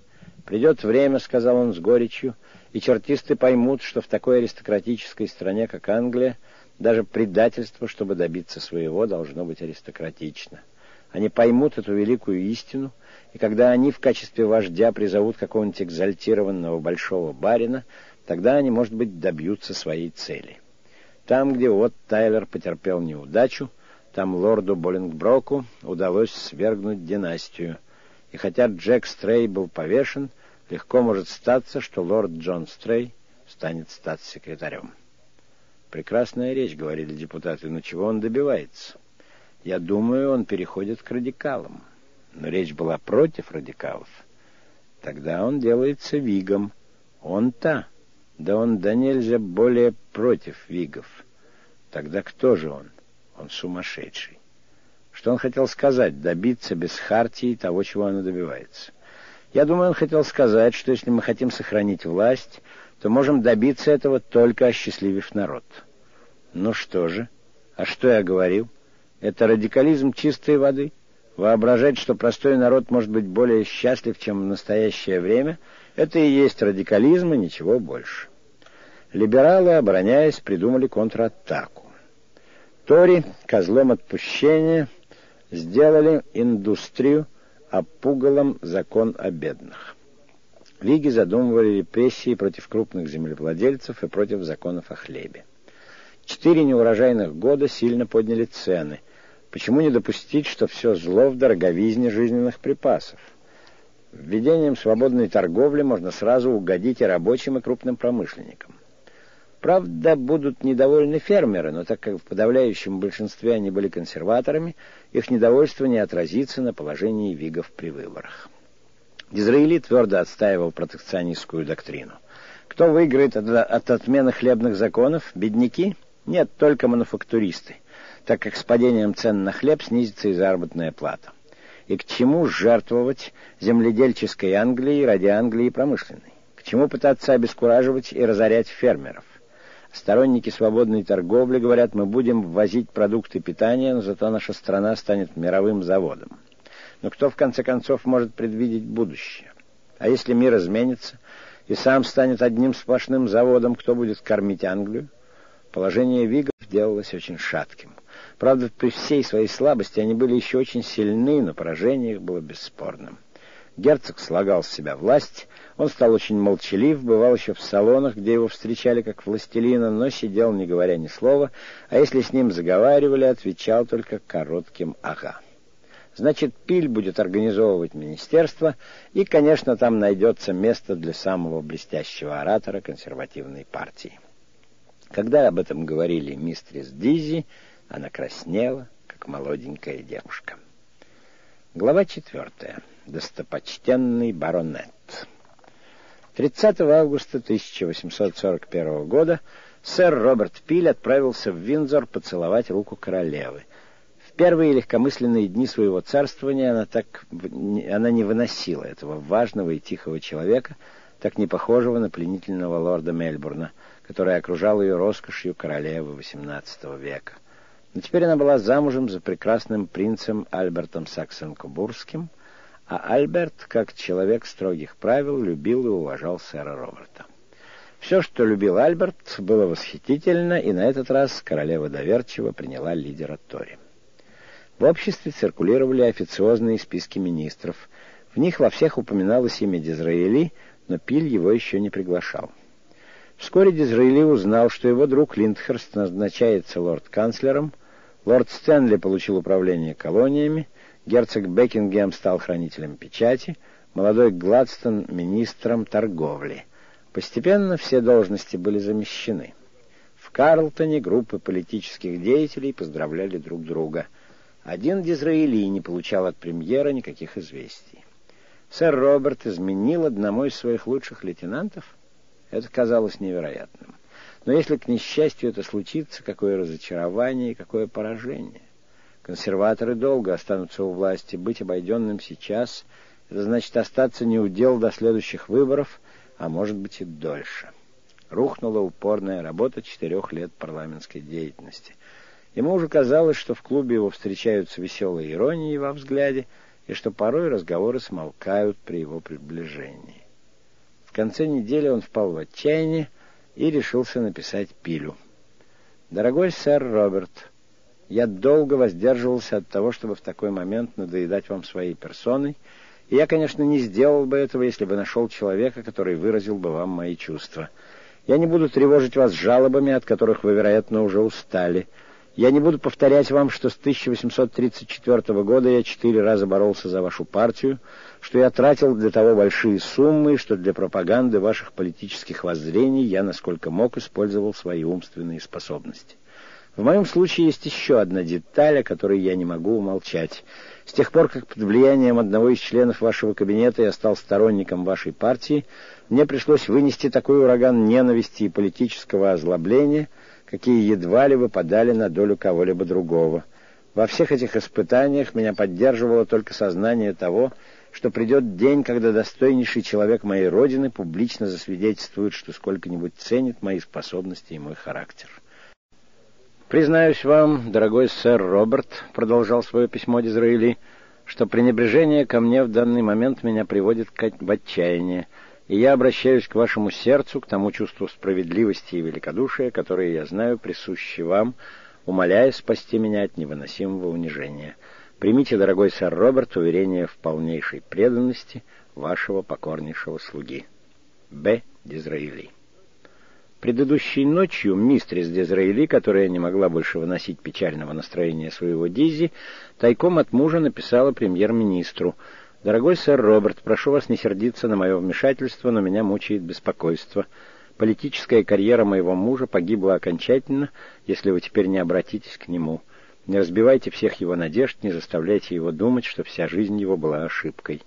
Смею ли напомнить вам о моей собственной, бесспорно малозаметной, но полной энтузиазма деятельности в пользу партии, или, вернее, ее прелестного лидера.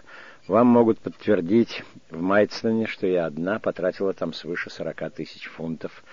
Не отвечайте мне, так как я хочу, чтобы ни одна человеческая душа не знала, что я обратилась к вам со своей смиренной просьбой. Остаюсь, дорогой сэр Роберт, вашей неизменно покорной слугой Мэри Анн Дизраэли. Ответ Пиля на письма Дизраэли был очень сух. Он особенно настаивал на малозначащей фразе последнего с тех пор, как под влиянием одного из членов вашего кабинета я стал сторонником вашей партии. Он замечал с некоторой язвительностью, что никакой член его кабинета не получал от него подобных поручений. Дизраэли ни словом не обмолвился о поручении. Он хотел только сказать, что вступил в партию консерваторов под влиянием Линхарста, члена министерства Пиля. Пиль прибавлял, что ему едва хватает мест для тех, кто уже служил с ним, и он надеялся, что затруднительность его положения будет понята людьми, сотрудничеством с которыми он мог бы гордиться и чьих достоинств он не смеет отрицать. В действительности Пили не прочь был бы дать Дизраэли какое-нибудь назначение, но кругом его были сотрудники, которые не хотели иметь в своей среде авантюриста. Крокер, например, тот Крокер, более омерзительный, чем холодная телятина, который был свидетелем и причиной неудачи Дизраэли во времена основания журнала, или лорд Стэнли, высокомерный, не стесняясь заявивший, что если этот мерзавец войдет сюда, я уйду. Но Пиль не мог слишком горячо отстаивать Дизраэли. Эти два человека были слишком не схожи. У парламентской колыбели Пиля стояли богатство, нравственность, уважение. При запоздалом парламентском крещении Дизи бродили бледные долги, цинизм, фантазия. Супруги Пиль славились своим изысканным вкусом, их лондонский дом был прелестен, с цветущими балконами, выходившими на реку, и превосходным собранием голландских мастеров. «У вас замечательно вкусные обеды», — говорили им посетители-французы. Леди Пиль была очень красива и нежна, Ее портрет работы Лауренса «Подражание соломенной шляпе Рубенса» многими знатоками считался лучшим созданием художника. Все, что окружало Пиля, было овеяно чисто фламандской добротностью и добродетельной красотой. Все, что имело отношение к Дизи, было крикливо. Бриллианты на леди Пиль играли темным огнем. На мистрис Дизи лучшие камни казались поддельными. Дом Мэриан на Гроссвеннергет был украшен скрикливым безвкусием. Ее мебель была отвратительна, а костюмы смешны. Мелочь, конечно, но они невольно усиливали недоверие министра. Впрочем, Пилю взгляды Дизраэли не нравились так же, как и он сам. По своему происхождению Пиль был ближе к заводам, чем к замкам или хижинам. Он скорее был пуританин, чем рыцарь. В самом деле он происходил из крупной буржуазии. Его сердце и ум были на стороне Коблена, Брайта, на стороне противника. Он был очарован рассуждениями экономистов, их порядочной внешностью и грубыми башмаками Брайта — все это нравилось ему гораздо больше, чем ирония чересчур блестящего оратора. Очень по сердцу ему был Гладстон, такой же, как он сам. Оксфорд по внешности, Ливерпуль по существу. Подобно ему самому, Гладстон был членом парламента в 21 год и статс-секретарем в 25. Гладстон перед каждой речью творил молитву и самый простой вопрос умел запутать длинными неясными фразами. Дизраили унижался до просьб по должности в министерстве — Гладстон, когда ему предлагали министерство, приважно спрашивал себя, позволит ли ему религиозная политика кабинета стать членом его. Для робкой и честной души Пиля было большим облегчением видеть, что честолюбие затушевывается такими приличными мыслями. Когда Гладстон наконец согласился, Пиль крепко пожал руку молодого министра, да благословит вас Бог. Разве мог бы он так говорить с циничным Дизраилей? Стэнли прав. Этот человек невозможен. Министерство было организовано. Парламент собрался. Дизраили шел туда с большим волнением. Его положение было очень двусмысленным. Оппозиционная партия с радостью использовала бы его для борьбы со своими противниками. Отныне несчастный, остававшийся неудел консерватор, станет как бы одичалым животным. Законопроекты будут защищаться министрами. Он нужен будет только как лишний голос. Тягостная роль для человека с самобытным сильным умом. Его неудача забавляла врагов. С злорадным любопытством следили за выражением его лица, ждали, что он выступит против оскорбившего его лидера. Многие коварные советники подбивали его к тому, радикалы ухаживали за ним. Он учел опасность положения. Он испытывал против Пиля сильное раздражение. Было вполне законным не пригласить его в кабинет, но тон отказа был оскорбителен — когда Дизраили смотрел на министерские скамьи и видел довольные лица бездарностей, которые посмели пренебречь им, он чувствовал в своей душе бешеное желание мстить. Но он обуздал свою кипучую душу. Теперь больше, чем когда-либо раньше, нужно было быть терпеливым. Таково же было мнение благоразумной Мэри Анн, восхитительно нежной во все эти тяжелые дни. С изумлением убедилась палата, что Дизраили, аккуратно посещавший все заседания, с полнейшей готовностью голосует за министерство. Пиль, желавший угодить сторонникам свободной торговли, исключил из таможенного тарифа до 700 пунктов и, чтобы не нарушать бюджета, взамен этих сборов ввел любопытную новость — налоги на доход. Протекционист Дизраили не моргнул глазом. Он ограничился тем, что произнес большую речь по чисто техническому и безобидному вопросу об агентах при консульствах. Речь была точна, изобиловала цифрами и анекдотами, но настолько интересна, что в течение трех часов во враждебно настроенной палате царила полная тишина и безмолвие. Многие, видя, что Пиль пренебрег им, начали сомневаться в талантах Дизраэли. Его выступление было блестящим и тем более замечательным, что тема была очень неблагодарной. Среди тех, кто особенно горячо поздравлял Дизраэли, была группа молодых людей, только что выпущенных из Кембриджа и попавших в парламент по последним выборам. Это современное нетрафаретное красноречие привело их в восторг. Молодой Смит заявил ему, вы говорите совершенно так, точно разговариваете в Карлтоне или у себя за столом. Голос совершенно не напрягается, выражения ясны, несколько небрежны, всегда окрашены сарказмом. Он был прелестен, этот юный Смит, так же, как его друг, лорд Джон Маннерс и весь их небольшой дружеский кружок. Они были все из очень старых и очень знатных родов, владели сказочными замками, расположенными на покрытых туманом холмах или прячущимися среди деревьев громадных парков. Они воспитывались в Итоне и Кембридже, там у них завязались прекрасные дружеские связи, и вместе они создали политическую доктрину, основанную на восстановлении старинных институтов и на примирении народа с чутко сознающей свои обязанности аристократией. Все это было так близко Дизраэли. Рост промышленности, увлекавший зрелых людей, не мог стать религией для юношества. В нем жила вечная потребность веры, которую культ Меткаля оскорблял. Правило «покупайте по самым низким ценам, а продавайте по самым высоким» не могло стать для них Евангелием. Антиромантизм 1820 года сменила романтическая реакция. Эти молодые англичане всерьез собирались воскресить рыцарство, его понятие о чести и благоговейное уважение к женщине. Феодальные порядки могли отжить свое, но желанными оставались нравы феодализма, которые людей как бы связывали круговой порукой взаимных обязательств. Они сожалели, что прошли времена, когда жизненным правилом было «noblesse oblige» — происхождение обязывает. Может быть, еще возможно было раздуть погасающее пламя. В 1839 году лорд Эглинтон устроил в своих владениях турнир — все английское дворянство присутствовало здесь, одетое в доспехи предков. Одна из приятельниц Дизи, леди Сеймур, была царицей красоты. К несчастью, чисто манчестерский дождь залил энтузиазм. Над средневековыми костюмами распустились тысячи зонтов. Рыцарь льва, белой богини, зеркало — все превратились в рыцарей печального образа. Стихии оказались победителями. Но молодость борется со стихиями — Движение, не затихая, принимало иные формы. В Оксфорде оно вылилось в форму религиозного возрождения. Восхитительно нежный голос Ньюмана начал восхищать души. Молодые церковники пытались ввести в англиканскую церковь католические обряды. В течение сорока лет англиканская церковь больше боялась религиозного экстаза, чем полного безразличия. Молодые люди устали от этих замкнутых соборов и холодно-официальных богослужений — Некоторые отправлялись в Рим, другие в своей собственной церкви пытались ввести более трогательные обряды.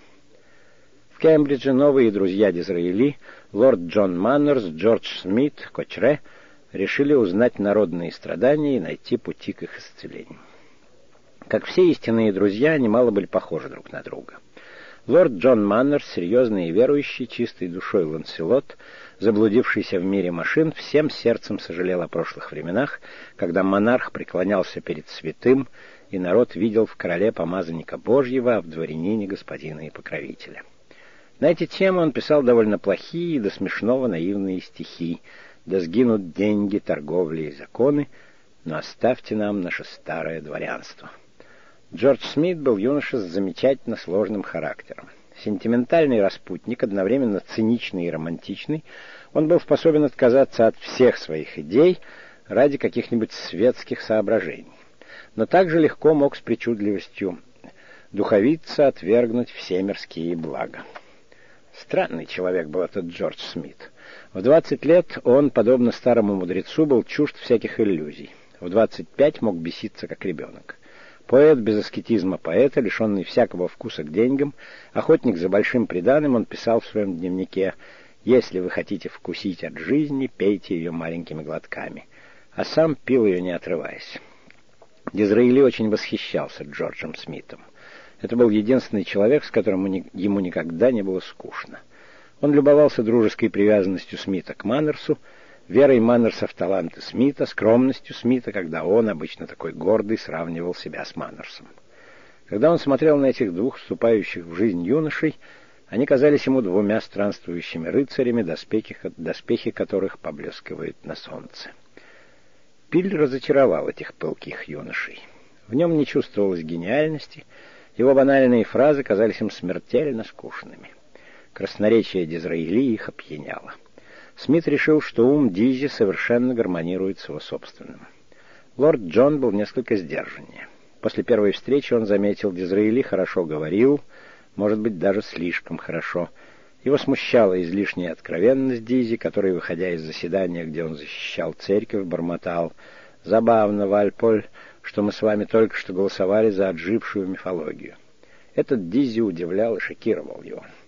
Его несколько удивило также, когда Дизи объявил этим молодым английским аристократам, что вообще не существует никакой английской аристократии. Английские пэры, говорил он, троякого происхождения. Ограбление церкви, продажа титулов первыми стюартами и продажа округов в нынешнее время. Все ваши пэры очень недавнего происхождения. Когда Генрих VII созвал свой первый парламент, там было только 29 пэров-мирян, а из этих родов до наших дней дожили только пять. Потом он объяснил им, что аттестат на самое древнее культурное происхождение может быть дан только племени Израилеву, и что сам он гораздо более древнего происхождения, чем они. Смит смеялся, Джон Маннерс слушал с ангельской серьезностью. Приятно быть окруженным учениками, но все же время текло непоправимо быстро. Пиль казалось прочнее, чем когда-либо стал у власти, все пути к активной деятельности были отрезаны. «Я думаю, — сказал Дизраили жене, — что пришло время последовать примеру старика Телеирана, который каждый раз, когда положение было ему неясно, объявлял себя больным. И он решил провести зиму в Париже. Перед отъездом он навестил своих избирателей и объяснил им мотивы своего поведения. Он будет продолжать голосовать за Пиля, так как этого требует партийная дисциплина, кроме тех случаев, когда премьер предложит что-либо в ущерб земледельцам. Париже они с Мариан остановились в отеле «Европа» на улице Револи. Дорсей рекомендовал супругов Дизраэли своей сестре Грамон, и она очень приветливо встретила их. Госпожа Грамон принимала три раза в неделю в небольшом домике в квартале Сен-Оноре, тесно заставленном старинной мебелью и картинами. Там Дизраэли встречался с Эженом Сю, единственным писателем, которого принимают в высшем обществе. Хорошенькие барышни Грамон начало вечера проводили с гостями, но в десять часов прощались с матерью и шли спать. Тотчас же Дизраэли были приглашены к госпоже Бодран, жене генерала Бодрана, адъютанта короля. Это была восхитительная англичанка, настолько молодая, что казалась дочерью своего мужа. Там они встретились с англо-французскими семьями, с ламартинами, Одильон-Барротами, Токвиллями. Генерал Бадран взялся предупредить короля, что член парламента, господин Дизраэли, желал бы изложить его величеству кое-какие соображения о состоянии политических партий Англии. Эти соображения, если они только будут правильно оценены, смогут оказать значительное влияние на политику обоих государств. Король принял Дизраэли в Сен-Клу, Ему показалось занятным это грустное и умное лицо, обрамленное длинными черными кудрями. Дизраили заинтересовал короля, понравился ему и получил приглашение бывать. Он стал постоянным посетителем дворца. Королева, принцесса Аделаида и герцогиня Немурская садились кругом стола и рукодельничали. Приносили мороженое, король уводил Дизраили в соседнюю комнату и разговаривал с ним то о политике, то о необычных приключениях своей юности — о тяжелой жизни, которую ему пришлось вести. Ах, мистер Дизраэли, моя жизнь была полна превратностей. Он очень любил говорить по-английски, но говорил с слишком американским акцентом. Король говорил Дизраэли, что он один умеет управлять французами. Единственный способ держать этот народ в повиновении — это предоставить ему свободу, но твердо знать, когда его надо остановить. Близость с таким чрезвычайно умным королем восхищала Дизраэли осуществлялась одна из его детских грез. Но, к сожалению, он не мог не согласиться с генералом Бодраном, находившим, что король несколько вульгарен. На парадных обедах в галерее Дианы Людовик Филипп приказывал подать себе окорок и сам разрезал его на тонкие, как бумага, ломтики. Такие ломтики он посылал избранным гостям и очень гордился своим талантом. Он объяснил Дизраэли, что искусство резать ветчину перенял от официанта английского ресторана, в котором в годы изгнания обедал за 9 пенсов. Короли в романах Дизраэли отличались более развитым чувством этикета. Глава пятая. Молодая Англия. Эпиграф. А что же вы сделаете с Граалем, если найдете его? Маннерс и Смит изучив тщательно политическое положение, пришли к выводу, что единственный способ сохранить верность своим идеям лежит в организации собственной, хотя бы и очень немногочисленной партии. Но нужен был опытный лидер. Почему бы не пригласить Дизраэли, оставшегося неудел? Смит и его друг Кочрен, которого друзья запросто называли Кок, направились к Дизи в Париж. Они нашли его торжествующим, поребячески радующимся своим успехом и своей полной министров приемной. Ему было под сорок, но он сохранил приятную способность ослепляться собственным блеском. Запершись с Людовиком Филиппом в Сен-Клу, писал Смит Маннерсу, он уже видит себя основателем новой династии, а свои локоны а-ля Манфред выгравированными на монетах королевства. Дизи с энтузиазмом принял своих молодых друзей. Тайное соглашение между группой депутатов, которые при, при, примут взаимные обязательства всегда голосовать вместе и подчиняться решениям большинства группы, такое соглашение не могло не увлечь любителя политических заговоров. Тотчас же в его воображении группа разрослась, превратилась в партию с 50-60 членами. Пиль будет обеспокоен, побежден, унижен. Друзья пообедали за городом в равнине Монсо на Роше-де-Канкаль. Вернувшись в Париж, долго спорили, прогуливаясь по Вандомской площади. Соглашение было достигнуто. Кок не был в таком восторге от Дизи, как Смит. Он нашел его слишком расчетливым и честолюбивым — он упрекал его в излишке ума и в недостатке юмора, то есть ума, направленного против себя самого. Маннерс, когда его известили о ходе дел, тоже несколько обеспокоился. Одинаковые ли цели они все себе ставили? Дизраили больше всего думал о борьбе с министерством. Его ученики хотели только связать узами симпатии кружок друзей. Грандиозные комбинации Дизи казались им безумием. А прокинуть пиля, во-первых, это было невозможно. Премьер-министр опирался на подавляющее большинство. А во-вторых, желательно ли это? Как только небольшая группа станет партией, вынужденной ради политических интриг жертвовать идеалами, зависть стеной станет между ними, и тогда конец прекрасной забаве. «Если б я мог быть уверенным, — писал Джон Маннерс, — что Дизраили верит всему, о чем он говорит, я был бы счастлив. Его политические взгляды совпадают с моими, но верит ли он в них?» В отношении религии Маннерс был особенно требователен, так как сам был глубоко верующим человеком.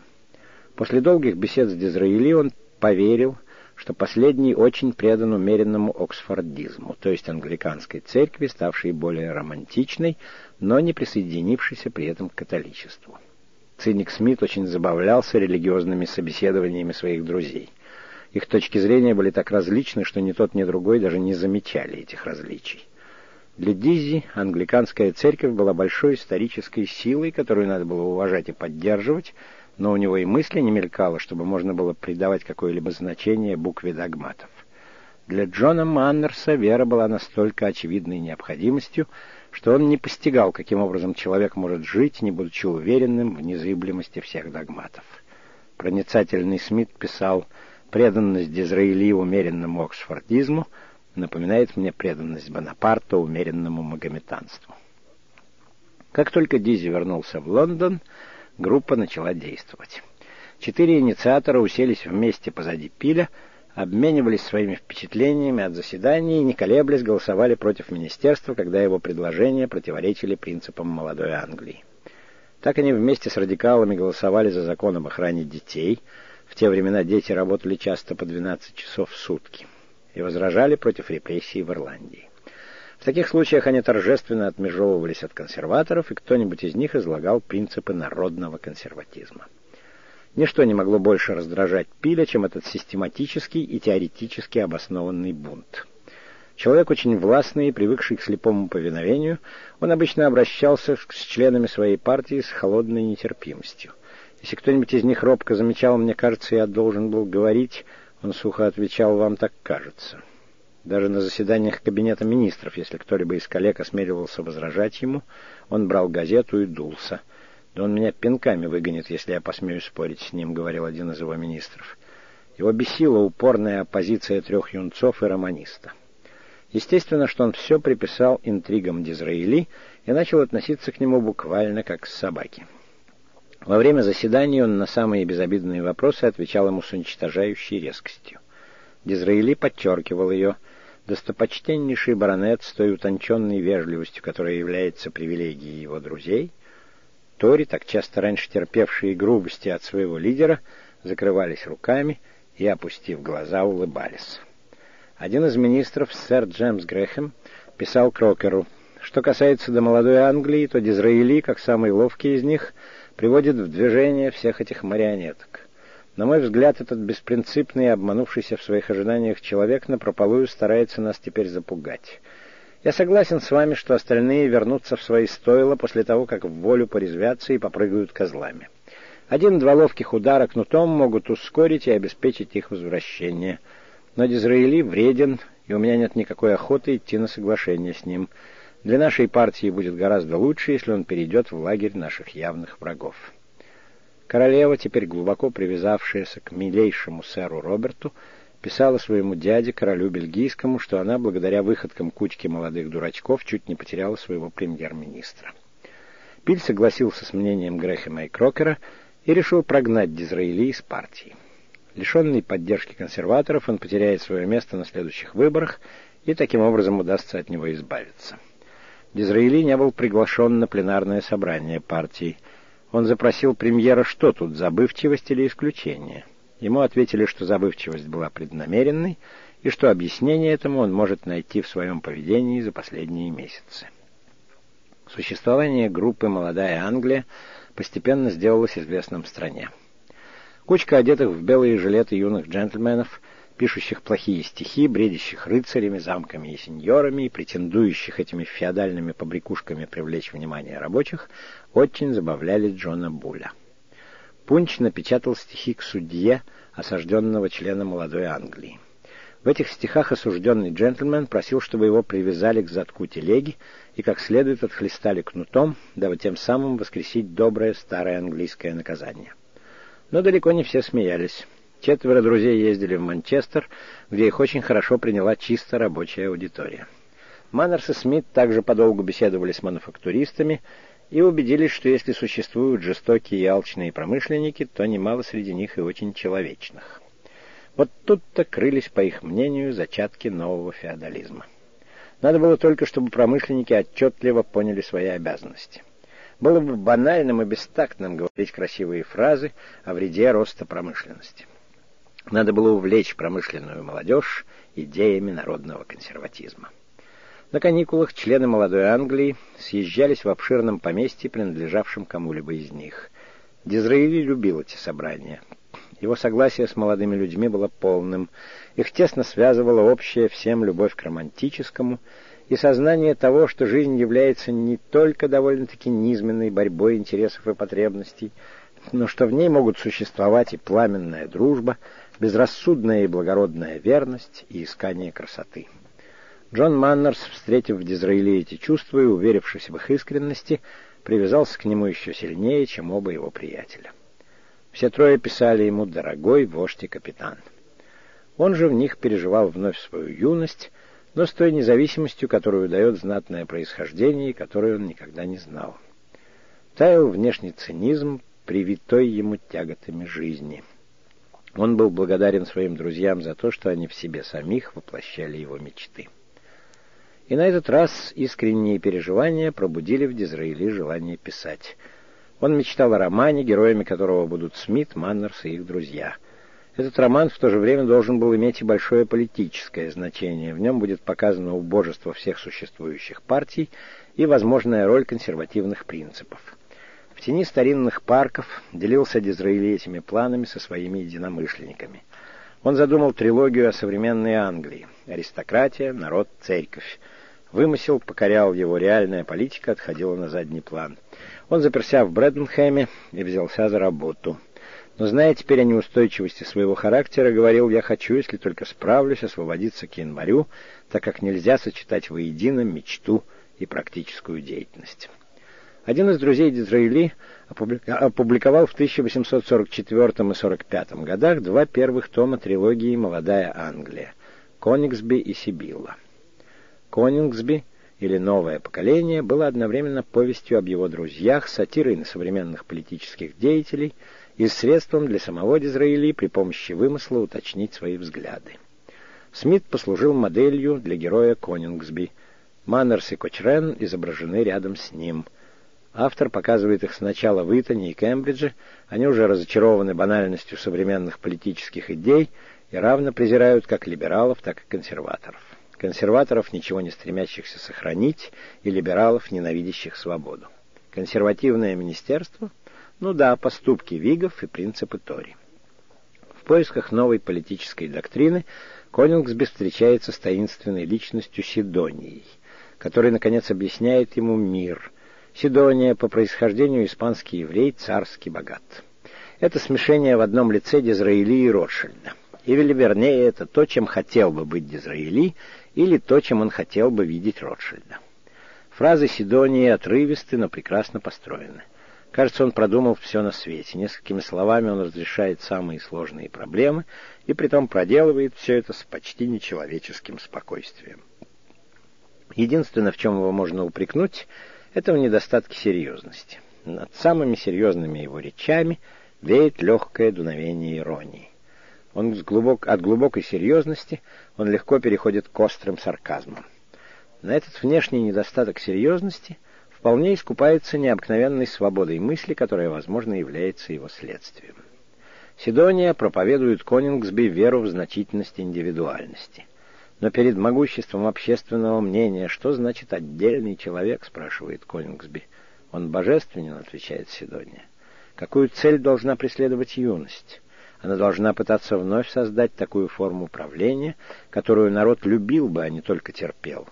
Юность должна обладать героическим честолюбием. Без честолюбия никакое государство не прочно, а политическая жизнь все равно, что жаркое без соли. Без него корона — пустое украшение, церковь — административный орган, а конституция — пустая мечта. Книга заканчивается вступлением Конингсби в парламент. Роман очаровал молодую Англию, он был ее эпопеей. Сибилла или две нации не менее замечательно. Две нации — это бедные и богатые. Роман показывает англичанам, какова в действительности жизнь бедняков. Дизраили изобразил нищету сел, промышленных городов и рудников. Интрига мелодраматична, но описания народной жизни точны и трогательны, без преувеличений. Чувствуется, что автор описывает народ с симпатией, но и с большой правдивостью. Ни в одной из своих книг Дизраили не был так серьезен.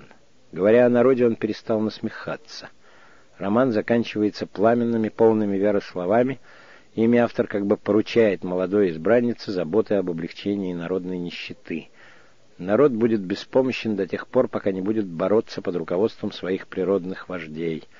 Я молюсь о том, чтобы дожить до того времени, когда в Англии вновь водворится свободная монархия, и народ достигнет благосостояния. Я убежден, что эти два великих явления могут быть вызваны к жизни только энергией нашей молодежи. Мы живем в такое время, когда слова молодости и равнодушия не могут быть синонимами. Мы должны быть готовы к наступающему часу.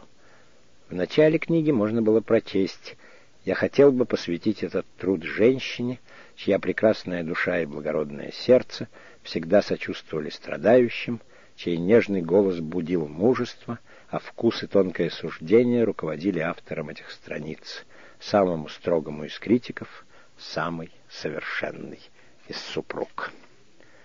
Глава шестая. Дуб и тростник. Дизраили любил повторять, что после выхода в свет каждой его книги ум его как бы совершает скачок. Писание романа было для него особым методом анализа, пробой поведения и как бы репетицией политических выступлений. Поэзия является предохранительным клапаном моей душевной жизни, но я хочу осуществить то, что навеяла мне фантазия — Воплотивший в Конингсби и Сибиле свои политические идеалы, Дизраили с наслаждением вернулся к политической деятельности. К сожалению, молодая Англия была скорее эмоцией, чем программой, и никогда плотные, и некогда плотные с багровыми лицами джентльмены, восседающие вокруг него, не примут всерьез идей народного консерватизма. Надо было найти точку отправления и пуститься в море реальности. Каково же было политическое состояние Англии? Палата общин была более чем когда-либо покорна сэру Роберту Пилю, а сэр Роберт Пиль желал сбросить с себя власть партии.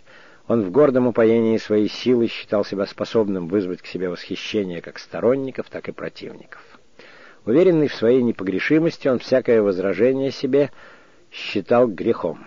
Он был заражен честолюбием, облеченным в моральные формы, самым тяжелым из заболеваний политических деятелей одним из тех заболеваний, из-за которых человек не способен ничего прощать. В эти годы Дизраили любил повторять изречение кардинала Ретца.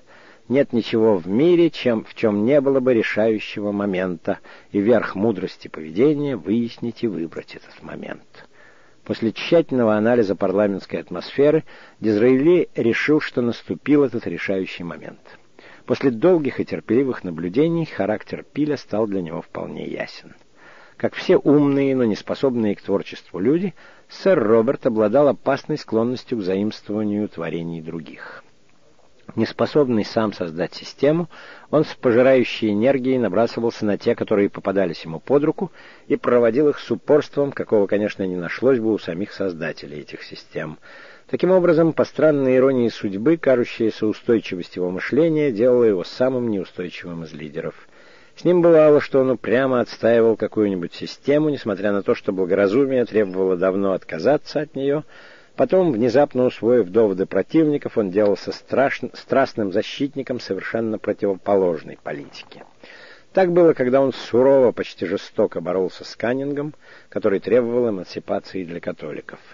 А после смерти Каннинга сам сделался эмансипатором католиков. Так было и теперь.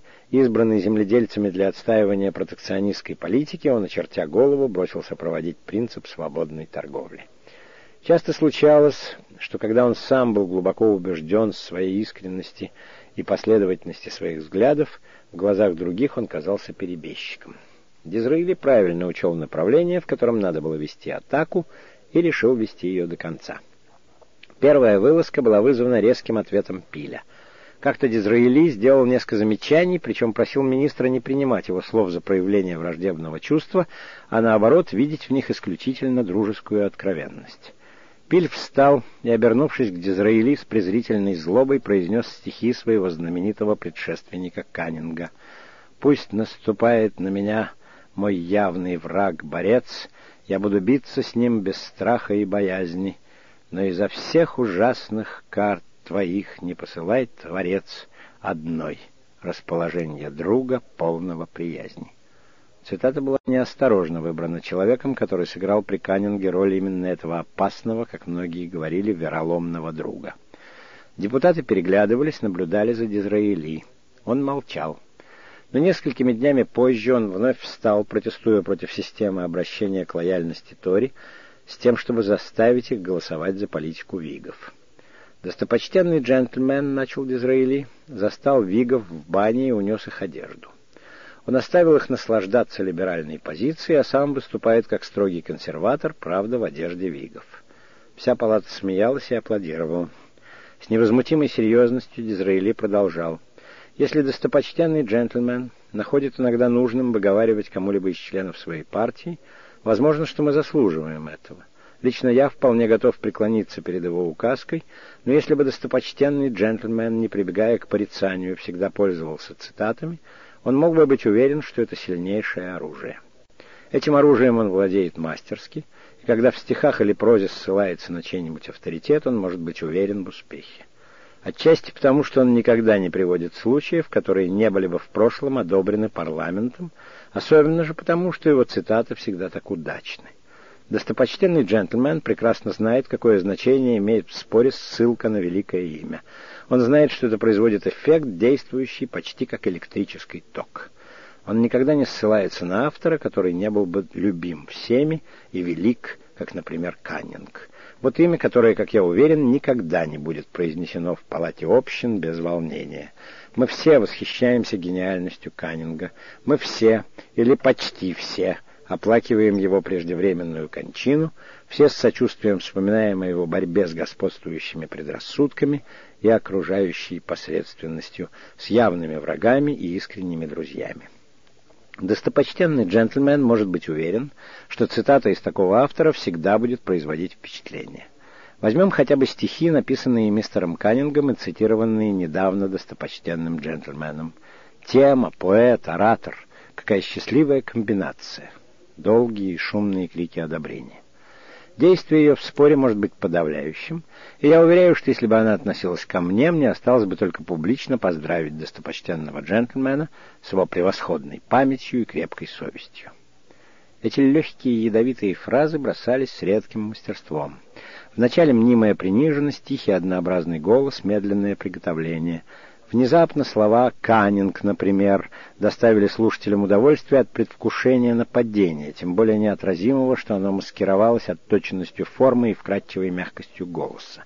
Эффект был необычайный, восторг достиг таких размеров, что один из министров, вставший, чтобы ответить, должен был долго стоять молча. Пиль, опустив голову, побледнев, дышал с трудом. Один Дизраилий был невозмутим, точно человеческие страсти не имели над ним власти — «Эта сцена заставила бы вас плакать от радости», — писал Смит Мэри Анн. В Брэденхейме старый слепой отец, сидя рядом с Сарой, повторял «Тема, поэт, оратор. Какая счастливая комбинация». Пиль чувствовал, что надвигается гроза. Он был самолюбив и избалован уважением. Он еле сдерживался. Как палата могла допустить, чтобы величайший парламентский деятель был так оскорблен наглецом? И какая несправедливость!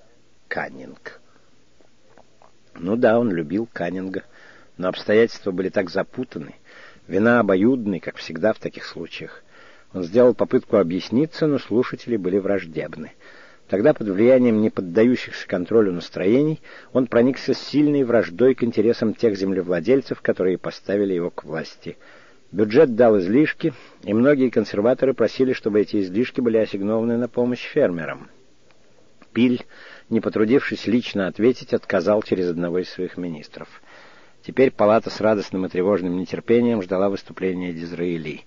Было тяжелым зрелищем видеть, как бледнеет и содрогается благородное лицо сэра Роберта, но, тем не менее, это зрелище нравилось. Так, когда на арену выходит прекрасный бык с блестящей шерстью, пышущий здоровьем и силой, публика наслаждается и содрогается при мысли о бандерильях, которые приведут его в ярость. На этот раз Дизраэли обращался к своим друзьям-протекционистам и иронически бронил их. К чему неразумные жалобы на поведение премьера? Конечно, есть разница между поведением достопочтенного джентльмена в бытности его лидером оппозиции и поведением королевского министра. Но ведь это вечная история. Нельзя же удивляться контрасту между короткими мгновениями завоевания и долгими годами обладания. Совершенно верно, что достопочтенный джентльмен изменился. Я помню его речь о протекционизме. Это была лучшая речь из всех мною слышанных. Не безделицей были слова достопочтенного джентльмена «Я предпочту быть лидером английских джентльменов, чем пользоваться доверием королей». Да, это не было безделицей. Теперь нам не часто говорят об английских джентльменах. Но в чем дело? Кто мешает им наслаждаться прелестью былого, предаваться радостным воспоминаниям? Они были его первой любовью, если теперь он не преклоняет перед ними колени, как в мгновение страсти, они могут вспоминать о прошлом. Нет ничего более бесполезного и жалкого, чем сцены взаимных попреков и упреков. Мы все знаем, что если предмет любви перестал нравиться, тщетно обращаться к чувству. Вы знаете, что я говорю правду. Каждый мужчина или почти каждый прошел через это. Мои почтенные друзья жалуются на достопочтенного джентльмена. Достопочтенный джентльмен делает все, что может, чтобы принудить их к спокойствию. То он замыкается в надменном молчании, то он обращается с ними с упорной холодностью. Если бы они хоть немного знали человеческую душу, они бы поняли и молчали. Но они не хотят молчать. Что же случилось? Что случается всегда в подобных случаях. Достопочтенный джентльмен, вынужденный, к большому своему сожалению, действовать, посылает своего слугу, и тот весьма грациозно заявляет, «Мы не можем выносить этих стонов у наших дверей». Таков в точности, сэр, случай с земледелием, этой красавицей, за которой ухаживал весь свет и который ныне изменил возлюбленный. Трудно представить себе, каков был эффект. Много значил еще тон всей речи. Все было сказано тихим и монотонным голосом, умолкавшим, когда аплодисменты и смех слишком усиливались. Потом, без всякого напряжения, вновь текли ровные слова беспрестанным потоком юмора и порицания, падая на внушительную фигуру министра. Палата была в восторге, но всем было немного стыдно. Все еще покорные могуществу человека, которого они оскорбляли, депутаты аплодировали, опустив глаза — Пиль надвинул шляпу на самые глаза и не мог скрыть нервных жестов. Лорд Джон Рессель бормотал про себя «все это правда», и даже Дикий Эллис смеялся, а Макулей казался очень довольным. Парламентские каникулы дали сэру Роберту не, не, не некоторую передышку. Он с радостью отправился в деревню к своей семье. Этот суровый министр был нежнейшим мужем и отцом. Наверное, Дизраиды, которому так знакомы были чувства семьянина, пожалел бы его, если бы мог прочесть письма, получаемые леди Пиль. «Моя любовь, я не могу больше переносить разлуки с вами. Мною овладевают тоска и усталость. Возвращаться в два или три часа ночи в опустошенный дом, входить в нашу комнату, где ваш туалетный стол и ваши флаконы — Видеть покинутую детскую, пустые, молчаливые залы, иногда это выше моих сил. Маленькой Джулии скажите, что ее часики при мне, я их завожу каждый вечер и слежу за ними.